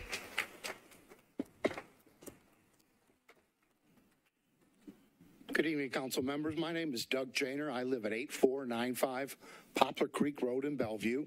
I want to thank the 17 individuals that spoke in favor of the project that don't live in Belleville for showing me that I probably need to spend more time sticking my nose into zoning matters in communities that I don't live in. Vice Mayor Shulman, I think it's important to recognize for the record that project consultant Alan Thompson and his firm, engineering firm Ragan Smith, are campaign contributors to Councilman Dave Rosenberg. And while, oh. while, uh, and while these are not illegal, they should be disclosed. I think for full disclosure, they should be disclosed. Now, I'm going to read you a quick paragraph real quickly out of the current Nashville Next community plan.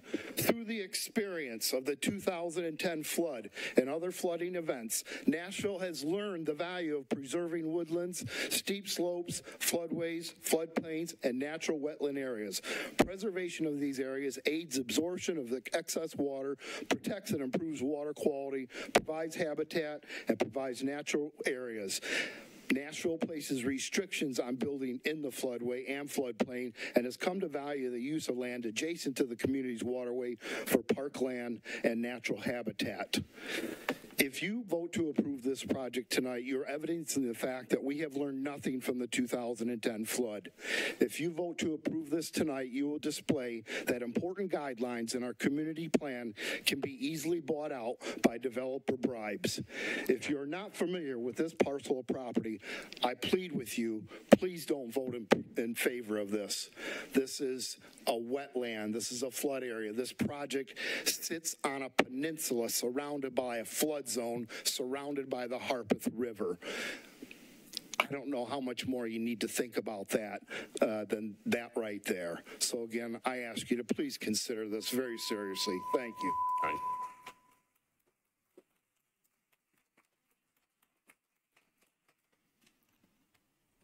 Next speaker. Name, address, two Hi, minutes. my name is Suzanne Lanier, and I live at 983 Todd Priest Drive in Bellevue and have for 40 years. Before we start, I want to make sure everybody understands. There was an allusion to meetings being held in Yakety Yak about this project.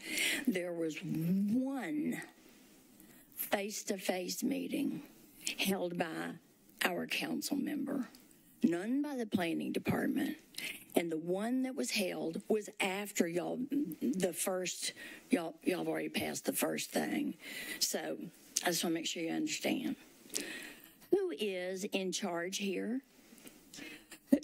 Who's, who's in charge of planning and approving how Nashville develops? You, who represent constituents, who represent Nashvillians, who represent working people, or those people who have money, power, and connections? Is it okay for everybody to sneak around the standard processes of planning and zoning and community participation to push through what they want? Or is it just those people? You know, the ones with money and power and connections. It sounds a lot like George Orwell's quote all animals are equal, but some are more equal than others. Are they really more equal than the rest of us? Those who have gold really get to make the rules? One of you said in a recent interview, neighborhood concerns are minimized. We've lost those perspectives. And deals that y'all have considered in the past, you asked for protection for working people, for real clarity and transparency, and the chance to be involved early in the process. So here we are. Who's in charge here? You or them? All right, thank you.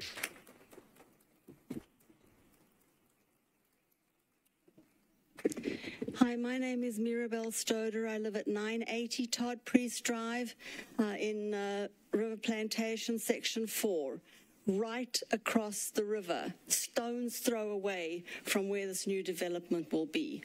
Now, I don't have a lot of statistics, and you've heard plenty of uh, uh, information from a lot of people. But the one thing I'm going to stand here and ask is if you can't vote against this development. Please defer it until you have had a chance to look at all the evidence that has been presented. I have not had my door knocked. I haven't heard a single thing uh, about. Uh, I haven't been asked my opinion once about this development. So please, when you get the statistics that so many doors have been knocked, please make sure that you have the evidence in front of you before you agree to this development. Thank you. All right, thank you.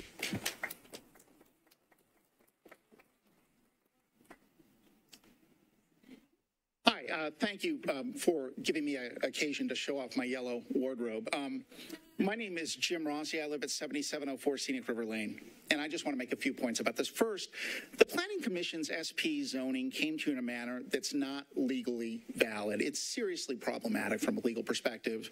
Um, uh, to begin, uh, the MPC policy change that was voted on a couple weeks ago was premised on a as yet proposed, as yet adopted supplemental policy. We don't even know what that supplemental policy is at this point. On top of that, the kind of public engagement that is clearly required by the Metro Planning Commission's rules for a major amendment to Nashville Next did not occur here those rules require an in-person meeting in the Bellevue sub area. That did not happen prior to the Planning Commission staff making a recommendation to the commission in favor of this policy change. So to the extent this is not a legally valid recommendation by the Metro uh, um, uh, Planning Commission, I do not believe that Metro Council can approve this on third reading without the 27 required votes. Second, you've heard from others about how this zoning proposal would cite the largest apartment complex in Bellevue on a landlocked site surrounded by floodplain with just a single point of access. How is that a good idea? Experts don't agree with this. We haven't had a comparative risk study of uh, what this might mean in terms of access points, including a risk study of the raising of Coley Davis Road. No quantitative study of those risks other than reference to the historical uh, flood maps that FEMA uh, uses, the one out of 500 year, as we were told a week ago, the one uh, uh, out of 500 year event flood. Uh, that's just not an accurate description of the quantitative risk here, and we need more detail about those things. Uh, in sum, I agree with others that you ought to reject this. If you don't reject it, at least defer it until we can have a more comprehensive quantitative assessment of the risks and the planning associated with this. Thank you. All right, thank you. Renato Antun, uh, 7744 Riverbend Way. A lot of people made a, a lot of really good comments about this project, but I think the common theme here is that the people that were in favor of this project did not live in Bellevue and are not going to have to the benefits of this or the negative impacts of this project. The people that actually live in Bellevue and in the area are telling you we do not want this. The Greenway, the raising of Coley Davis, none of this is worth the 400 units on a very sensitive piece of land. Please oppose this project. Thank you. All right, thank you.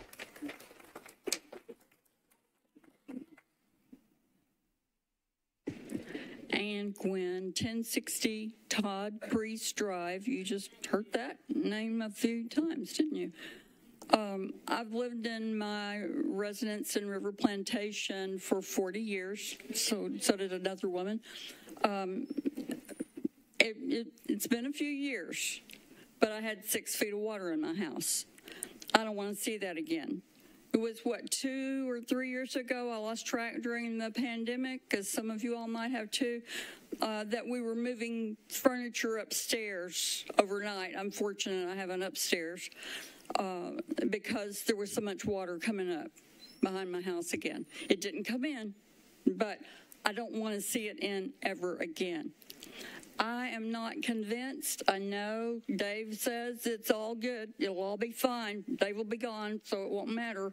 But he's going to protect us, but you'll be gone.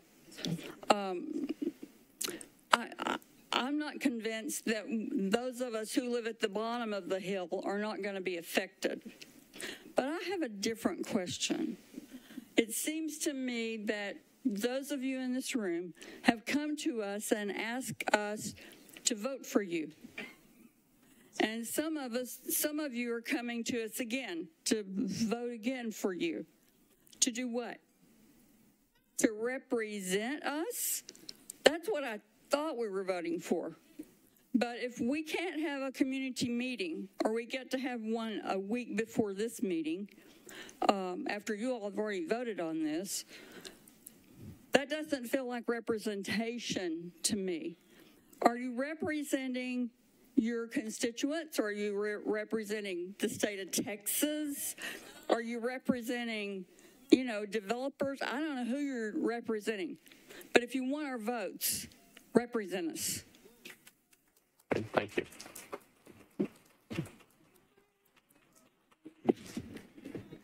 Good evening. I'm Steve Sosha, 7740 Riverbend Way in Bellevue. Been in town since the Carter administration, in Bellevue since the mid 80s. Uh, I want to shed some light on a potentially dangerous situation that really hasn't been discussed, and it may be something that comes back to smack uh, the good people of the of the council uh, later on when if, if, something occurs. And it's the um, it's the issue of creating a potential hazardous homeless encampment encampment in the park that is adjacent to the proposed Ariza Island. As you know, Nashville is already facing a crisis of homelessness up 11% over last year per the latest PIT count. We've seen the scenario play out over several grueling years on the Brookmeade Greenway, as well as the ongoing situation in Hermitage and in other areas across the city. The parkland adjoining this site is more than 90% floodplain and, and floods several times each year. I know this because I've lived on the land directly next to it for 24 years, separated by only the railroad tracks. When the river comes up, it comes up fast. And if it can scour rigid fencing from the land, it can imagine what it can do to unaware humans and their belongings. I work in the mental health field, and I know the majority of those in such encampments are suffering from significant mental health issues as well as substance abuse. Approving this proposed development will be putting these people directly in harm's way. Nashville has demonstrated that we cannot and will not be able to prevent this from happening once a bridge is erected over the Harpeth River. In fact, random homeless campsites started appearing when the pedestrian bridge from the soccer park was erected years ago. At that point, it was all still private property, yet the crime both there and on neighboring properties began to, to, to seep in. I have personally had to call Metro Fire Department on two different occasions to respond to active fires that were intentionally set on the railroad bridge in that location. This is all on the record. If this can if this can occur with just a footbridge and a long walk, imagine what will happen when a multimodal bridge is erected a stone's throw from a WeGo Park and Ride. You've got basically an attractive nuisance of such magnitude that it's going to draw homeless populations from near and far and result in death and injury, followed by yet another multi-million dollar cleanup Sir, I need effort to- for the city. I need to get you to stop. Yeah, Yeah, I appreciate thank you. it. Thanks for your attention. All right.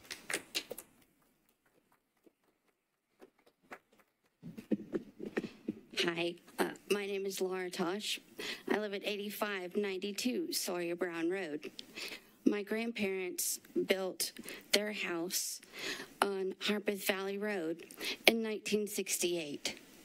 They had, my grandfather had to call and ask NES to come and install a power pole so they could have electricity on top of that hill. At the bottom of that hill, my uncle lives. It took him a year to rebuild his house after the 2010 flood.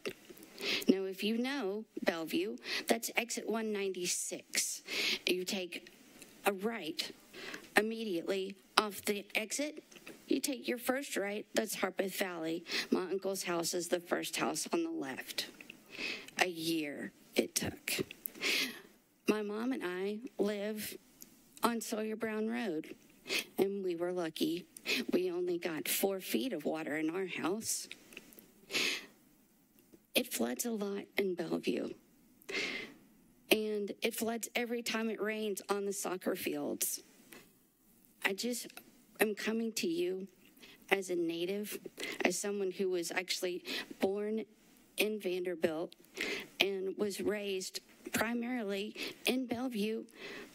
I spent a lot of time at my grandparents' house.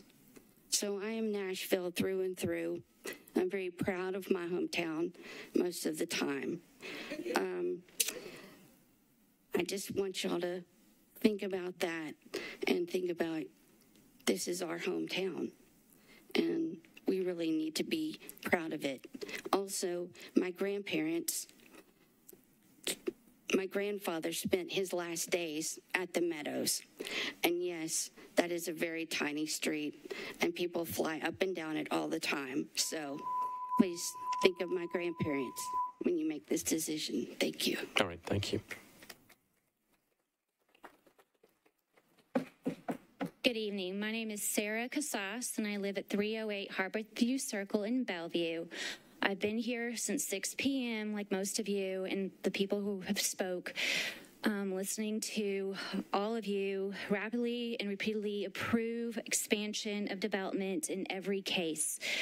My neighbor asked me to speak today and say that this project is shameful, and I ask that you make an exception tonight for the very first time and say no to this development. Thank you. Thank you.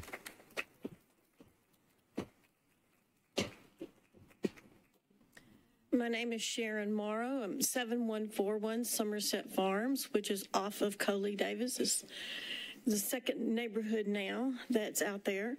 Um, Coley Davis is not in the 500 year floodplain that they've been telling you.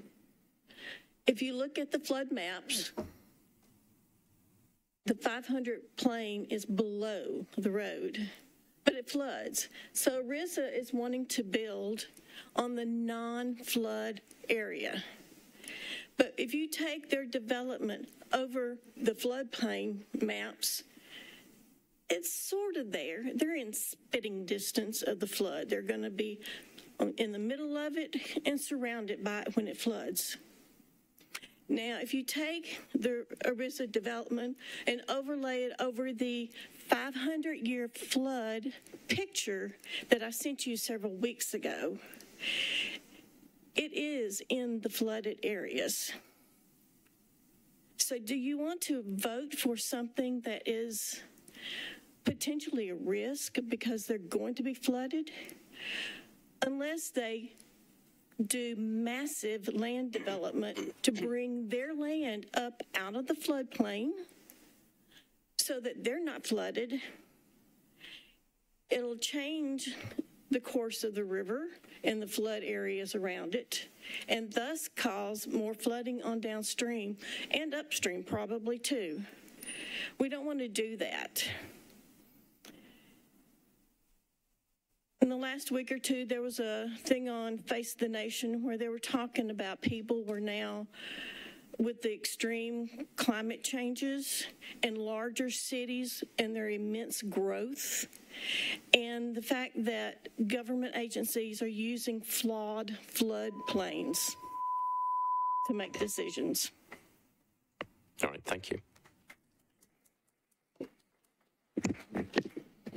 Good evening, Carson Smart, 7469 Old Charlotte Pike. Uh, when looking at the NashvilleNext Plan, it would be one thing uh, if the exits along the I-40 corridor were completely full and developed, and other crucial areas that are wanting to be developed by 2040 were already full. But the fact that these areas still have a lot of growth potential, it is inappropriate to disturb areas along a river adjacent to a conservation land. This proposed development contradicts the overall plan uh, although there is a need for more housing, the amount of density development change in ignoring to the constituents is not appropriate and should not be approved. Uh, let alone, excuse me, let alone there is there is no density there's no amount of density uh, to this size along the Harpeth River anywhere uh, this is a slippery slope and should not be considered or tolerated. If you give them an inch, they're going to take a mile. Plus, if we were somehow going to ignore all the evidence that is against this proposal, shouldn't we try to work within our state state's economy and have a local developer? I don't think that this is respectful or appropriate to let someone from out of the area come in and change the life of an entire community in a negative way just to get benefits and rewards from the taxpayers and city. Lastly, this area where the bridge over the Harpeth is being proposed has a conservation overlay and is off limits to development and should not be disturbed or tampered with whatsoever unless it is for all of the community to, to enjoy. Also, when looking at the NashvilleNext, I want to read uh, a quote. It says, uh, there are also areas of endangered and rare flowering plants. For the safety of those areas, the species information and information about these areas is maintained by the Tennessee Department of Environmental and Conservation. Due to their sensitivity and nature, the location of these areas is confidential. We've not even had any survey. No one from the state, no one from the uh, you know ecological area, no one from parks statewide has given any look at this and has not approved this whatsoever. Uh, this is also the reason I'm running for uh, the district council for 35 right. due to this project. All thank right, you. Thank you.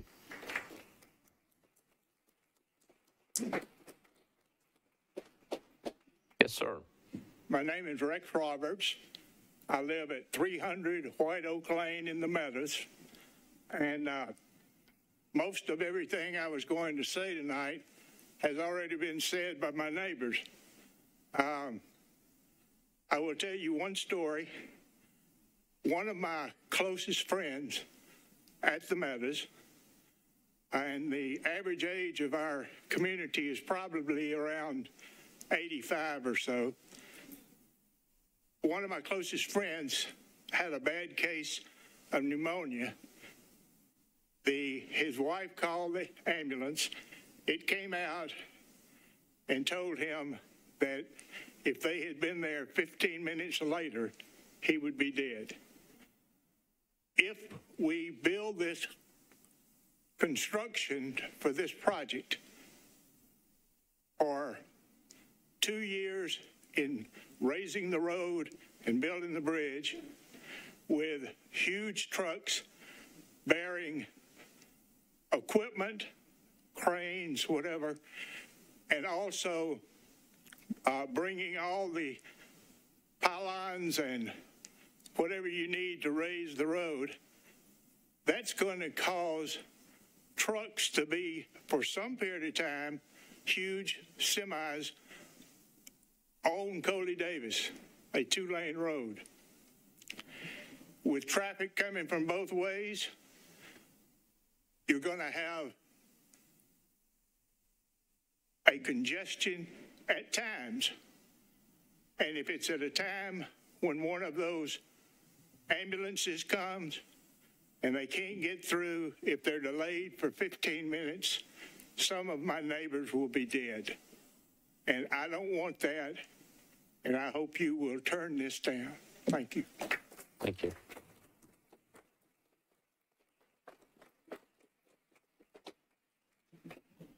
Uh, good morning. Not quite. Uh, good evening. Uh, I'm Devin Schultz, 7348 Riverbend Road. Just a quick housekeeping thing. The meeting with respect to uh, Councilman Rosenberg's first in-person meeting was one week ago today at the behest of Councilman Hausser. Gloria, I'm sorry about that. Councilman Hausser, I'm sorry about this, but Councilman Hausser told me that Dave was very upset with her for even organizing that meeting. Sorry. Um, do you believe in climate change? Whether man-made or naturally occurring, do you believe that the climate is changing? I had the good pleasure to work as in-house counsel for a Nashville-based barge company for six and a half years. I have seen flood impacts. I've seen flooding. I have seen, seen flood impact studies. You know which one I have not seen? I haven't seen this one. And neither have you. Brian Ralston admitted today they're they are only in a draft form. They do not have a final impact study yet. The, the study that they have uses a 100 year FEMA floodplain. The FEMA, the FEMA flood maps uh, do not uh, do not contemplate a changing environment. I submitted to you in the yellow packet a, uh, a New York Times article that was recently published.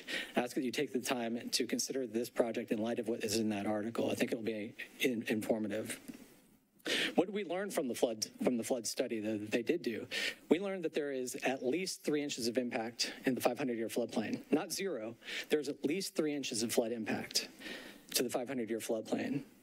And we know that this doesn't even include all the impervious surfaces that will be there, including the greenway and any parking for that will be part of the parking, the, the general parking area. So, um, so my time is, is coming to an end, but there's a, I mentioned I worked on the river. There's, there's a saying that the towboat captains and the deckhands use, and that is, the river don't care. Man goes overboard, river don't care. You know what else doesn't care? Floodwaters don't care. And we may not want this project to create a flood hazard. The river don't care. Thank you. Thank you.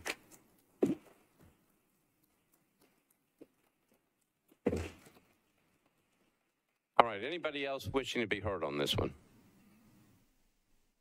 Okay. Declare the public hearing closed. Uh, Councilman Rosenberg. Thank you, Mr. President. Um, I'd like to move approval and then explain. All right, so Councilman Rosenberg is moving approval of BL 2023-1968 and 1969 for pass on second reading. Uh, properly seconded. Back to you. Uh, thank you, Mr. President. Um, I appreciate everybody coming out tonight uh, to speak on this. I think that there are a lot of good faith concerns being expressed. Um, I'd be glad to speak to any of them specifically as they come up. Um, I think there's been a pretty uh, substantial uh, fear and smear campaign that has um, caused a lot of the concerns. I'll only speak to flooding before I turn on to the good of the project. This project is well above the level of pretty much, well, a large number of the neighborhoods in Bellevue. Um, Bellevue was an archipelago in 2010, and the next time a flood like that happens, it'll be the same. Uh, the exception is this time the residents of Coley Davis Road won't be cut off from the rest of the world because of this project. The hydraulic assessment that was uh, referenced earlier says that there could be up to a three inch change in the 500 year floodplain, and that three inch change will only uh, exist on this site. That means once you get downstream past the site, that impact is gone. That means that no homes would be affected by the construction of this. In fact, that three inches is only due to the Coley Davis Road raising. Uh, the, the actual on-site project has zero impact whatsoever. Um, so what we're going to see here is the finishing of a portion of the greenway uh, that's been long requested in Bellevue, uh, bringing it across the railroad tracks that bisect Bellevue to the soccer fields. It will then connect to a new lengthy bridge that will be built at the developer's expense that includes two travel lanes and a protected multimodal path, which will then connect to Coley Davis Road, which will include a multimodal path, protected path from the neighborhoods all the way to the WeGo Park and Ride. And I support that kind of connectivity. Um, between that and the road raising, we're seeing a lot of benefits to this. Now, the question becomes, are these just empty promises or the real thing? And with that, I would like to move Amendment 1, please. All right, we have uh, amendment number one by Councilmember Rosenberg, uh, properly seconded. Back to you for an explanation of the amendment. Thank you, Mr. President. Uh, in addition to the requirements that are in the SP, this codifies, a, well, codifies the promises that have been made by the developer over the last two to three years. It requires the bridge to be built with a 10-foot multi-use path. It requires the greenway from the railroad tracks to the pedestrian bridge to be built prior to the issuance of any building permits for the residences. It requires a separate greenway to be built from the railroad tracks to the 40-acre Metro Parks land to the west to be built prior to the issuance of final permits for the residences. It requires a 10-foot multi-use path with a two-foot foot buffer and vertical delineators on Coley Davis Road east, eastbound from the bridge to WeGo, though it may be narrowed if necessary to make room for a left turn lane and a multi-use path with a buffer westbound from the bridge to the existing sidewalk at the neighborhoods. It requires a left turn lane into the development that meets NDOT requirements and will ensure no slowdown in emergency traffic or other traffic. It requires two lanes of traffic to be maintained on Coley Davis Road at all times, and it prohibits the issuance of any lane closure permits that would reduce Coley Davis below two travel lanes for any length of time. It limits traffic on Morton Mill prior to the building completion, and I expect to have an amendment on third reading to flesh that out more. And it prohibits construction vehicles, which is defined as any vehicle associated with construction, including workers' personal vehicles, on Morton Mill Road outside of 7:30 to 6:30 Monday through Saturday, and provides a penalty of a two-day stop work order for violating this and it also requires the installation of speed cushions at developer expense on Morton Mill Road, something that was requested by the HOA uh, two to three years ago as well before this project came up. Um, so I ask for your approval on this important amendment.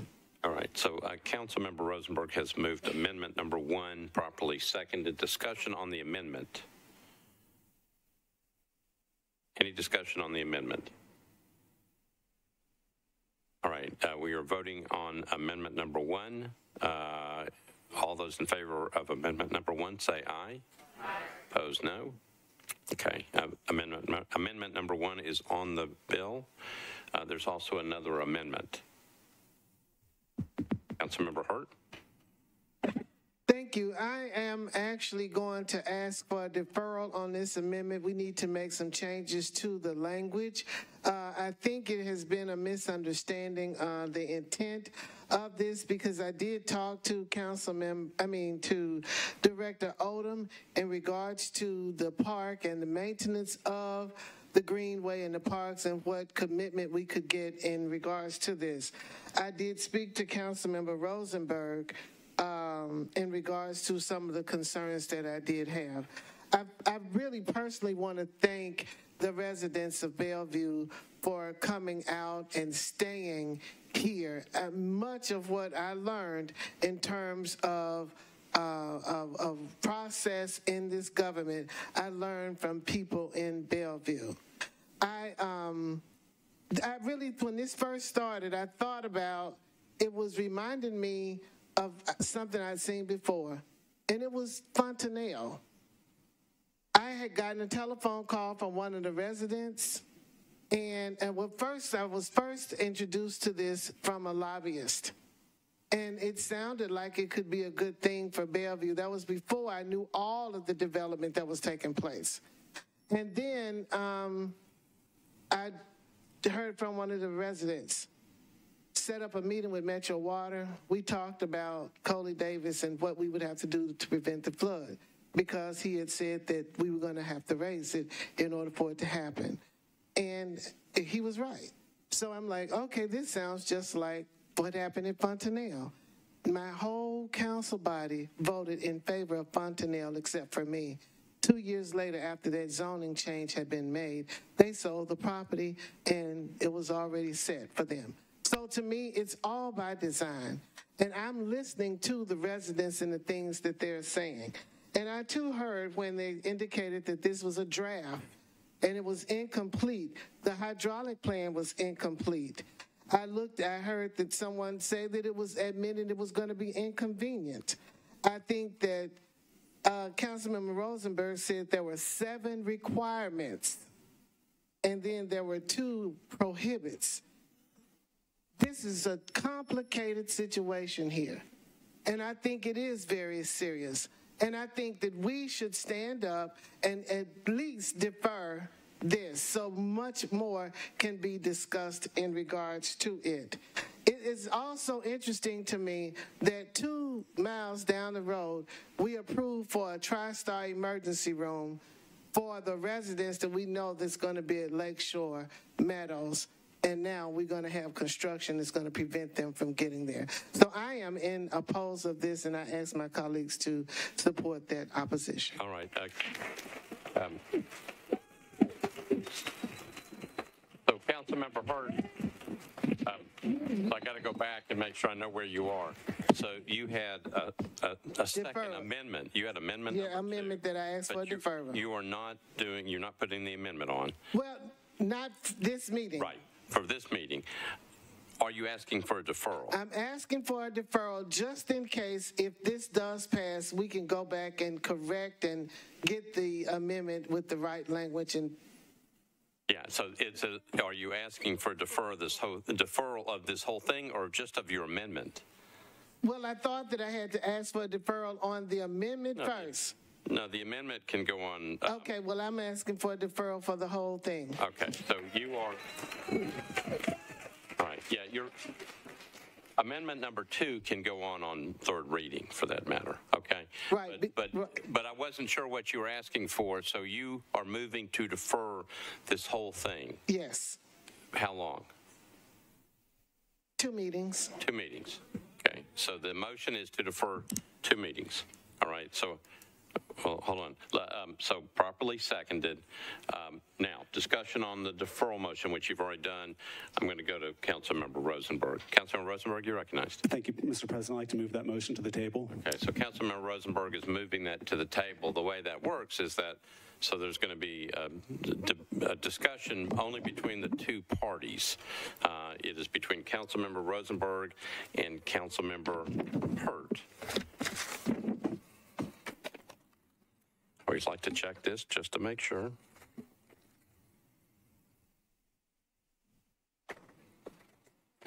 My page is missing. I think I pulled it out.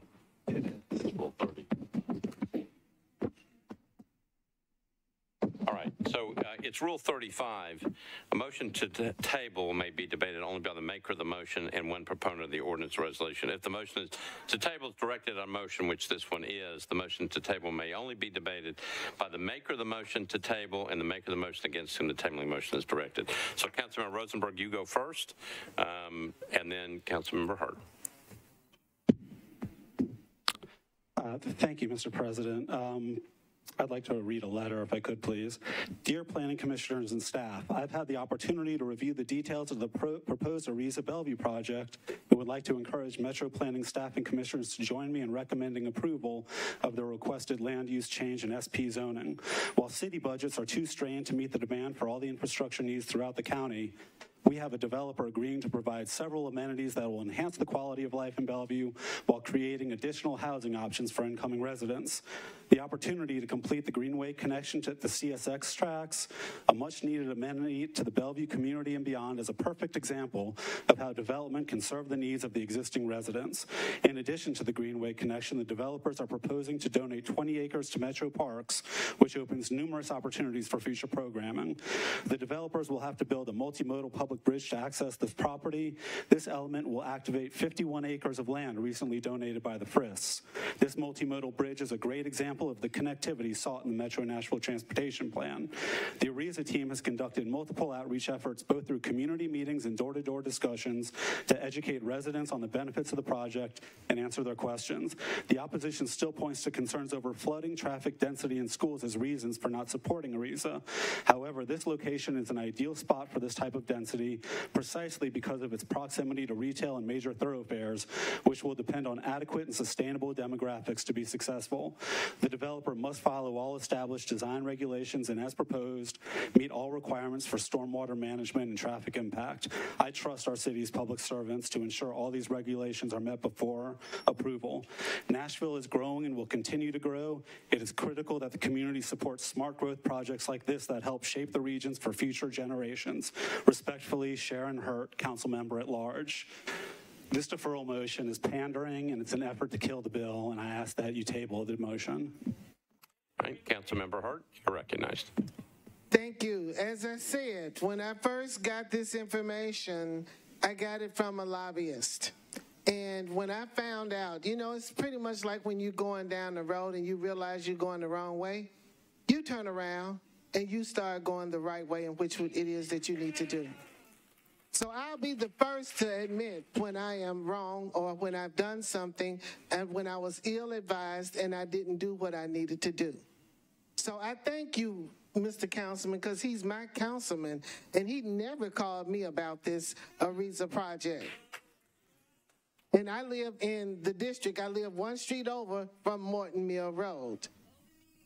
So I, I want to say for them to be willing to do all of the things that is necessary, they've got to be making some money because it's going to take a lot of money to put up a bridge, raise up the road, and do all of those things. But first and foremost, I'm more concerned about those at Lakeshore Meadows. Social services already told us that people are living longer. So we're going to have one in four people become centenarians. So if we've got that many people, and as someone said, we are going to be them soon ourselves. And they, the life we save may be our very own. So I think we really need to look at this, flush it out, and make absolutely sure that we are doing the right thing because we've done so many things in this chamber that has not been in favor of the people. We've had some policies.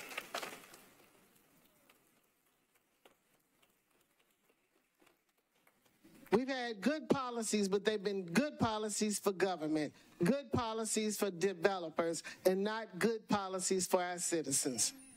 So I'm just asking us to look at this with some type of compassion for the people that we serve each and every day. I understand the councilmatic courtesy,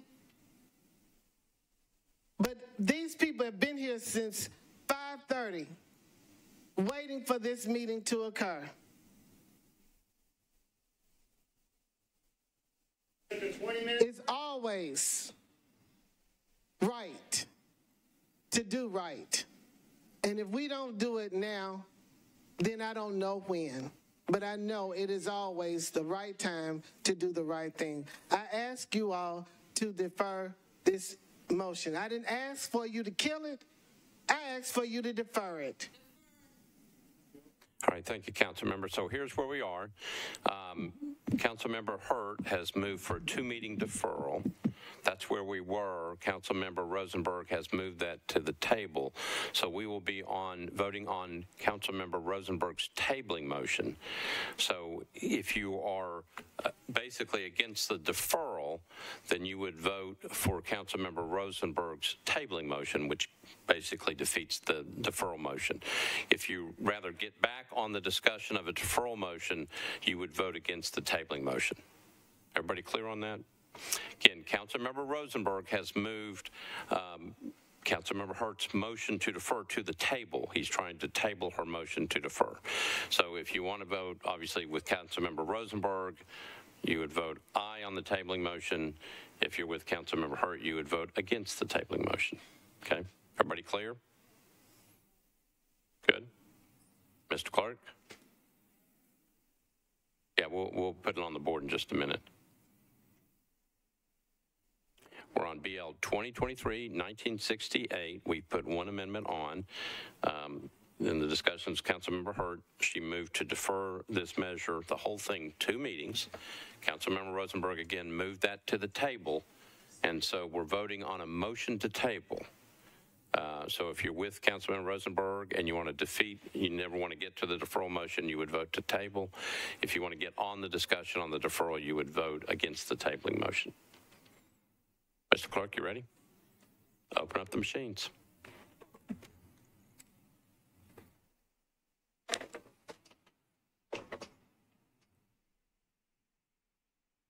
Hmm? Sorry, no. Where was mine? It's gone. Okay. Mr. Clerk, close the machines, take the vote.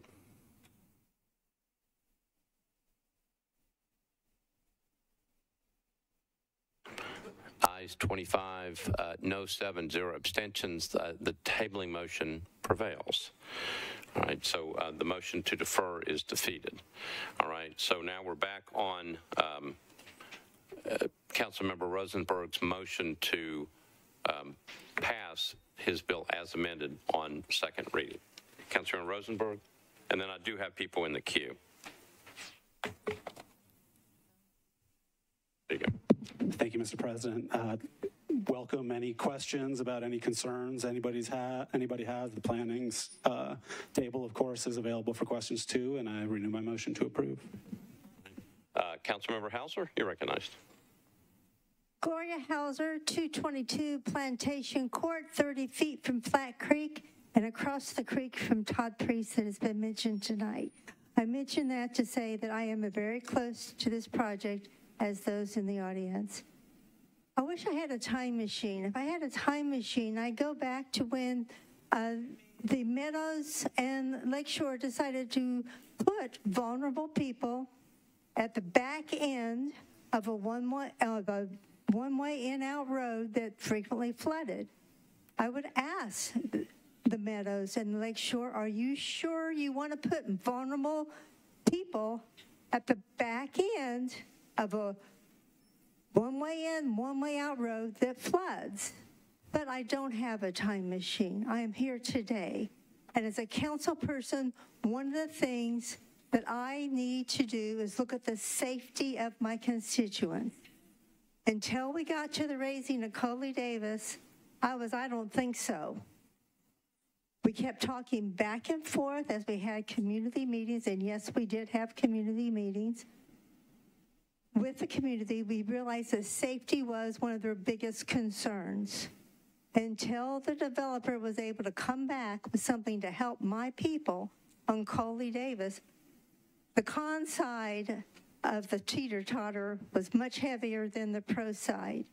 When they came back and said they were willing to spend four and a half million dollars to raise Coley Davis, so the people that are today blocked off whenever there is a flood, when today the, the emergency vehicles cannot get to them when the road floods, they will now, once this bridge is, uh, excuse me, once the road is raised, be able to have those emergency vehicles get to them, be able to get out and not be stuck when the road floods. So if we are concerned about the safety of the people on Coley Davis, we will vote for this project because there's no way that the city is going to put four and a half million dollars in to raise Coley Davis. And as a council person, one of the things I have to do is be willing to take the the arrows, be able to take the punches and say, what I need to do and what is most important is to take care of the safety of my people. To not do that would be to ignore my most important role in this. Thank you. Thank you, Council Member. Uh, Council Member Sledge. Thank you. Just a moment of levity. I was going to, uh, it's now Councilmember Sepulveda's birthday, so just wanted to wish her a happy birthday. Thank you, Council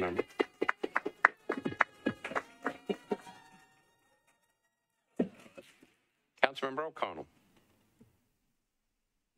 Thank you, Mr. President. I'd like to welcome Councilmember Sepulveda to the Old Caucus. Um, I have had, uh, I, I was following the conversation to some extent, but I think it would help me understand the rezoning request in context if maybe Ms. Milligan uh, could give a, a little bit more of the history and status of the uh, community plan and sort of the interrelation with NashvilleNext. I think that just based on what we heard in, in public hearing tonight. Thank you.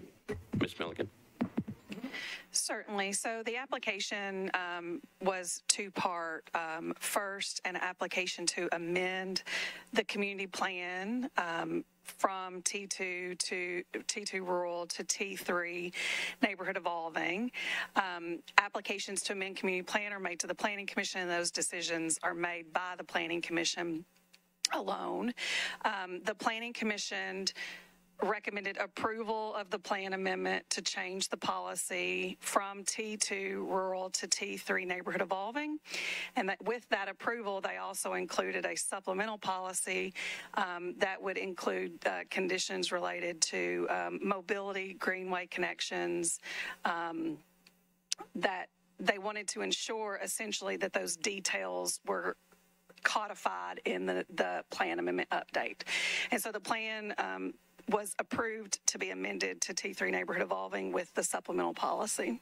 Okay, thank you. And, and then I see with this bill um, approved, I'm assuming then that the commission found the rezoning request to be consistent with that updated community plan with the supplemental policy. That's correct. The Planning Commission recommended approval with conditions and disapproval without all conditions of the SP um, following the approval of the plan amendment. And one of the reasons that they included the supplemental policy was because there was concern um, issued, or there was concern that they heard from the community that if you change the, the policy to neighborhood evolving, and let's say this project was, didn't move forward, then the policy has been changed to neighborhood evolving, and what happens if another project comes forward that has similar density but does not include the types of improvements that have been outlined, including greenways, the bridge, um, the connectivity, those those sorts of things. And so they wanted that tied also through a supplemental policy to the actual policy language. So if something happened to this project and there was another project that was um, reviewed in the future, that staff would then look at that supplemental policy guidance to ensure that any um, any future plans, if there happen, if this happened to not happen, would be held to those same um, standards. Thank you. Thank you, Mr. President. All right, thank you, Council Member. Uh, Council Member Suara. Thank you, Vice Mayor. Uh, first, I wanted to say that Councilmember Rosenberg is one of the colleagues that I respect on this body. He's a data guy and he does his own work. And so I want to push back against some of the conspiracy theories. Uh, there's no truth to that at all. I also wanted to thank Councilmember Rosenberg for bringing the amendments that he did tonight that actually enhances the project. However, I was at the meeting that was held last week in Bellevue. I live in Bellevue as well. And I know that those amendments came out of that meeting that was had because the people were complaining and they had some issues with it and they were able to make some recommendations that led to those amendments.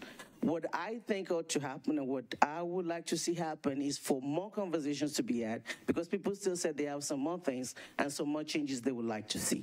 So with that, I'm going to move for two meeting deferral again to be able to allow that conversation to continue and hopefully that we can have more additions or more amendments that could make it better. So, Councilmember, we've already had a motion to defer two meetings. So um, Okay, I'll, I'll move to defer one. we're, we're double checking. This comes up every so often. I'm not sure if you can do that. Yeah, let's see. Because it's more specific. Okay.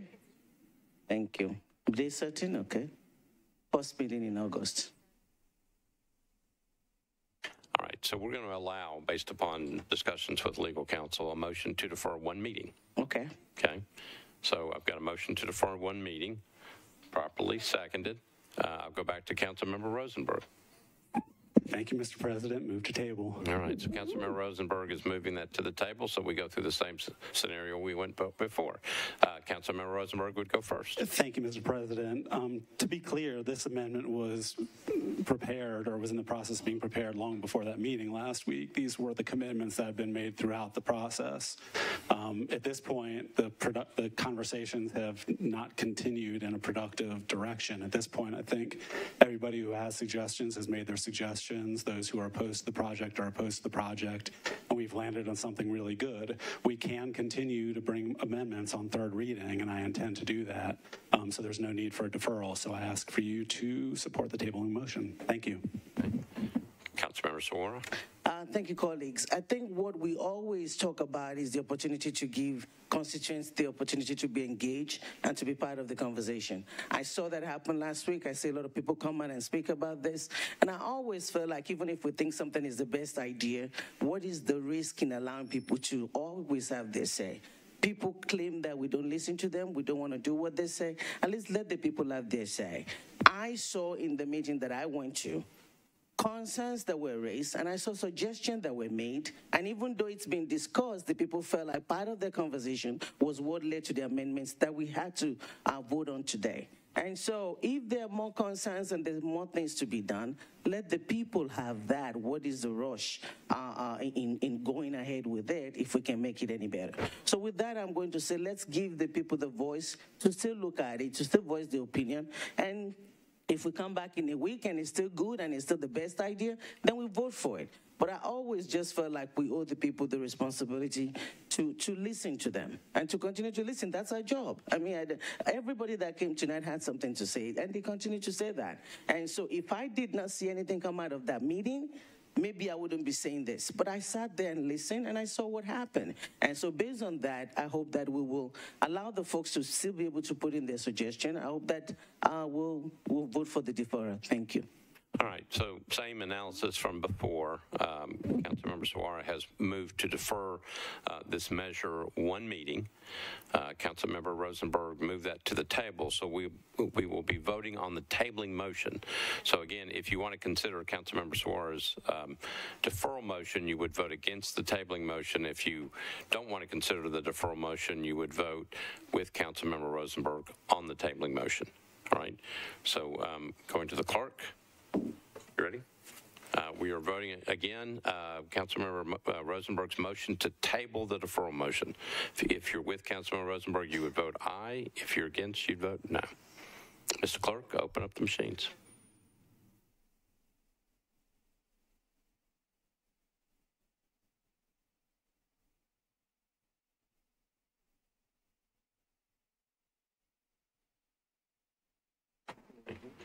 All right, Mr. Clerk, close the machines, take the vote.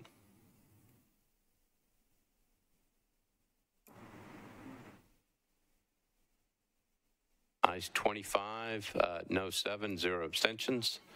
Um, The uh, tabling motion prevails. Okay. All right, so again, um, okay, we're back to the queue. Uh, It is uh, Councilmember Swope. You're recognized. Previous question. All right, so Councilmember Swope has called the previous question.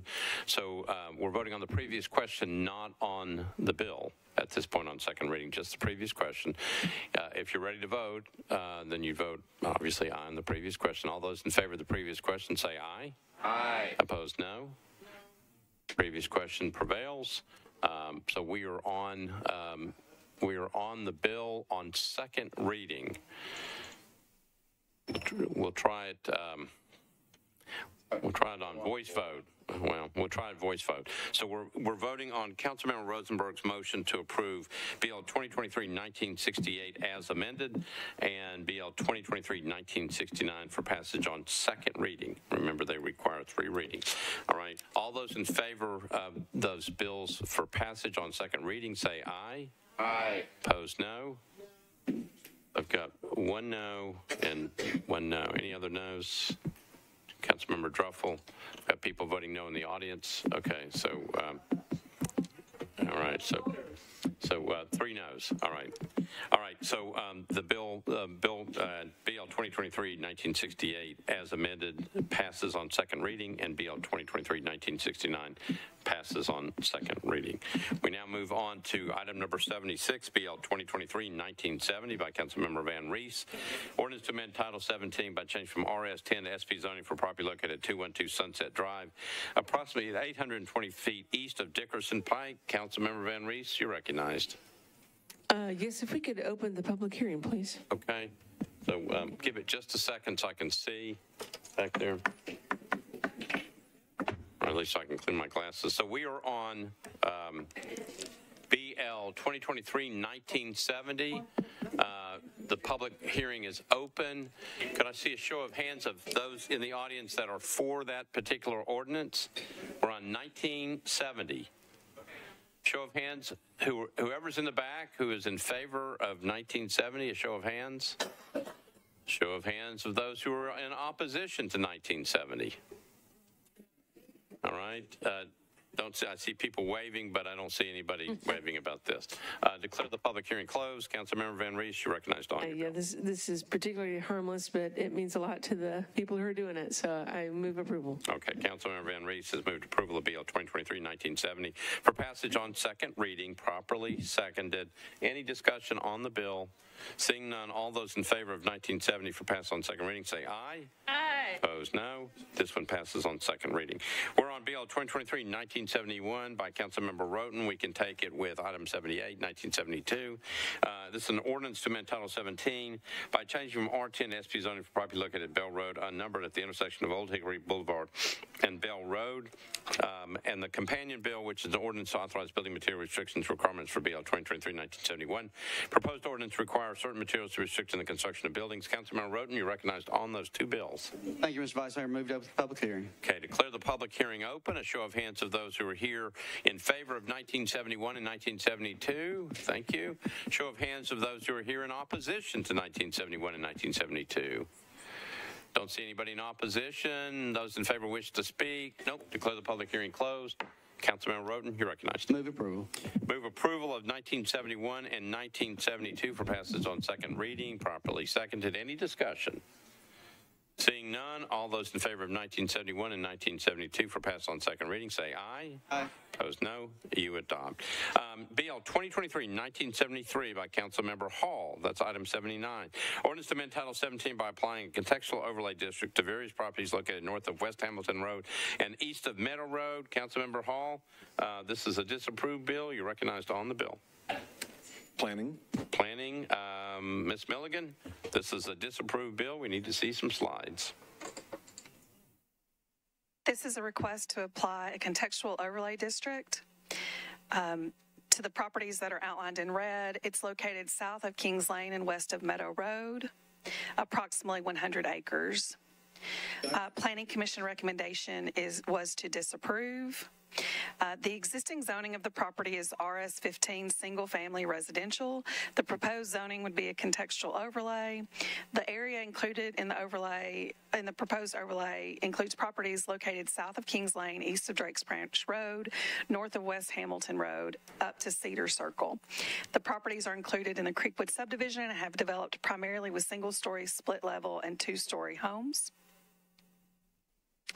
The contextual overlay, as a reminder, provides appropriate design standards, including those related to setbacks, building heights, lot coverage, access, garages, and parking.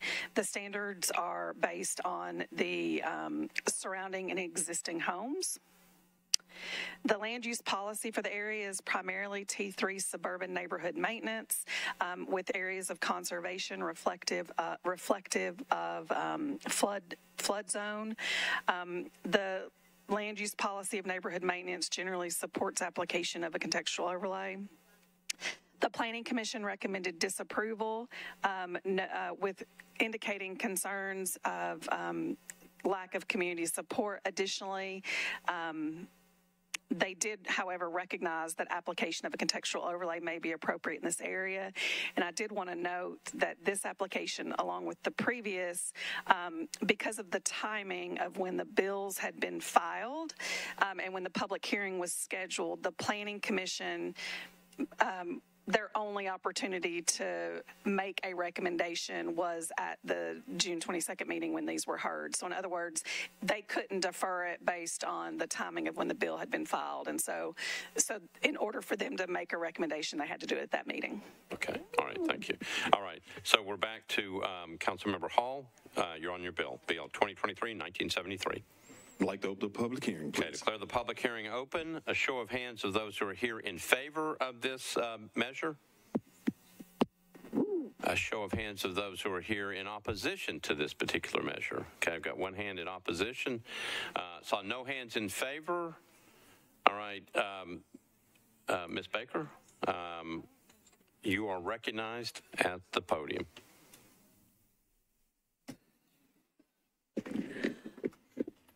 I'm here again.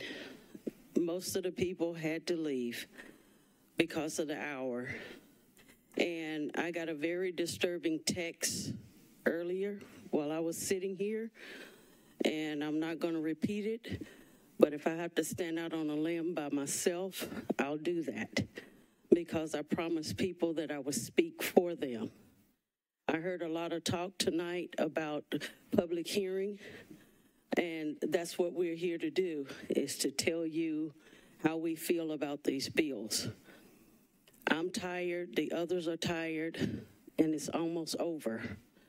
So I'm not going to keep speaking about meetings that we have not had, because you can cherry pick who you want to talk to and call it a meeting. But those that are directly impacted have not been communicated with about this contextual overlay on either one of these bills. And I want to make sure that there's no spin put on my truth and why I'm here. There are those that are in the contextual overlay that did not want to be. There are those that are not in that wanted to be. So if you're trying to hear from the people like you're saying you're hearing, we are asking for a deferral.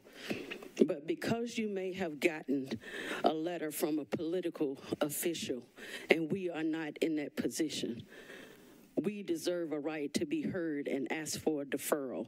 So if you've already made up your mind, then just do me this justice and act like you're listening to me. So we ask for a deferral. So if you don't give it to us, that's fine. At least I'm on record saying we ask. At this late hour, we're asking for a deferral. If you choose not to, then that's your choice. I listened to the people and spoke for them. Thank you. All right, thanks. Thanks, Ms. Baker. Okay, anybody else on this one? All right, declare the public hearing closed. Uh, We're back to Councilmember Hall. Thank you, Mr. President. Um, again, just like the other one, guys, this is um, something that was suggested by planning, met with planning staff approval, met with community character plan, met with land use policy. Down the line is exactly what the community's been asking for and in place. Um, you know, th- this one is slightly different in the sense that you have neighborhood maintenance bumped up against neighborhood evolving um, in a particular area. And so there was some question or concern there. But in the part that's bumped up against neighborhood evolving, um, those neighbors had already told the largest track owner no to selling their land to them or to developing that um, to put multifamily inside this um, inside this neighborhood, inside this subdivision. This is also one of those areas, just like you were hearing with Bellevue before. This whole area was underwater after the 2010 flood. We've had churches leave. We've had community members leave. We've had a community that was left in shambles. So part of it is viable and part of it isn't. But what we've been able to do through this process with other rezonings and other questions about land policy and whatnot, um, we've been able to set the comps. You've got a lot of new single family home development in this community um, that are doubling the current comps for that neighborhood. You've got people wanting to invest. We're sandwiched between a greenway and a park, and now private citizens are trying to work with parks and donate money to have that park revitalized. The three largest track owners inside of this overlay have those tracks simply to build one or two single family homes. This is not a place where they want multifamily inside of, a, a suburban neighborhood We want to leave that to the corridors. And so that was the purpose in bringing forth this overlay. It's just like the one before. Um, you got more people that want to be in it, in it than don't want to be in it. And so um, I always am hesitant or, or cautious when we start getting into conversations about um, speaking for others. Um, we just saw tonight a great display of a community coming out and voicing their opinion, but every community is not structured the same way. And so um, this same overlay will also be covered in, in that meeting next Thursday at 6 o'clock. We're at a Life Church, 4000 Clarksville Pike, right? You will have several other members um, present for that that are interested in this. And so um, I ask for approval on second reading. Okay.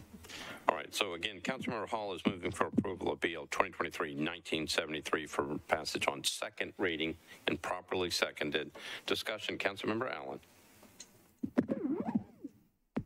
Thank you, Mr. Chair. I appreciate the conversation that we've had about the use of this tool and the appropriateness of it. Um, I'm still not totally comfortable with hearing from constituents who feel like they have not had the full opportunity to have the community engagement. I know when I did historic conservation overlays, we worked through house parties and, and neighbors going door to door because it's it's a decision you make about how you're going to be able to develop with your with your property. Um, I realize these are sort of two parallel ones and maybe they should be treated the same, but but I would like to move for one meeting deferral on this one just just so we can at least sound like we're being responsive to uh, to what we're hearing from the neighbors and and they can still have the same meeting at the same time but if there's a, a possibility for different methods of community engagement so that maybe the people that feel like they've been missed can be included in the process then and then I think that's just a, a, a courtesy to the to neighbors to ensure that they know that they've been felt All right. So Councilmember Allen is moving for a one meeting deferral properly seconded. I'll go back to you, Councilmember Hall. Sorry. There you go.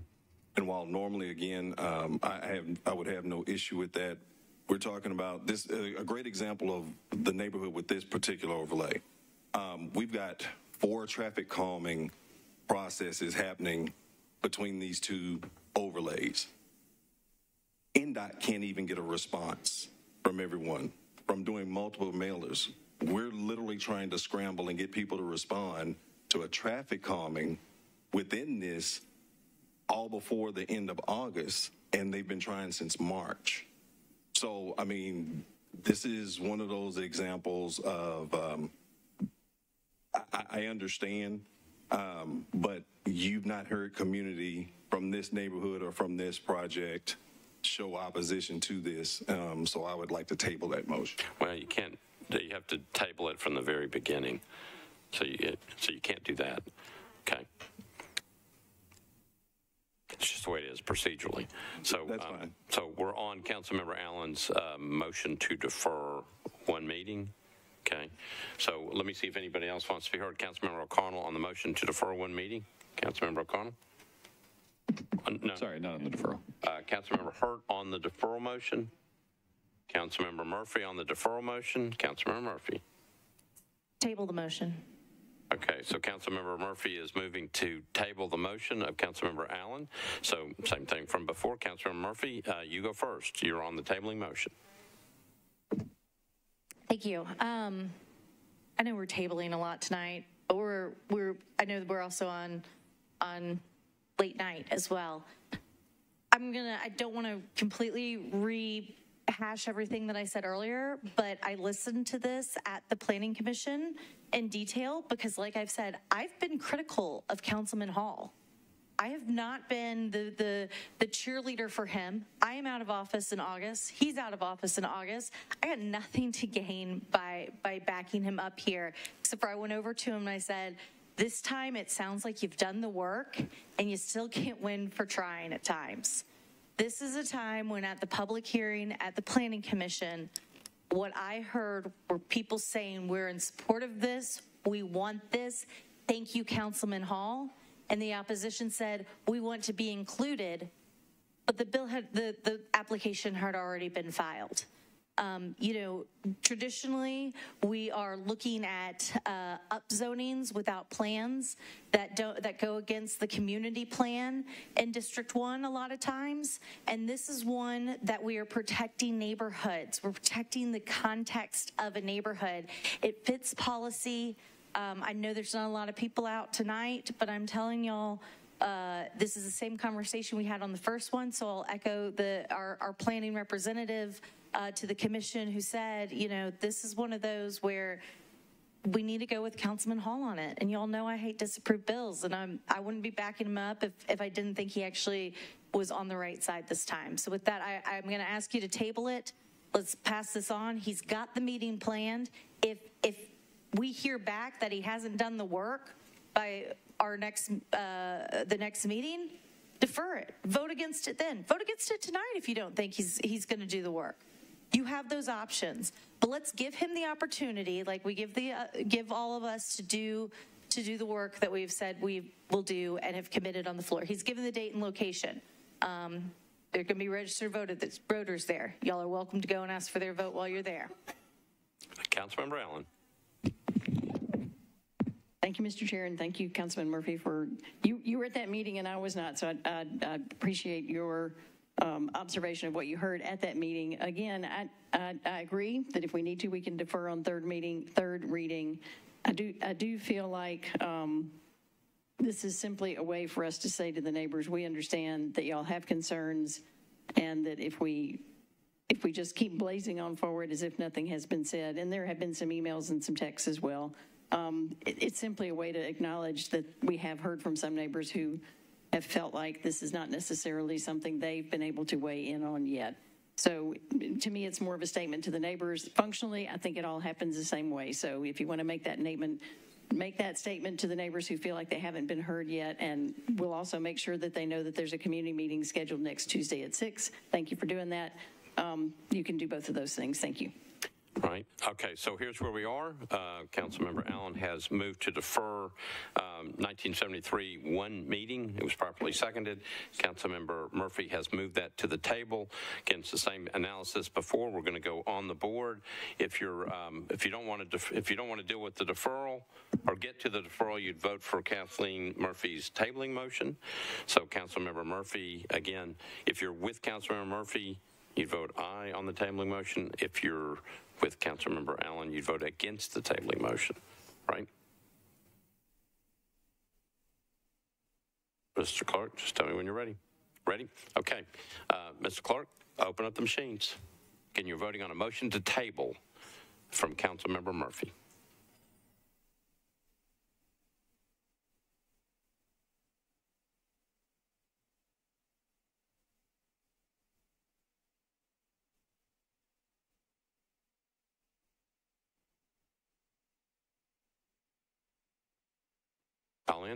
Mr. Clark, uh, close machines, take the vote.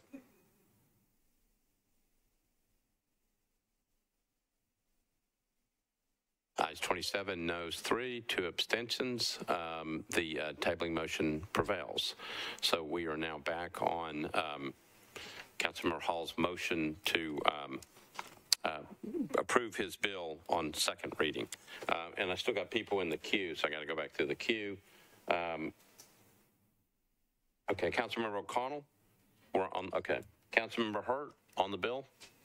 We're on the bill. Um, no. Uh, Councilmember Murphy, I've already asked you.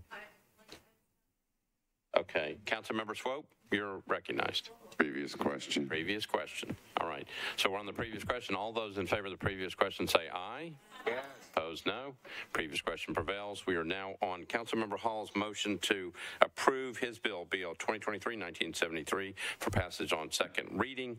Um, again, properly seconded. We're ready to vote. All those in favor of 2023-1973 for passage on second reading say aye. Yes. Opposed, no. Bill passes on second reading. All right, we are now on item number 80, Bill 2023-1974, which can be taken with 1975. This is by Councilmember Styles and Toombs. Uh, It's 1974, an ordinance to amend Title 17 by changing from AR 2A to SP zoning on properties located at 12782 Old Hickory Boulevard and Old Hickory Boulevard unnumbered, and 1975, which is the companion bill. Ordinance to authorize building material restrictions and requirements for BL 2023-1974. Proposed ordinance requires certain materials to be restricted in the construction of buildings. Councilmember Toombs, you are recognized. Thank you, Mr. Vice Mayor. Request to open the public hearing. All right. um, The public hearing is open. A show of hands of those who are here in favor of 1974 and 1975. They're still back there? Okay. Uh, Those who are in opposition to 1974 and 1975. Don't see anybody in opposition. Anybody wishes to speak? All right, declare the public hearing closed. Councilmember Toombs, you're on 1974 and 1975. Move for approval. Got a motion to approve both of those, properly seconded. Any discussion? Seeing none, all those in favor of the two bills for pass on second reading say aye. Opposed, no. You adopt. We're on item number 82, Bill 2023-1976, by Councilmember Young, and uh, a companion bill, Bill 23, uh, 2023-1970, uh, 1977. Um, Bill 2023-1976 by Councilmember Young, ordinance to amend Title 17 by changing a rezone from R10 to SP zoning. Properties located at People's Court, unnumbered in Gallatin Pike, unnumbered approximately 170 feet north of Vietnam Veterans Boulevard. And then the companion bill, uh, 1977, ordinance to authorize building material restrictions requirements for BL 2023-1976.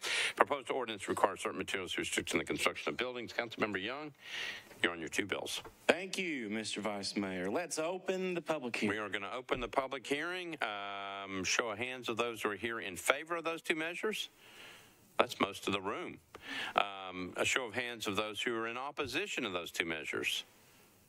That's not anybody in the room. All right, those in favor wish to speak? Nope. Declare the public hearing closed. Councilmember Young, you're on your bills, and I think you may have a substitute. I, do- I have a substitute on each one, so should we take, them these up separately? Yeah, take them up Yeah. individually. Well, then I would like to uh, move the substitute uh, for 1976, the first one? for 76. Yes. All right, so Councilmember Young has moved the substitute, or, substitute ordinance for 1976, properly seconded. Back to you to explain the substitute ordinance. It uh, increases the density in exchange for working to get some money for sidewalks to Gallatin Road. All right, so you've heard an explanation of the substitute. Again, properly seconded. Discussion on the substitute. Any discussion? Seeing none, we're ready to vote on the substitute. All those in favor of the substitute say aye. Aye. Opposed, no. Substitutes on, on your first bill, 1976, and then on 83, um, we'll put the substitute on, on that one as well, and we'll vote on them together, that's all right. Bill 2023, 1977, um, Councilmember Young on that. I will move the substitute on 1977, which just changes the density to match the corresponding bill. All right, thank you. So you've got a motion to approve the substitute on 1977, properly seconded. Any discussion on the substitute? Seeing none, oh, Councilmember Hancock. There you are. Thank you, Vice Mayor. I was just wondering, can these sidewalks be anywhere on Gallatin Road or are they in a particular location? Uh, Councilmember Young? Um, they are sidewalks between this site and Gallatin Road. So, uh, yeah. Are you trying to steal sidewalks? What are you trying to do? Okay. Sorry, I'm just, I, I'm trying to think of something cute to say, but I'm just too tired. okay. All right. So uh, we've got a substitute that uh, Councilmember Young has proposed on 1977, properly seconded. Voting on the substitute. All those in favor of the substitute on 1977 say aye. Aye. Opposed, no. Substitutes on. Now you're on both your bills as substitute. I would love to move both bills as substituted, please. All right, so a motion is to approve 1976 as substituted and 1977 as substituted, properly seconded. Discussion on the two substitutes. Seeing none, ready to vote. All those in favor of 1976 as substituted and 1977 as substituted say aye. Opposed, no. Bills both pass as substituted on second reading. Uh, We're on Councilmember Hancock's bill, Bill 2023-1978 and 1979. Uh, 78, Ordinance to amend Title 17 by change from RS 80 to SP on property located at 1938 Neely's Bend, approximately 2,165 feet northwest of Overton Lane, and the companion bill, which is 1979, ordinance to authorize building material restrictions requirements for BL 2023-1978. Proposed ordinance requires certain materials restricting the construction of buildings. Councilmember Hancock, you are recognized on both your bills. Thank you, Mr. President. Could I open the public hearing, please? You certainly can. Public hearing is open. A show of hands of those who are here in favor of the two bills. Show of hands of those who are here in opposition to the two bills. Seeing nobody on either side, declare the public hearing closed. Councilmember Hancock, you're on your two bills. I'd like to move for approval, please. All right, the motion is to approve both 1978 and 1979 for passage on second reading, properly seconded. Any discussion? Seeing none, we're ready to vote on 1978 and 1979 for pass on second reading. All those in favor say aye. Aye. Opposed, no. Uh, Both those bills pass. Uh, Item number 86, uh, BL 2023-1980 by Councilmember Welsch. Ordinance to amend Title 17 by changing from RS 5 to R6A for property located at 2229 Foster Avenue west of Rose Street. Councilmember Welsch, you're recognized. Thank you, Mr. uh, Whatever you are this morning, because I just can't remember. Would we open the public hearing, please? Yes, we can. So uh, declare the public hearing open. We're on 1980. A show of hands of those who are here in favor of 1980. Show of hands of those who are here in opposition to 1980. Didn't see anybody on either side. Declare the public hearing closed. Councilmember Welsch, you're recognized. Move to approve. Uh, the motion is to approve 1980, properly seconded. Any discussion on the motion? Seeing none, all those in favor of 1980 for pass on second reading say aye. Opposed, no. Bill pass on second reading. We're on BL 2023-1981 by Councilmember Taylor. This is an ordinance to amend Title 17 by change from RS 5 to R6A zoning for property located at 703 29th 29th Avenue North, approximately 80 feet north of Clifton Avenue. Councilmember Toombs, I think this is yours. Thank you. Request to open a public hearing. I will open the public hearing. We're on BL 2023-1981. Show of hands of those who are here in favor of this particular measure. I see one hand back there. Show of hands of anybody in opposition to this measure. Don't see anybody in opposition. Uh, those in favor wish to speak? Nope. Declare the public hearing closed. Councilmember uh, Toombs, you're recognized on 1981. Move for approval. Got a motion to approve, properly seconded. Any discussion? Uh, we're on 1981. Seeing none, we're ready to vote. All those in favor of 1981 for pass on second reading say aye. Opposed, no. Bill passes on second reading. Councilman Withers, you've got the next one, 1982, ordinance to amend Title 17 by changing from R10 to R6 for property located at Riverside Drive, unnumbered approximately 400 feet west of Perlin Drive. Uh, Councilmember Withers, you're recognized.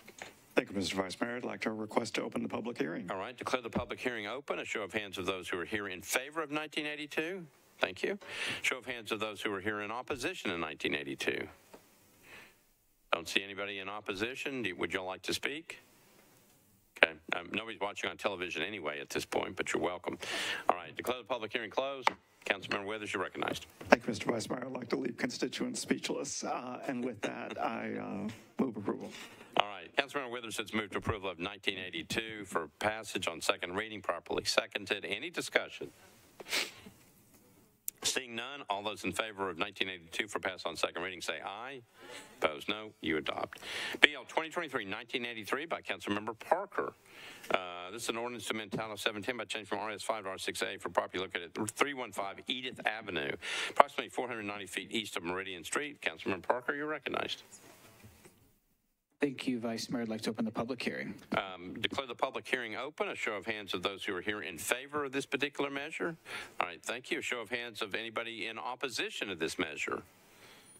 Seeing nobody in opposition, would you like to speak? Okay, declare the public hearing closed. Councilmember Parker, you're recognized. Move for approval. Got a motion to approve, properly seconded. Any discussion on the bill? Seeing none, all those in favor of 1983 for pass on second reading say aye. Opposed, no. Uh, Bill passed on second reading. Uh, uh, Councilmember O'Connell, Bill 2023-1984, an ordinance to amend Title 17 uh, by change from IWD to MUNA for property located at 195 Little Green Street, approximately 150 feet east of Edgar Street. Councilmember O'Connell, you're recognized. Thank you, Mr. President. I'd like to uh, open the public hearing, please. Okay, declare the public hearing open. A show of hands of those who are here in favor of this particular measure. All right, thank you. A show of anybody who is here in opposition to this particular measure.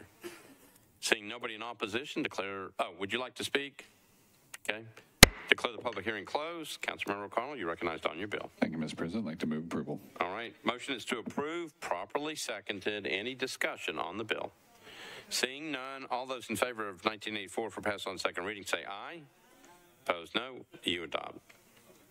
Bill 2023-1985 by Councilmember Roberts, an ordinance to amend Title 17 by changing from R6 to CS for properties located at 5108B Tennessee Avenue and 5100 Tennessee Avenue at the northwest corner of Tennessee Avenue and 51st Avenue North. Councilmember Roberts, you're recognized on your bill. Thank you, Mr. Vice Mayor. I'd like to open the public hearing, please. All right, declare the public hearing open. Anybody back there uh, uh, interested in this particular bill?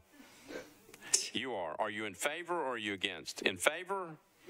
Okay. Anybody back there sitting with you that's against? No. All right. You would you all like to speak? No. Councilman Roberts? No.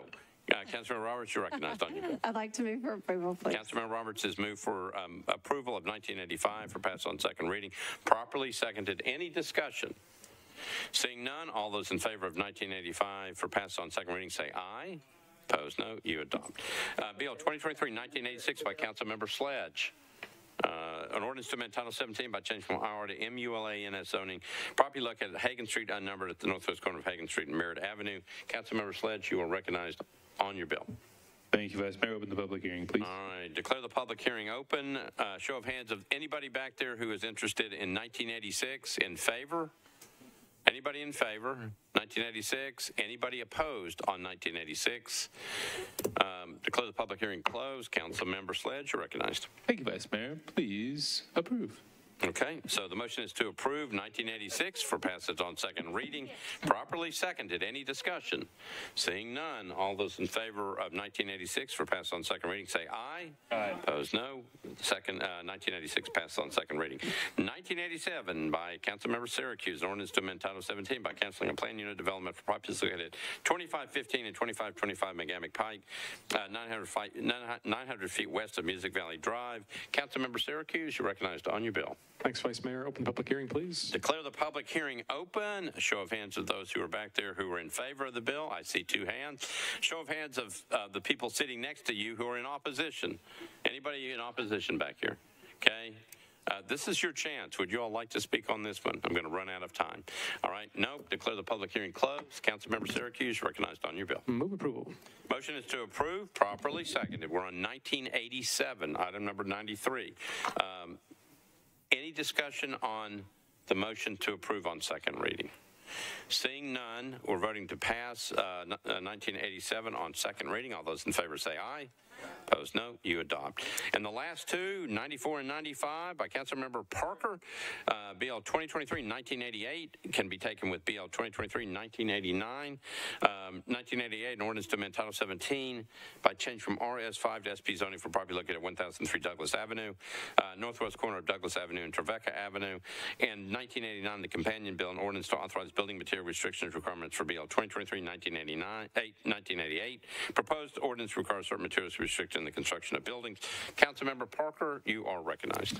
Thank you, Vice Mayor. I'd like to open the public hearing. Okay, declare the public hearing open on 1988 and 1989. Show of hands of anybody back there who is in favor of the two bills. I think you're just raising your hands now because I'm looking at you. All right, so I got two hands in favor. Um, anybody in opposition, if you would please raise your hand. Uh, those in favor wishing to speak? Nope. Declare the public hearing closed. Councilmember Parker, you're recognized on the two. Um, thank you, Vice Mayor. Uh, at the request of some folks who were not able to be here until 1 o'clock this evening, I'd like to request a one meeting deferral on this to allow us time to. Oh, it can't? Okay, so on both bills, a one meeting deferral? Both bills? I, I'm being told we just did the public hearing. It's we don't need to renotice that. Yeah. Uh, You've had the public hearing. This yeah, so we're good. Everybody, Yeah. All right, so you're, public you're hearing's closed. Um, I'd like to request a one meeting, move a one meeting deferral. okay on both 1988 and 1989? Both Keep it on second, one meeting deferral. Okay. Okay. All right. Um, So the, the motion is to um, move both bills one meeting, defer one meeting. on- Defer one Keep them on second, uh, so they'll be heard on second at the next meeting. All right, that's the motion properly seconded. Any discussion on the motion to defer? Seeing none, all those in favor of the deferral motion say aye. Opposed, no. Uh, Both these things are deferred one meeting. All right, uh, that completes um, bills on public hearing. All right. All right. Um, We are now on uh, consent resolutions and resolutions. All right. um, Somewhere up here is my list, and I may get you to come up here in a minute. Okay. All right. uh, Let me go through um, things that are on the consent agenda. Um, 2286 is on consent. 2288 is on consent. 2289 is on consent. 2290 is on consent. 2291 on consent. 2294 is on consent. 2296 is on consent. 2298 on consent. 2299 on consent. 2300 on consent. 2301 on consent, 2302 on consent, 2303 on consent, 2304 on consent, 2305 on consent, 2306 on consent, 2307 on consent, 2308 on consent, 2309 on consent. Anything needs to be bumped off the consent calendar? Anything? Oh, Councilmember VanReece. I believe 2293 needs to be placed on consent. 2293. Um, It requires a, um, An abstention. yeah, there's an abstention and um, There it was an requires abstention. 21 votes. Okay, That's why it's been thank you. bumped off. Yeah, okay. All right, anything else? Anything else, else needs to be bumped off? All right, here goes. Um, The first one up, RS 2023-2286 by Johnston and Rhoten, a resolution amending Resolution RS 2023-1948 to reincorporate the Nashville Volunteer Organization Active and Disaster Coalition Program details. RS 2023-2288, Rhoten, Hancock, and Welsch, resolution accepting grant for the State of Tennessee Administrative Office of the Courts uh, to Metro Government through the Davidson County Juvenile Court for the provision of interpretation and translation services for parties with limited English proficiency. Uh, Item number 101, RS 2023-2289 by Rhoten, Hancock, and Welsch.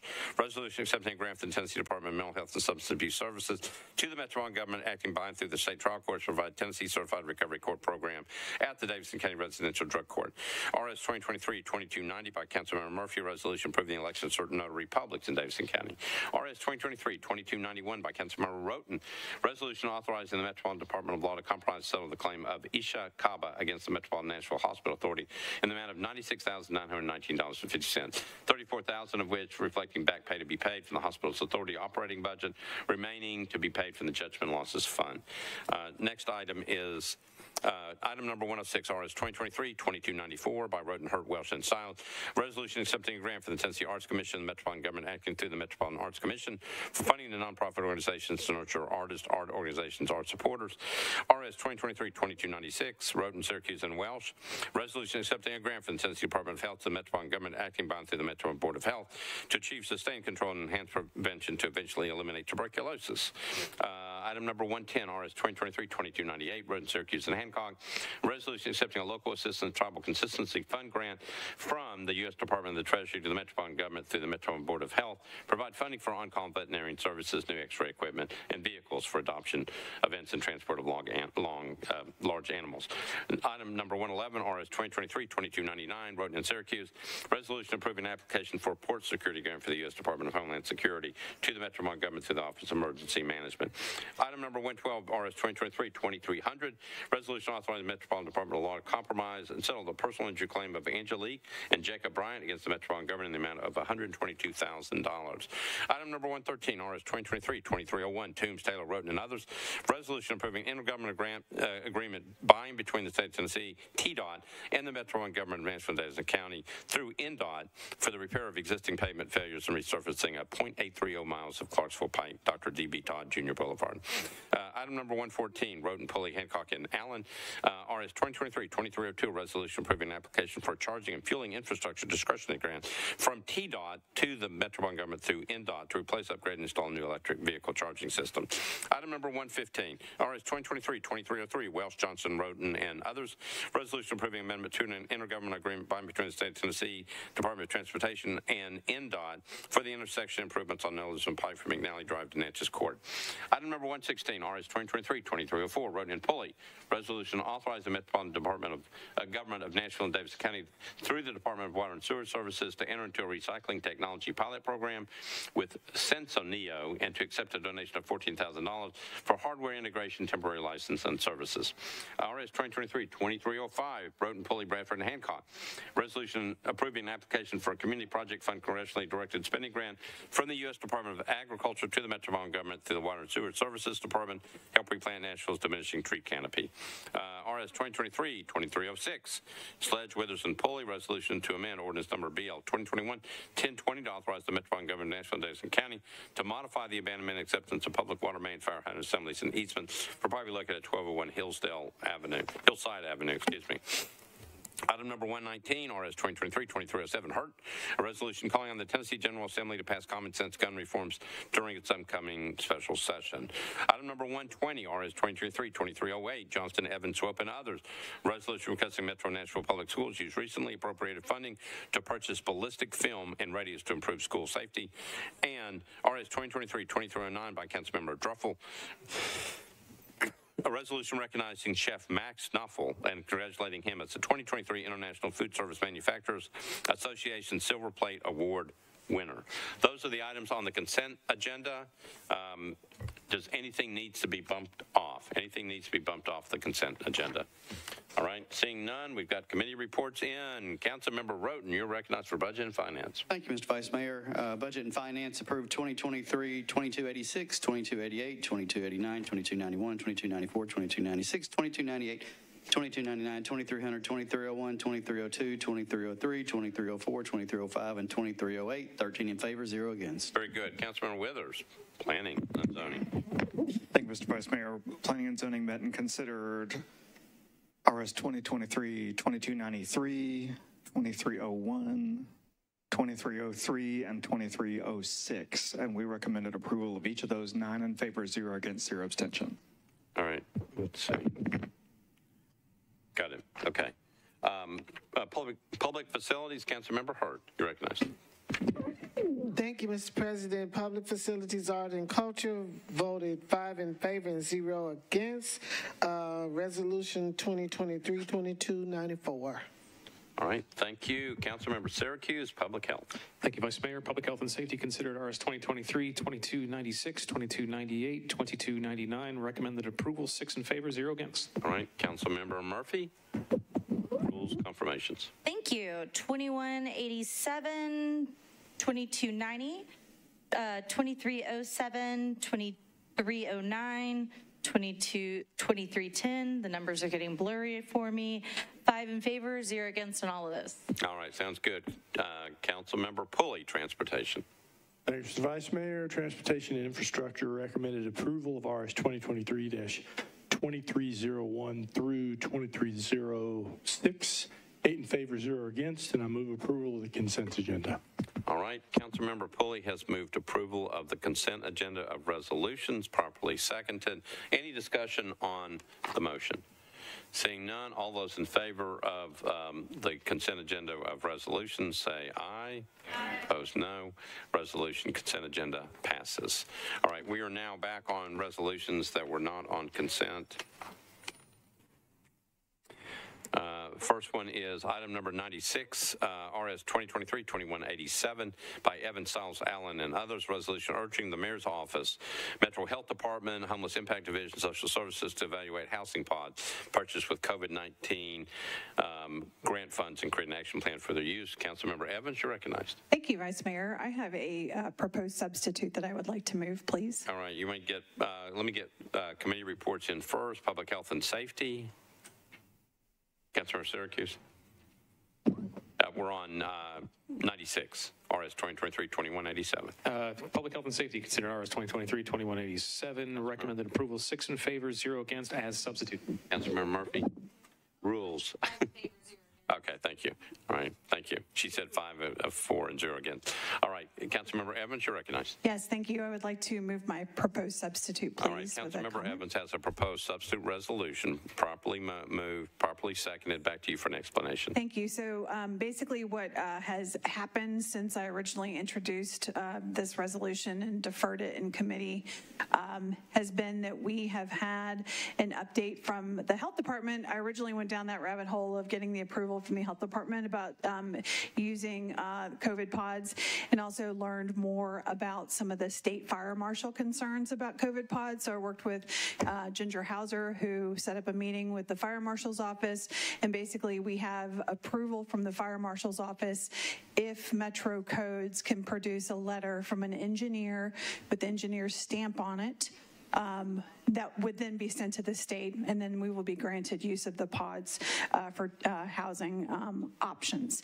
So, um, so that's a change. There's a reference in there about that. I also changed um, the date um, about when I'd like that feedback back to the council. It wasn't really um, possible to have it done by the end of our term, so I did put it for the second meeting in October uh, to give all of the stakeholders some opportunity to uh, convene and discuss what the potential options could be. And so that's where basically the, the gist of the substitute. Okay, so you, um, Councilmember Evans has moved the substitute resolution, can properly seconded. She's explained it.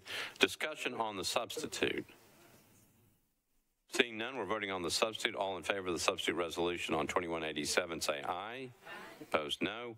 Uh, Substitute resolution is on. Now you're on your resolution as substitute. Thank you. So basically, I just shared kind of the gist of everything. And so really the, um, the objective of this is to, you know, we've consistently heard that the barriers to using the COVID pods were in air quotes, the state. The state won't allow us to use these. And so um, with the efforts between myself, uh, Ginger Hausser, you know, and the conversations with the fire marshal and a variety of other stakeholders, you know, we can. It's really just going to be a matter of do we have the will to come up with a plan? And so that's what this resolution is requesting that we come up with a plan uh, with a variety of the folks involved uh, Office of Homeless Services, um, Metro Health Department, um, Metro Codes, um, et cetera. Um, and I'm not wanting to be prescriptive in what this plan looks like. I really think it should be the next iteration of the process is to get everybody together with the removal of the barrier from the state. Uh, related to that letter that I referenced from the Metro Codes engineer, um, that is supposed to be in process. We are supposed to have that by the end of next week. Um, and so that's something that I'll keep pressing on my end so we can keep uh, the, the, the progress going. So I urge your approval and I appreciate your support. All right, so Councilmember Evans has moved uh, for passage of RS 2023-2187 as substituted. Again, properly seconded. Any discussion on the resolution? Seeing none, we're on RS 2023-2187 as substituted. All those in favor say aye. Aye. Opposed, no. You adopt. Um, Next one is item number 97, RS 2023-2201 by Councilmembers Mendes, Rhoten, Withers, and Allen. Resolution approving the activities improvements eligible for tax increment financing in the Metropolitan Development and Housing Agency redevelopment districts. Councilmember Mendes, you're recognized. Withdraw. Okay, this one's withdrawn. Okay. We're on item number 99, RS 2023-2287, resolution requesting Department of Water and Sewer Services, Waste Services Division, study creation of a department or other entity dedicated to solid waste reduction, diversion, and disposal responsibilities, and to develop a strategy and organizational framework that manages solid waste, recyclables, organics, and other materials for the residents of Nashville and Davidson County. Pulley, Rhoten, Syracuse are the sponsors. Councilmember Pulley, you recognized. I, uh, committee reports, and I move the Uh, transportation is Transportation yours. Committee report. Uh, We recommended approval, eight in favor, zero against, and I move approval of the resolution. All right, so uh, Pulley has moved approval of RS 2023-2287 for passage, properly seconded. Any discussion on the resolution? Seeing none, all those in favor um, of RS 2023-2287 for passage, say aye. Opposed, no. You adopt. Right, uh, we're on item number 104, RS 2023-2292. Rhoten and Withers, a resolution approving an intergovernmental license agreement between the Metropolitan Government of Nashville, Davidson County, and the United States of America, uh, acting through the Department of Defense to certain property located at 1414 County Hospital Road, owned by the Metropolitan Government for limited military training purposes. Councilmember Rhoten, this is yours. Thank you, Mr. Vice Mayor. Um, Budget and Finance Committee report was mine. Uh, Budget and Finance um, move for a one meeting deferral, 13 in favor, zero against, and uh, Councilmember Withers has a committee report as well. All right, Councilmember Withers, thank you. Uh, Thank you, Mr. Vice Mayor. Planning and Zoning uh, recommended 2292 for approval, nine in favor, zero against, zero abstentions. We had a much more robust discussion in the subsequent committee meeting, but Okay, so uh, this one is, uh, it's a one meeting deferral uh, by the Budget and Finance, so I think it's an automatic deferral of one meeting. Thank you, Mr. Vice Mayor. Yeah, good. Um, Item number 105, RS 2023-2293 by Councilmembers Rhoten and Withers. Uh, Resolution declaring surplus and authorizing conveyance of real property to New Level Community Development Corporation, approving the First Amendment to a grant contract for constructing affordable housing approved by RS 2022-1857 between the Metropolitan Government through the Metropolitan Housing Trust Fund and New Level Community Development Corporation. Uh, Councilmember Hausser has to abstain on this one. Councilmember Rhoten, you're recognized on the resolution. Thank you, Mr. Vice Mayor. Uh, Committee reports. Uh, Councilmember Hausser, affordable housing. Yes, uh, affordable housing was eight, four, zero against, one abstaining. Okay, Budget and Finance Committee, Councilmember Rhoten, that's yours. Budget and Finance approved 13 in favor, zero against. And Councilmember Withers, uh, RS 2023-2293, Planning and Zoning. Planning and Zoning uh, recommended approval, nine in favor, zero against, zero abstentions. All right, Councilmember Rhoten, you're right. Renew my motion. All right, so Councilmember Rhoten is, um, is requesting approval of RS 2023-2293 for passage, uh, properly seconded. It needs 21 votes, but I think if we do it by voice vote, I know Councilmember Hausser has to abstain. Oh, Councilmember, I'm sorry, Councilmember VanReece, I hadn't gotten to you yet. You're recognized. That's okay. I just, this is in my district, and I just wanted to voice my support for it. Thank you. Oh, okay. All right. So we'll try it by voice vote, uh, again with Councilmember Hausser abstaining. Any other discussion on this? Seeing none, all those in favor of RS 2023-2293 for pass on, on, uh, for passage indicate by saying aye. Opposed, no. And then one abstention, Councilmember Hausser. So um, the resolution passes with the required 21 votes. Okay. Uh, We're on item number 107, RS 2020 uh, 2023-2295 by Councilmember Rhoten, Syracuse, and Hurt. Resolution approving a grant contract between the Metropolitan Government of and Davidson County, acting by and through the Metropolitan Board of Health, and Why We Can't Wait, Inc. for the provision of violence interruption services. Councilmember Rhoten, you're recognized. Thank you, Mr. Vice Mayor. Budget and Finance uh, approved a one meeting deferral. 13 in favor, zero against. All right, Public Health and Safety, Councilmember Syracuse. Thank you, Vice Mayor. Uh, Recommended one meeting deferral, six in favor, zero against to that Okay, so it's an automatic deferral of one meeting. All right. Uh, We're on item number 109, RS 2023-2297 by Councilmember Rhoten, Syracuse, and Welsch. Resolution approving agreement between the Metropolitan Government of Nashville and Davidson County, acting by and through the Metropolitan Board of Health and Vanderbilt University School of Nursing to provide clinical experience opportunities for its advanced practice nursing students. Councilmember Rhoten, you're recognized. Councilmember Gamble, you're recognized. Thank you, Vice Mayor. Uh, Committee reports, Uh, Budget and Finance, is and that I yours? have that one. Okay. Uh, Budget and Finance recommended approval, 12 in favor, zero against, one abstention by our chair. Okay, and then uh, Councilmember Syracuse, Public Health. Public Health and Safety recommended approval, six in favor, zero against. All right, so back to you, Councilmember Gamble, RS 2023-2297. Thank you. Move for approval. A motion is to approve properly, seconded, one abstention by Councilmember Rhoten. Uh, Any discussion on the resolution?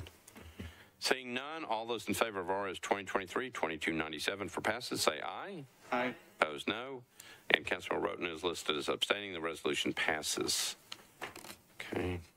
And I think we have one last one. This is uh, item number 122. Uh, RS 2023-2310, Swope, Styles, Suara, Benedict, others. Resolution approving a sister city relationship uh, with the government, government of Erbil in the Kurdistan region of Iraq and authorizing the mayor to execute a sister city agreement. Councilmember Swope, you're recognized. Thank you, Your Honor. Now for a bit of good news. on this night that we have the longest agenda in Metro's history. This is, this resolution that you're considering tonight has probably taken longer than any other ordinance ever passed in this city. When Bill Purcell got elected mayor in 1999, he recognized one thing. We have the largest Kurdish population outside of Kurdistan in the world. And to current day numbers, there are between 25 and 28,000 Kurdish people living in our city that are our brothers and sisters.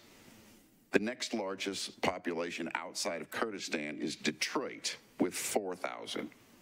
So there was a distinct correlation and connection between Nashville and Erbil, Kurdistan that Bill Purcell recognized in 2000 and has spent 23 years getting this resolution to our desks.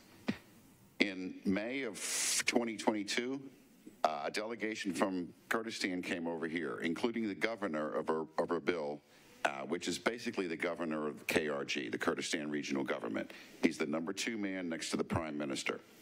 Uh, they brought over a number of dignitaries, and we wined and dined them here through the Sister Cities organization in Nashville.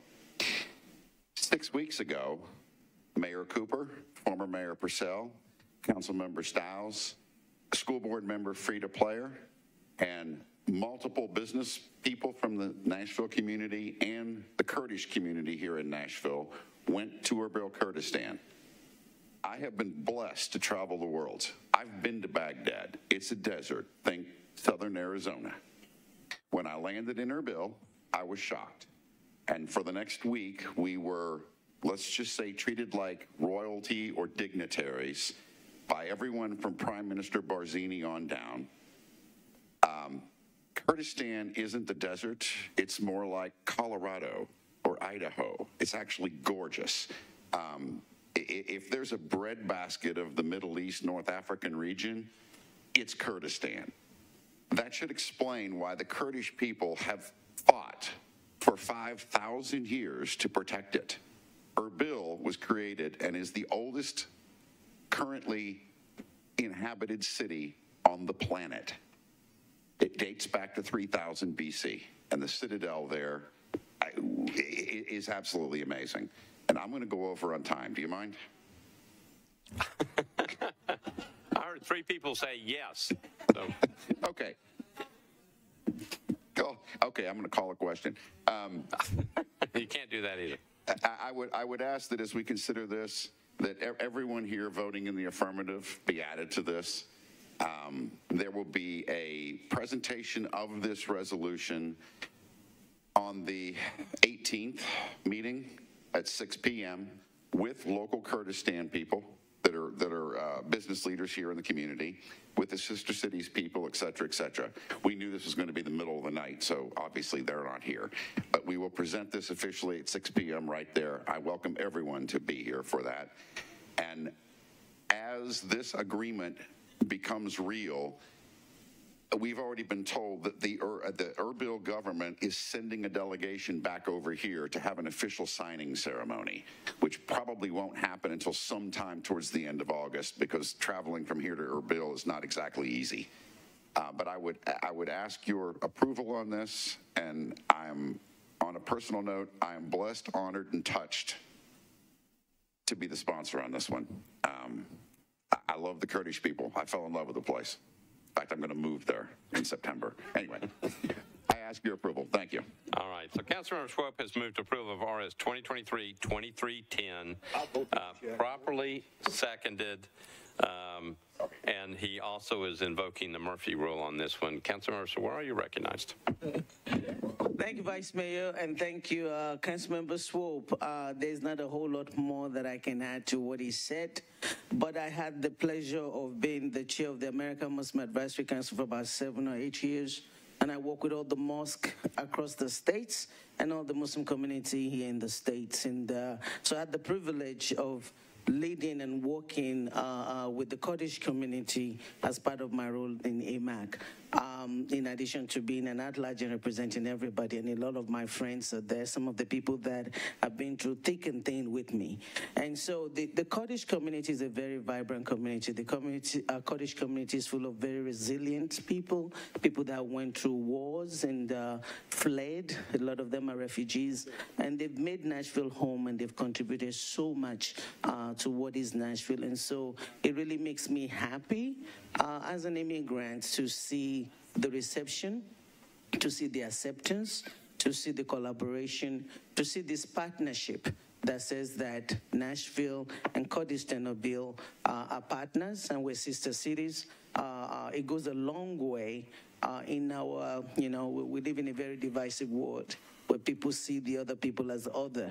And so for a city like Nashville to be able to say the Kurdistan in this in this city as well as Kurdistan, you know, Bill, our sisters, and we're working together.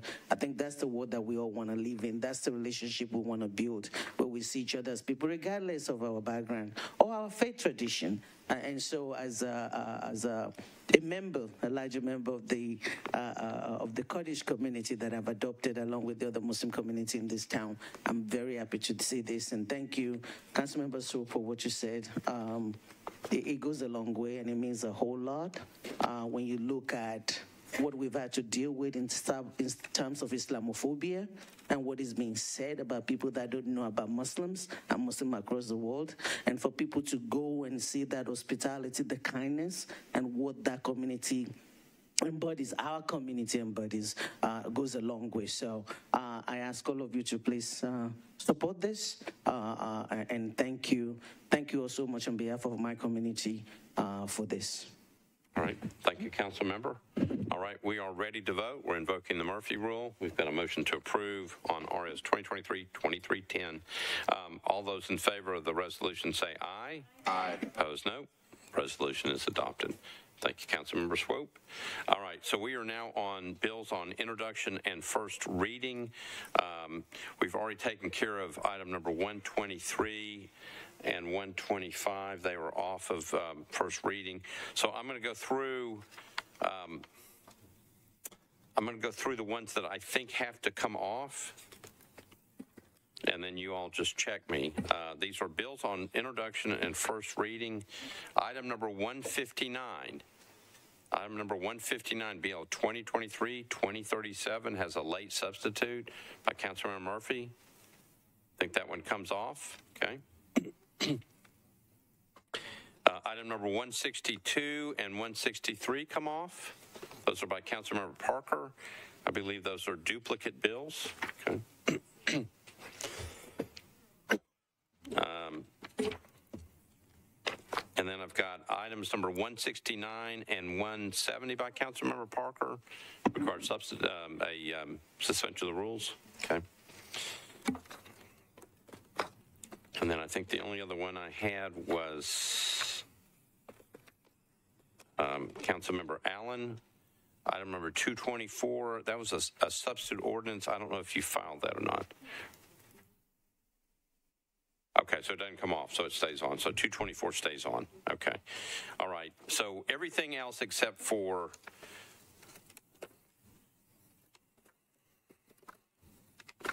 just a lot of these. Um, item number, um, again, uh, 123 and 125 come off. They've already been handled. And then item number 159 comes off of first reading consent. Item number 162 comes off, item number 163 comes off, and item number 169 and 170 come off. I think those are the only ones. Okay. All right, so I'll entertain a motion to approve. Oh, wait a minute. Councilmember Bradford, you recognize. 152. BL 2023-2030. Okay, 152 comes off. Okay. Anything else? All right, entertain a motion to approve everything else that wasn't bumped off the consent calendar. Councilmember Swope moves that. Properly seconded. Any discussion on any other bills on introduction, first reading? Seeing none, all those in favor of bills on introduction, first reading, with the ones that we had, with the exception of the ones we had re- removed, all those in favor say aye. Opposed, no. Bills on introduction, first reading pass. Okay, so now we'll go back and pick up the ones we didn't. Again, item number 123 has been handled. Uh, Item number 125 has been handled.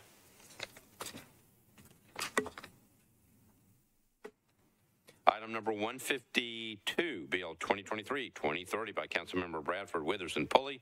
Ordinance authorizing the Metropolitan Government of Vanderbilt and Davidson County to abandon existing public water mains, except new public water mains and the replacement of existing fire hydrant assemblies for property located at One Terminal Drive. Councilmember Bradford, you're recognized.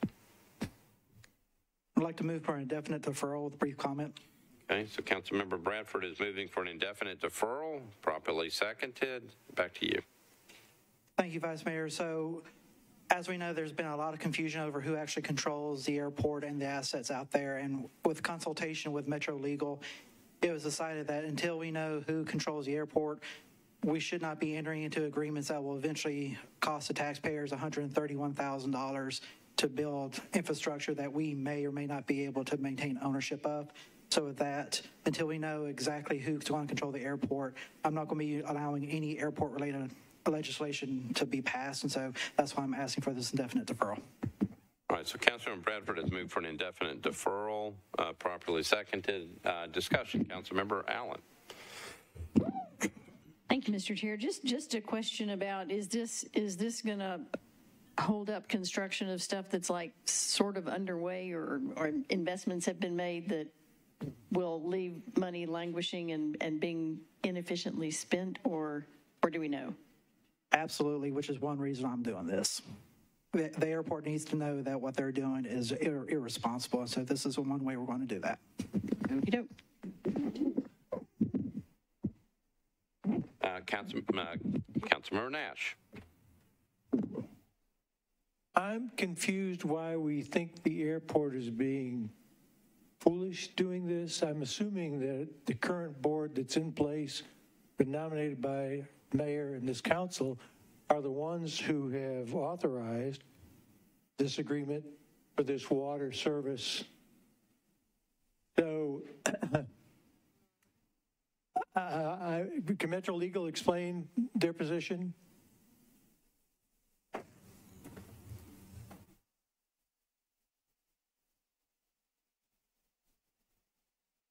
Metro Legal?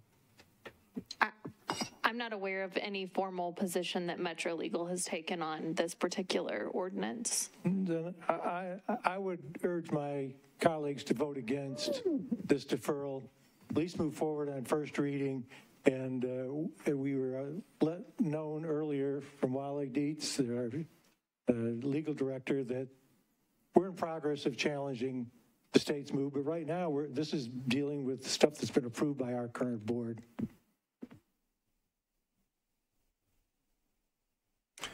Thank you. Um, I've got Councilmember uh, Murphy, and then I'll come back to uh, Councilmember Bradford. Councilmember Murphy. Can I have a little bit more information on the uh, fiscal impact that was cited? Ms. Darby. This is on first reading, and we have not done an analysis of this bill yet. Okay. All right. Uh, Councilmember Bradford.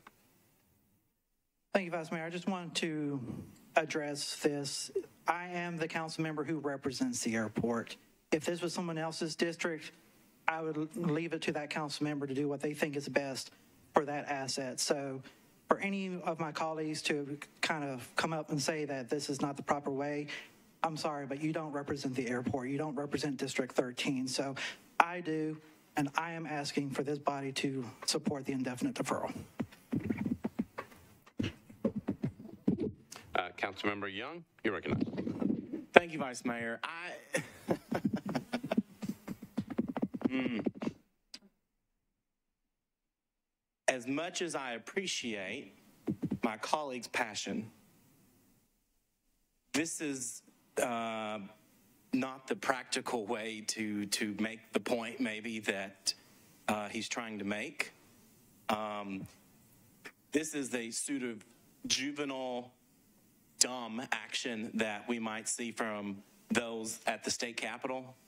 Um, the, y'all, I mean, our airport has to operate The airport does not belong to one district. It is the Nashville International Airport. It belongs to this city.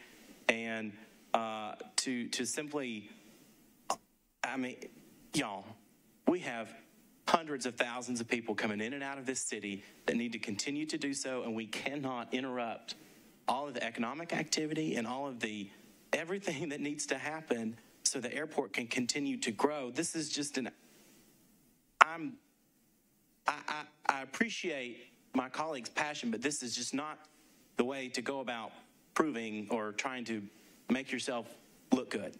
I mean, honestly, I'm it, it's childish.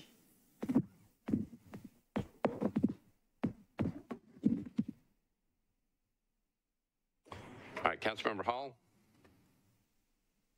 Um, and I, I too can appreciate the passion because as somebody that came in kicking and screaming about infrastructure, infrastructure, infrastructure, um, and wanting to turn over every table about it, um, I did something similar, but and Mr. Jameson can probably speak to this or will remember this um, when we were having such a huge issue with mass grading and horse farms that led to no end and were endless. When we went after um, those permits and the ability to do those types of things, one of the things that I had to pull back on was because specifically with places like the airport and other places that were under huge construction, that had an unintended ripple effect going after um, those mass grading sites as they stood. And so I just wanted maybe there was some context or correlation there that, that you could draw from, but at the same time, maybe um, again, Mr. Jameson or the administration could kind of speak a little bit to the unintended ripple effect of that type of thing. Mr. Jameson. Thank you, Councilman. And yes, I, I do recall that uh, unintended consequence and, and would uh, share that warning here. Um, uh, I think certainly the administration would be comfortable with perhaps a one meeting deferral so that we can determine the exact implications at play here. Otherwise, we'd be worried about cutting off our nose to spite our face while we're trying to fight the state at a different level um, on a different uh, topic. But this, as Councilman Nash uh, noted, has been approved by the, the board that we all recognize and support. And uh, don't know that uh, an indefinite deferral conveys the message we want conveyed. Councilmember Hall. Good. All right. Um, Councilmember Porterfield. Thank you, Vice Mayor. I rise in support of my colleague, Councilman Bradford. Um, you know, we talk a lot about councilmanic courtesy, and I understand that that's not something that we can always extend, but the council member is fighting for what he believes is best for an asset that is in his district. We know how contentious this relationship has been, and uh, I just want to thank Councilmember Bradford for standing up and making a bold move, and I'm going to support it. Thank you, Vice Mayor. Uh, Councilmember Mendes. I also support the motion. Um, I mean, it's a long time ago now, uh, six, seven hours ago, but uh, we did hear the legal director um, tell us that there's uh, uh, currently seated two boards um, uh, claiming to run the airport, and management has sided with the state-appointed board. Like that's what we heard from Wally Dietz seven hours ago. Um, and that's alarmed um, Metro Legal to the point where they filed a motion for an injunction just in the last several business days to stop the management of our airport. Um, and I put our airport in quotes because right now it's not clear that it's our airport. It may well be the state's airport. Um, and listen, if litigation goes the wrong way um, for us and it's not really our airport, it's the state's airport, it's not at all clear to me that we're going to keep spending money for infrastructure at the airport um, if that's the case.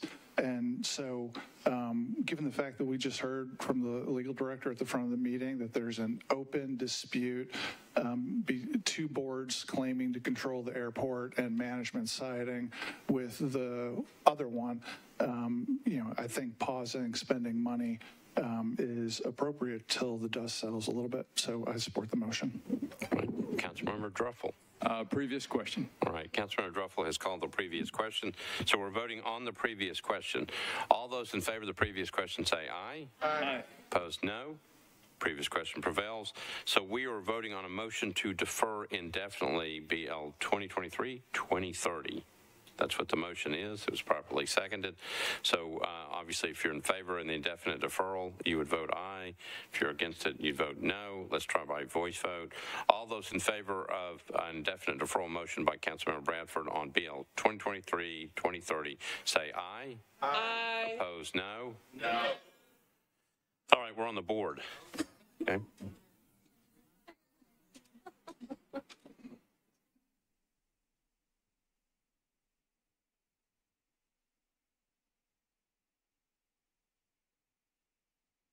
So um, again, you're voting on a motion to defer indefinitely by Councilmember Bradford. If you're for the motion to defer indefinitely, you'd vote aye. If you're against the motion to defer indefinitely, you'd vote no. Ready? Mr. Clark, open up the machines.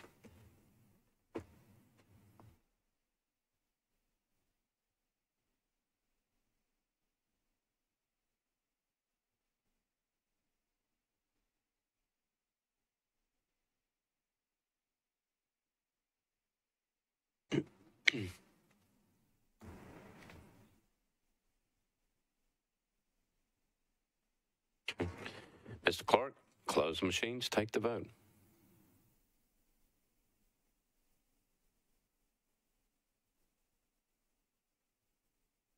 Ayes 12, no 18, uh, two abstentions. The motion fails.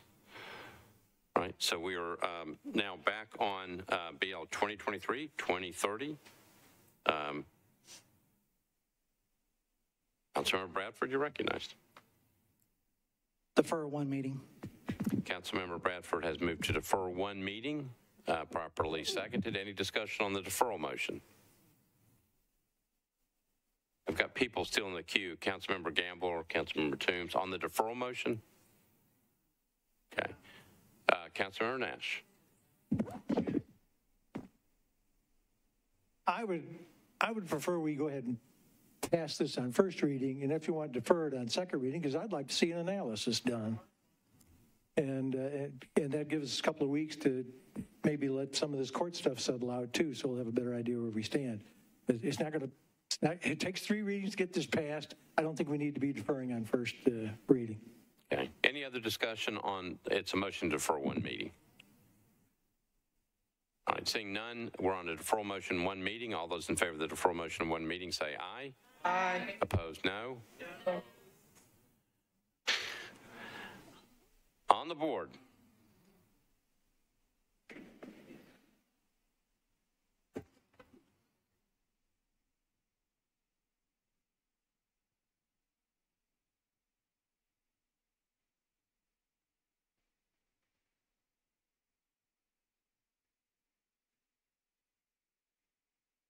You ready?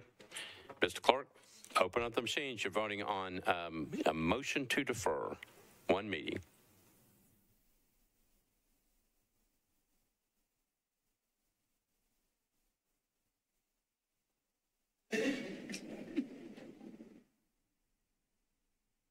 Okay, all votes are in. Mr. Clark, close machines, take the vote.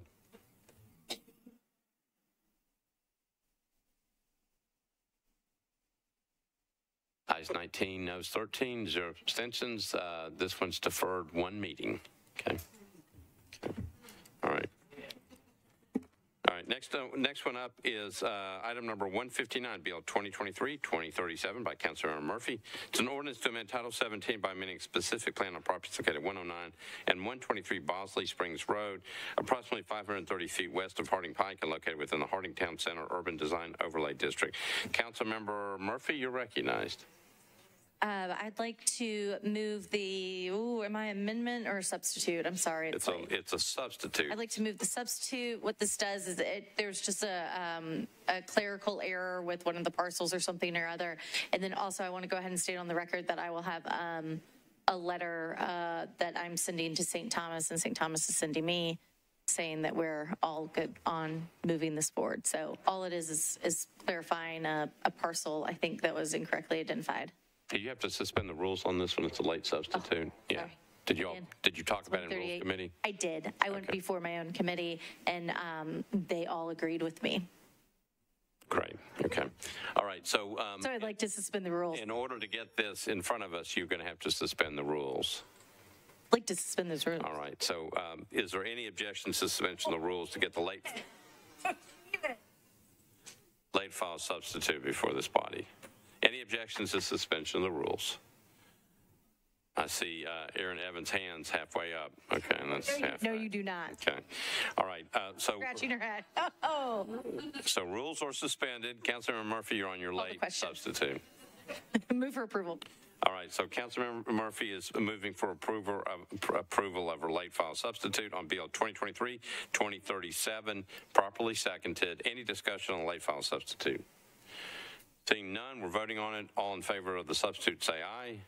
Opposed, no. Uh, Substitutes on, you're on your bill as substituted for passage on first reading. Move for approval. Councilmember Murphy has moved for approval of 2037 as substituted to pass on first reading, properly seconded. Any discussion? Seeing none. All those in favor of the, of the motion to pass the bill as substituted on first reading, say aye. Opposed, no. You adopt. All right, we are on item number 162, Bill 2023-2040, um, and then the companion bill, which is, uh, they're simply uh, repeats of things that we had already done. Uh, 2040 is an ordinance to amend Title 17 by changing RS 5 to SP zoning for property located at 1003 Douglas Avenue, and the companion bill 2041 uh, ordinance authorized building material restriction requirements for BL 2023-2040. Proposed ordinance requires certain materials restricted in the construction of buildings. Um, Councilmember Parker, you're recognized on both those bills. Withdraw both items. Okay, both those both those bills are withdrawn. Okay, we're on item number 169 and 170, BL 2023-2047 and 2023-2048, which is the companion bill. Uh, 2047 is an ordinance to amend Title 17 by changing from CS and RS5 to SP zoning for properties located at 110 Grizzard Avenue and 121, 131, and 133 Old Trinity Lane, approximately 450 feet west of Jefferson Pike, partially located within a planned unit development overlay district. Uh, and then the companion bill, BL 2023-2048, an ordinance to authorize building material restrictions requirements for BL 2023-2047. Uh, proposed ordinance requires certain materials in the construction of buildings. Councilmember Parker, uh, recognized both on those two bills. I believe I need to suspend the rules. Uh, yeah, you're suspending Rule 19 um, to get these in front of us tonight, at least on first reading. So did, did you go? Do you, did you No, go? I didn't go. You did not go. Okay, so you're suspending the rules just to get on Rule 19. All right. Uh, is there any objections to suspension rules to get these bills before us tonight on first reading? Any objections to suspension of the rules? Seeing none, rules are suspended. Um, you're, um, you're, you can proceed ahead on both your two bills. Move approval. All right. So Councilmember Parker has moved approval of Bill 2023-2047 and 2023-2048 for approval on first reading, properly seconded. Any discussion? Seeing none, all those in favor of those bills on first reading say aye. aye. Opposed, no. You adopt. And I believe And then we have one late filed, uh, one late bill. Uh, This is a bill by Councilmember Lee and Murphy. I think it's a companion bill. Councilmember Murphy, uh, you're recognized. I would like to suspend the rules. And I did appear before my own committee, and they shockingly all agreed with me, and I didn't have to twist their arms because this is for Council Lady Lee. All right, so Councilmember Murphy is trying to get a late file companion bill in that I think just didn't get filed. Is there any objections to suspension of the rules to get the bill in? Seeing none, rules are suspended. Councilmember Murphy, you're on your bill. Move approval. Councilmember Murphy moves approval of this late filed bill. Again, it's a companion bill, uh, properly seconded. Any discussion on uh, the um, motion to approve to get this bill on first reading? Seeing none, oh, Councilmember O'Connell. I was just wondering if we could get a comment from Councilmember Murphy on how she feels about late bills. The motion is to approve this on, um, on, on, um, get this on first reading. Motion to approve, properly second. All those in favor say aye. Opposed, no. Bill is approved. Uh, Councilmember Murphy, you are recognized. I'd like to move to adjourn and defer the rest of our items to next week when you can get us all back together. It is 1:43. Um, We're barely halfway through. No good can come at discussion at this hour. I think I have seen everybody yawn. I saw somebody miss their mouth with a snack. Um, I, I think it's I think it's time. This has been a holiday week. Most of us are on. Most of y'all are on the campaign trail. We're tired. I think it's time to to go home. So I move to uh, to end the night and come back next week and and defer everything else until then. I, I'm happy to pick a date certain, but I'm also happy for you guys to poll us and figure it out for next week. So like next, you're saying I can't, date certain is not next week. Um, I need to pick a date. I don't know the date of Tuesday. Is Tuesday the 11th? Or does somebody have a calendar?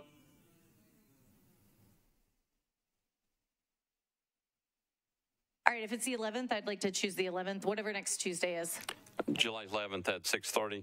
6:30. What you want to do? Okay, so the motion is to adjourn tonight and then adjourn to a date certain, which would To be. To have a meeting on the, uh, the 11th. And so we would defer everything to a meeting on the 11th. Okay, so I've got a motion properly seconded. All right, so um, There's, the only thing stated is the date Okay, so, Councilmember Mendes.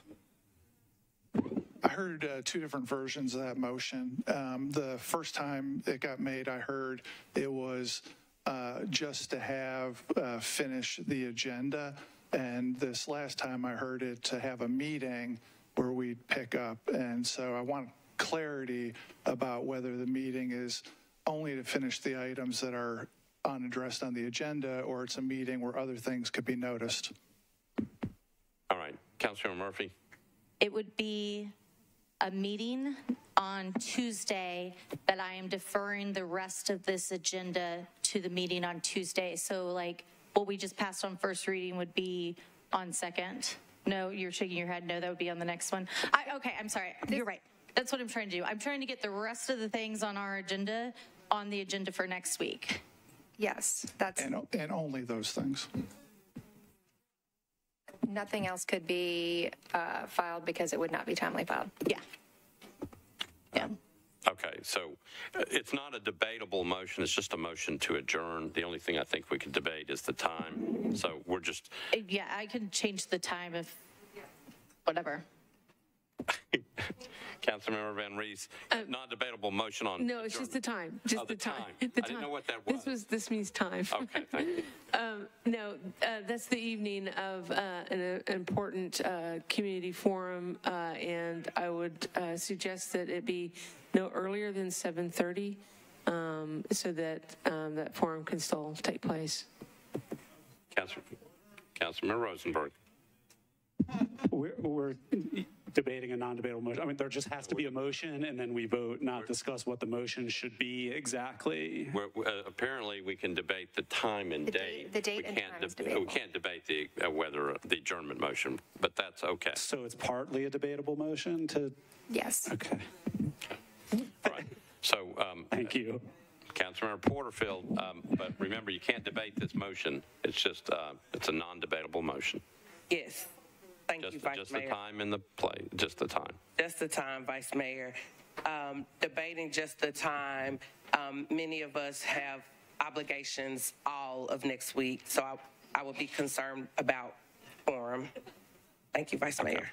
All right, so we're on a, uh, at this point, we're on a motion to adjourn right now, uh, and then um, reconvene Tuesday at 6:30, okay? 7:30. Tuesday at 7:30, okay? That's the motion, we're just voting on it. We'll do it by voice vote. All those in favor of the motion to adjourn and then to reconvene on Tuesday at 7:30 PM, say aye. Aye. Opposed, no? No. On a roll call? Okay, we're on the board. So it's simply a motion to uh, defer to a, uh, motion to adjourn to a a time certain.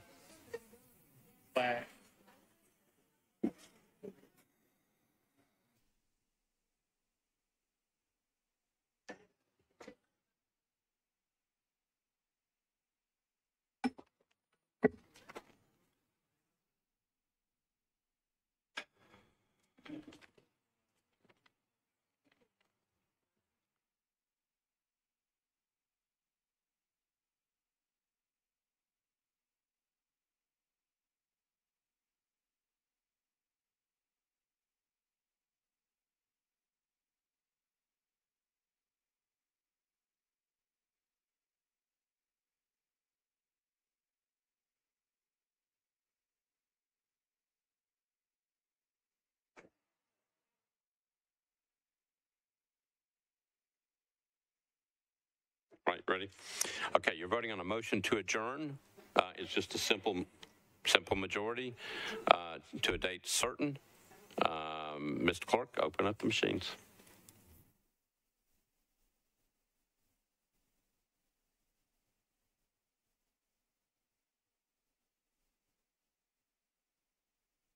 All votes are in. All votes are in. Mr. Clerk, close the machine, take the vote.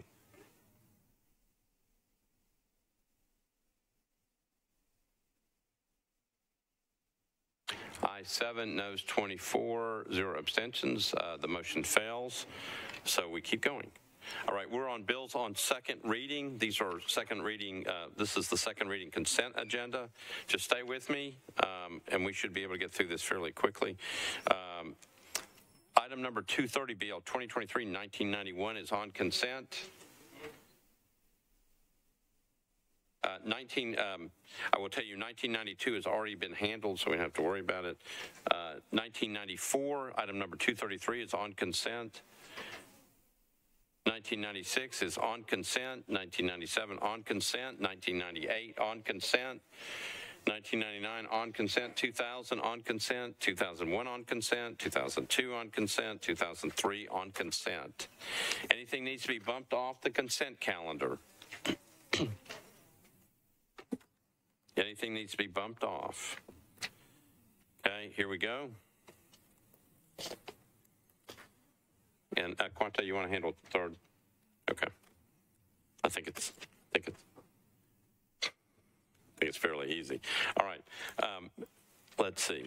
Uh, BL 2023-1991, that's item number 230, uh, Withers, Murphy, Bradford, and others, an ordinance uh, uh, adding a new section 2.128070 of the Metropolitan Code of Laws, establishing the office of county historian, the appointment process, necessary credentials, as well as the county historian's duties and appointments within the metropolitan government. Uh, item number 233, BL 2023-1994, Parker, ordinance amending Metropolitan Code section 16.08.012, regulate mass timber construction within the standards set forth in the 2021 edition of the International Building Code, 2021 edition of the International Fire Code. 234 BL 2023-1996, Rhoten and Benedict, ordinance approving contract between the Metropolitan Government, of National Davis County, and Mythics LLC for Oracle software. Uh, item number 235 BL 2023-1997 by Rhoten, Withers, and Pulley, ordinance authorizing the acquisition of certain rights-of-way easement property rights by negotiation and condemnation um, by NDOT in connection with the public project described as the Estes Road at Hobbs Road inter- intersection improvement. 236 BL 2023-1998 Withers, Pulley, and Hagar, ordinance authorizing the Metropolitan Government to accept new public sanitary sewer main sanitary sewer manhole for six properties located on Wood Street, also known as Wood Street Public Sanitary Sewer Extension. BL 2023-1999 Welsch, Withers, and Pulley, ordinance authorizing the Metropolitan Government to accept the relocation of existing public fire hydrant assembly for property located at 2918B Harlan Drive, also known as Harlan Townhome. Uh, item 238 BL 2023-2000 Withers and Pulley, ordinance authorizing the Metropolitan Government County to accept new public sanitary sewer manhole property located at 1010 4th Avenue North. Uh, item 239 BL 2023-2001, ordinance authorizing the Metropolitan Government of Nashville and Davidson County to accept new public water main fire hydrant assemblies for property located at 3777 uh, Nolensville Pike, also known as the Nashville Zoo, Johnston, Withers, and Pulley the sponsors. Item 240 BL 2023-2002 Withers and Pulley, ordinance authorizing the Metropolitan Government of Nashville and Davidson County to accept a new sanitary sewer manhole and easement for two properties located at 1036 and 1042 East Trinity Lane. 241 BL 2023-2003 Pulley and Withers, ordinance authorizing the Metropolitan Government to abandon existing sanitary sewer main, sanitary sewer man- manholes and easements, except new public sanitary sewer main, sanitary sewer manholes and easements for two properties located at 4310 and 4311 Castleman Court. Um, those are the bills on a second reading consent. Anything needs to be bumped off? Seeing none, Budget and Finance, Councilmember Rhoten, you still with us? I'm here with you. Vice Mayor, 1996, 1997, uh, 96, 11 in favor, 0 against. 97, 13 in favor, 0 against. All right. Uh, government Operations, Councilmember Benedict is gone. Who's got Government Operations? Councilmember Parker. Uh, 2023-1994 recommended 540 against. 1996 recommended 540 against. All right. Thank you. Planning and Zoning, Councilmember Withers. Thank you, Mr. Vice Mayor. Planning and zoning com- considered PL 2023-1991, 1997, 98, 99, 2000, 2001, 2002, 2003, and we recommended approval of each of those nine in favor, zero against, zero abstention. All right. Rules confirmations, Councilmember Murphy. Just, five in go. favor, zero against on 1991. Great. Uh, and Councilmember Pulley, you got the last group. Transportation recommended approval BL 2023-1997 through not 2003, six in favor and zero against, and I move approval of the consent agenda. All right, Councilor Pulley has moved approval of the second reading consent agenda, properly seconded. Any discussion? Seeing none, all those in favor of the second reading consent agenda say aye. Opposed, no. You adopt. All right, we're on bills on second reading that were not on consent. 227, BL 2023, 1869, Pulley and Young, ordinance to amend Title 6, Chapter 77, Article 1 of the Metropolitan Code regarding renewal of entertainment transportation certificates of public necessity and convenience. Councilmember Pulley, you're recognized. I would, uh, committee reports, and that's me. So uh, the Transportation Infrastructure Committee recommended a two-meeting deferral, seven in favor, zero against. And I would move to defer this two meetings. Okay, the motion is to defer two meetings, properly seconded. Any discussion? Seeing none, all those in favor of the two-meeting deferral say aye. Opposed, no. This one's deferred two meetings. Okay, we're on 228, Bill 2023, 1882 by Councilmember O'Connell, Welsch, Allen, and others. Ordinance creating a chapter, a chapter 2.153 of the Metropolitan Code of Laws, establishing a bicycle and pedestrian advisory commission.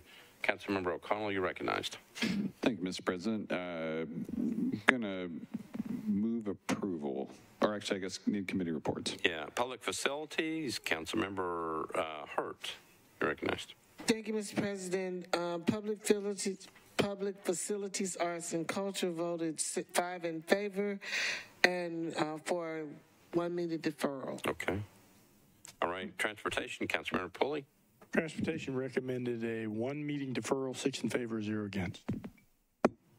Okay, Councilmember O'Connell, what do you want to do? All right, thank you. We will uh, look at a one meeting deferral, and I'll move for a one meeting deferral. Okay, um, I think this was a, I'm not sure it was an automatic deferral. It's just a motion to uh, defer one meeting, properly seconded. There, uh, And you had a late amendment, Councilmember Allen? I'm not planning to move it. Okay, thank you. All right, so we got a motion to defer one meeting, properly seconded. Any discussion? All those in favor of the one meeting deferral say aye. Opposed, no. That one's deferred one meeting. Um, Item number 229 was handled. Item number 231 was handled. We're on BL 2023-1993 by Allen, Rhoten, Pulley, and Bradford. Uh, Ordinance amending Chapter 10.20 Waste Management, Title 16 Buildings and Construction to add the requirements of construction demolition materials be diverted from landfills. Councilmember Allen, you're recognized. Committee reports, please. Um, Got Budget and Finance, Councilmember Rhoten. Uh, 1993 was approved, 11 in favor, zero against. All right, Transportation, Councilmember Pulley. Transportation and Infrastructure recommended a one-meeting deferral, six in favor, zero against. Okay. Councilmember Allen? That makes an automatic deferral. Um, I think it's an automatic deferral, so automatically deferred one meeting. One meeting. Okay. Okay.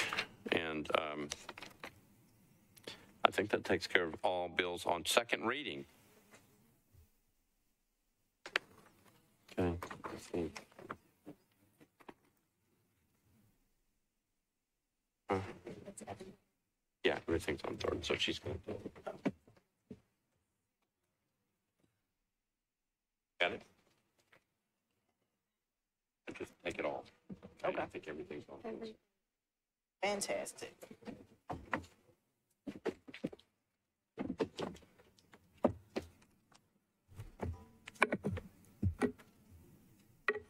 So do I still need to read the numbers if everything's on? Just all you need is to Does anything need to come off? Does anything need to come off? And then just start reading. Fantastic. Oh.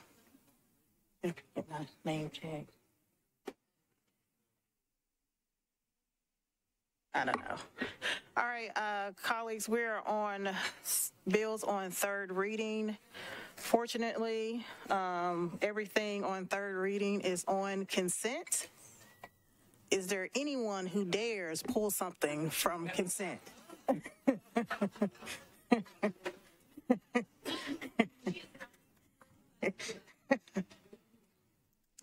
All right, seeing no hands, uh, I will read the captions. Item number 242, Bill 2021-920, an ordinance authorizing the Metropolitan Government of Nashville and Davidson County to abandon existing sanitary sewer main and easements and to accept new sanitary sewer main, sanitary sewer manholes and easements for three properties located at 5540 Oakmont Circle and 262 and 264 White Ridge Pike, sponsors Murphy and Nash.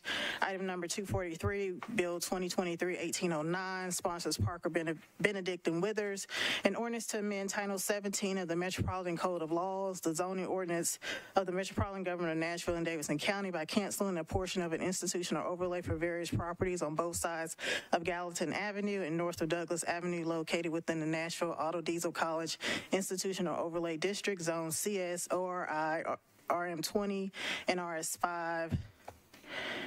Bill 2023-1885 sponsors Syracuse, an ordinance to amend section 10.60.050 of the Metropolitan Code of Law, to amend an alarm registration display requirement.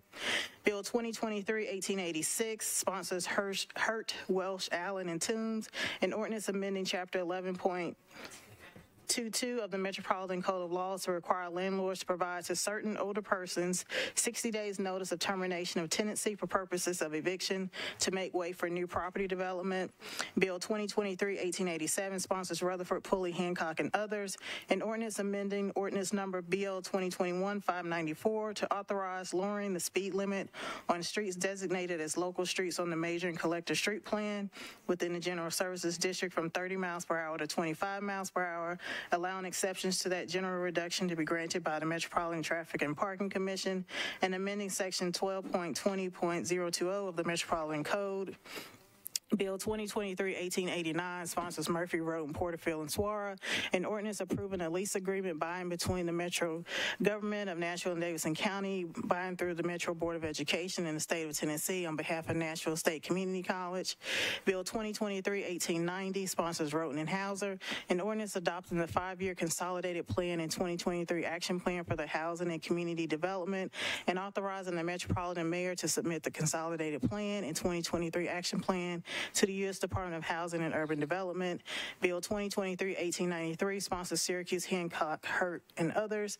An ordinance approving an agreement between the Metro government, Nashville and Davidson County, acting by and through the Office of Family Safety and Caravan Studios to participate in a safe shelter collaborative that addresses quick identification of immediately available and survivor appropriate shelter.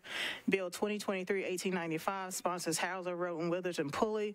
An ordinance authorizing the granting of a permanent utility easement to Piedmont Natural Gas Company on certain property owned by the Metro government. Bill 2023-1896 sponsors Parker, Withers, Rhoten, and Pulley. An ordinance authorizing the acquisition of certain rights-of-way, easement, and property rights by negotiation or condemna- condemnation for use by the Metro government of Nashville and Davidson County, acting by and through the Metro Department of Transportation by NDOT in connection with the public project described as early acquisition of right-of-way to include six parcels for Phase One, North-South Arterial Boulevard between Spring Street and Woodland Street, state project, all those numbers. Bill 2023-1897 sponsors Hancock, Withers, and Pulley, an ordinance to amend the geographic information system street and alley centerline layer for the Metro government of Nashville and Davidson County by abandoning a portion of Pawnee Trail unapproved right-of-way, unimproved right-of-way. Bill 2023-1898 sponsors Evans, Withers, and Pulley, an ordinance authorizing the Metro government of Nashville and Davidson County to accept new public sanitary sewer main, sanitary sewer manholes, fire hydrant assemblies, and easements for property located at 840 Old Lebanon Dirt Road. Bill 2023-1899 sponsors Taylor, Withers, and Pulley, an ordinance authorizing the Metro government of Nashville and Davidson County to accept the relocation and replacement of public water main for property located at 401 Clay Street, also known as Lexus of Nashville. Bill 2023-1900 sponsors Rhoten, Withers, and Pulley. Ordinance authorizing the Metro government of Nashville and Davidson County to accept new public water and sanitary sewer mains, fire hydrant assemblies, sanitary sewer manholes, and easements for property located at 3739 Hoggett Ford Road, also known as the Reserve at Magnolia Farms. Bill 2023-1901 sponsors Sledge, Withers, and Pulley. and an ordinance authorizing the Metro government of Nashville and Davidson County to abandon existing public, sto- public storm sewer pipeline and easement for property located at 2212 12th Avenue South. Bill 2023-1902 sponsors Rhoten Withers and Pulley. Ordinance authorizing the Metro Government of Nashville and Davidson County to accept new public sanitary sewer mains, sanitary sewer manholes, and easements for property located at 3507 Central Pike, also known as Hermitage 7 711.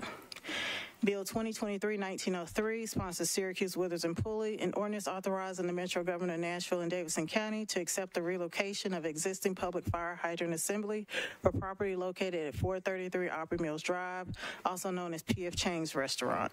Bill 2023-1904 sponsors Toombs Withers and Pulley, an ordinance authorizing the Metro Government of Nashville and Davidson County to accept new public sewer uh, manhole public sanitary sewer manhole and easement for two properties located at 1011 and 1013 West Trinity Lane. Bill 2023-1905 sponsors Withers and Pulley, an ordinance authorizing the Metro Government of Nashville and Davidson County to accept new public sanitary sewer main and sanitary sewer manholes for property located at 1219 11th Avenue North. Bill 2023-1906 sponsors Withers and Pulley, an ordinance authorizing the Metro Government of Nashville and Davidson County to accept public new public new sanitary sewer force main and rehabilitation of existing sanitary sewer manholes for four properties located on Rural Hill Road, Mount View Road, and Highlander Drive, also known as Novo Antioch. Bill 2023-1907 sponsors Bradford, Withers, and Pulley, an ordinance authorizing the Metro Government of Nashville and Davidson County to accept new public water and sanitary sewer mains and sanitary sewer manholes for property located at 1287 Curry Road, also known as Habiba Subdivision. Bill 2023-1908 sponsors Toombs, VanReece, Withers, and Pulley. Ordinance authorizing the Metro Governor of Nashville and Davidson County to abandon existing public sanitary sewer mains and sanitary sewer manholes and to accept new public sanitary sewer mains and sanitary sewer manholes for eight properties located on Ewing Drive, Dickerson Pike, and Ben Allen Road, also known as Ewing Drive Sanitary Sewer Replacement. Bill 2023-1909 sponsors Withers and Pulley, an ordinance authorizing the Metro Government of Nashville and Davidson County to accept new public water and sanitary sewer mains, fire hydrant assembly, sanitary sewer manholes, and easements for two properties located at 5991 and 5997 Emerson Pike, also known as Sycamore Estates. And Bill 2023-1910 sponsors Porterfield, Withers, and Pulley, an ordinance authorizing the Metro Government of Nashville and Davidson County to accept new public sanitary sewer main and adjustment of sanitary sewer manholes for property located at 455 Rural Hill Road, also known as Edge Lake Sanitary Sewer Improvement. Does anything need to come off of consent? Okay. Committee reports, Public Health and Safety, Councilman Syracuse. Public Health and Safety, consider BL 2023-1893, recommended, uh, if, uh, recommended approval, six in favor, zero against. Thank you. Transportation, Councilman Pulley. Transportation considered uh, recommended approval of BL 2023-1887 and 1880 1895 through 1910. Seven in favor and zero against. Am I the last committee? Yes, you are. And I move approval of the consent agenda. It's been properly moved and seconded to approve the consent agenda. All those in favor, aye. Opposed, no. Motion carries. Can I get a motion to adjourn? We are out of here.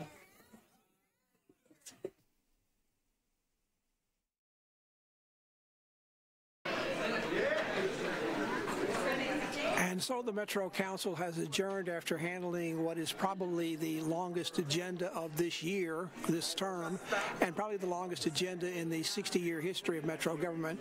It was um, an agenda 96 pages long, contained 265 items. In fact, 95 of those were zoning bills that were up for public hearing tonight. Uh, again, that was probably a record as well for one meeting. That part of the meeting tonight lasted six hours. Full council meeting lasted about uh, seven hours and, and um, 40 minutes. Um, so quite a quite a long evening night, particularly in the area of, of public hearings for zoning bills.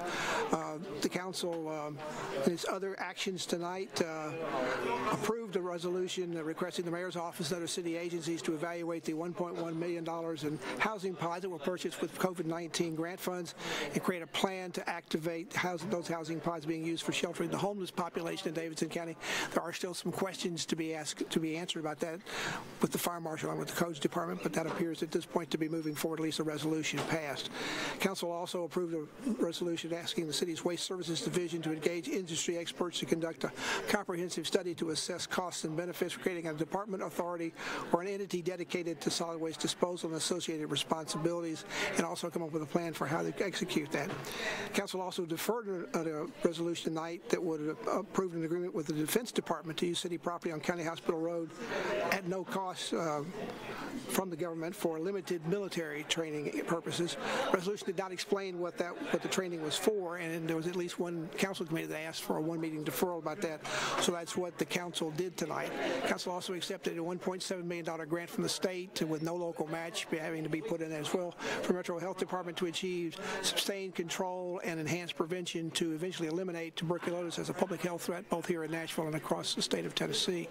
On memorializing resolutions, the council called on the General Assembly to pass common sense gun reforms during its upcoming special session, which right now is set for August. They also requested Metro Nashville's public schools use a recently appropriated $6.5 million in special funding to purchase ballistic film and radios to improve school safety.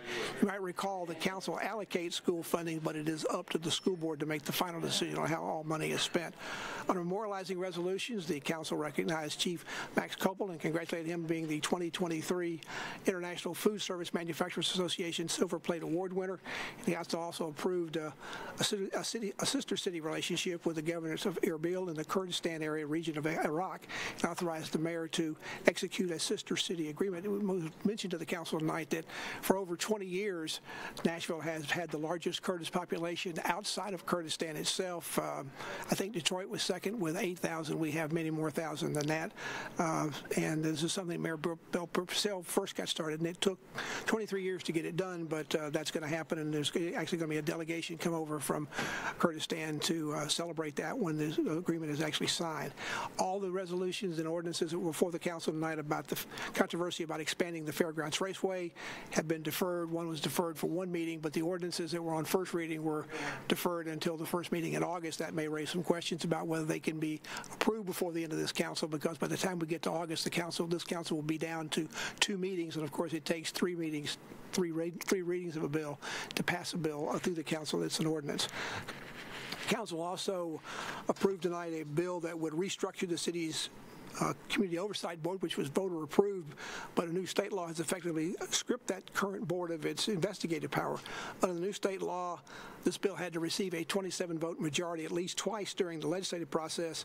It now has achieved both of those because on first reading it passed, um, as most bills do on first reading, by unanimous consent. So this is twice it's gotten 27 votes. It'll now have to get 27 vote, 21 votes at least on third and final reading. It would probably be above 27 votes again since that's what it's gotten to on two votes so far. Also on second reading, the council deferred for two meetings a bill that would further spell out uh, what the city's transportation licensing board can do with renewing annual licenses for downtown party buses. That's always party buses have always been a controversial matter, and, and the regulation of that, particularly taking uh, licenses away from those who are operating downtown because of traffic concerns or because there's just too many of them. And the board's opinion, obviously, is going to is creating some concerns, and the council wants to look at that and take a two-meeting deferral on that. Um, also, on second reading, the, the council tonight approved a, a, bill that would set up the office of the county historian. Uh, that has uh, been a position in Metro for some years, but this now establishes the post into law. On second reading, also tonight, the council deferred. This is for a second time establishing a bicycle and pedestrian advisory commission. Also on second reading, a bill that would uh, ban construction and demolition materials from local landfills was deferred for one meeting as well. That bill for ban that ban would be phased in over a few years. The construction demolition material would still need to be recycled or reused on or off site for a beneficial use, including using qualified receiving and recycling materials facilities. Uh, finally, two third reading bills of note were also approved tonight would require landlords to provide persons 55 or older a 60-day notice of termination of tenancy if the eviction is made for a new property development. Also, on third and final reading, getting approval tonight on the consent calendar, an effort to slow down traffic. Uh, the 25 mile per hour speed limit that's already been improved, uh, uh imposed on uh, all major and collector streets in Nashville in the urban services district has now been expanded out to also include the general services district.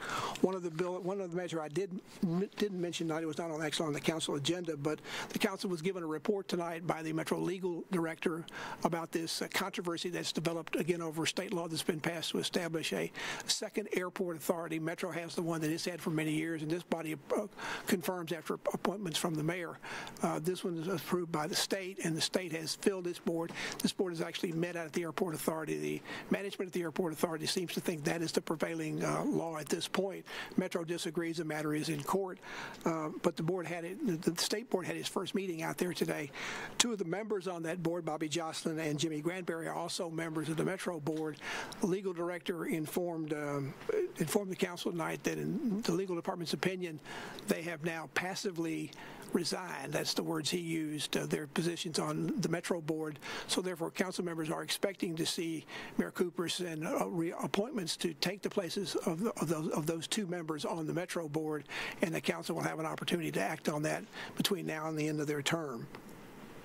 The council is now in recess, although they also at first thought about midway through going into, before they started second reading bills, we've been here for quite some time, to adjourn for the night and bring those up at a special meeting, or at least an uncalled meeting at this point on July 2nd, July 11th.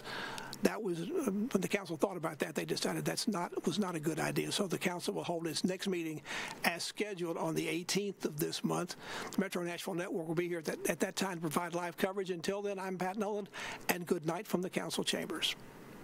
Tonight's meeting of the Metropolitan Nashville and Davidson County Council has been coming to you live from the council chambers at the historic Metro Courthouse. It's been a public affairs presentation of the Metro Nashville Network.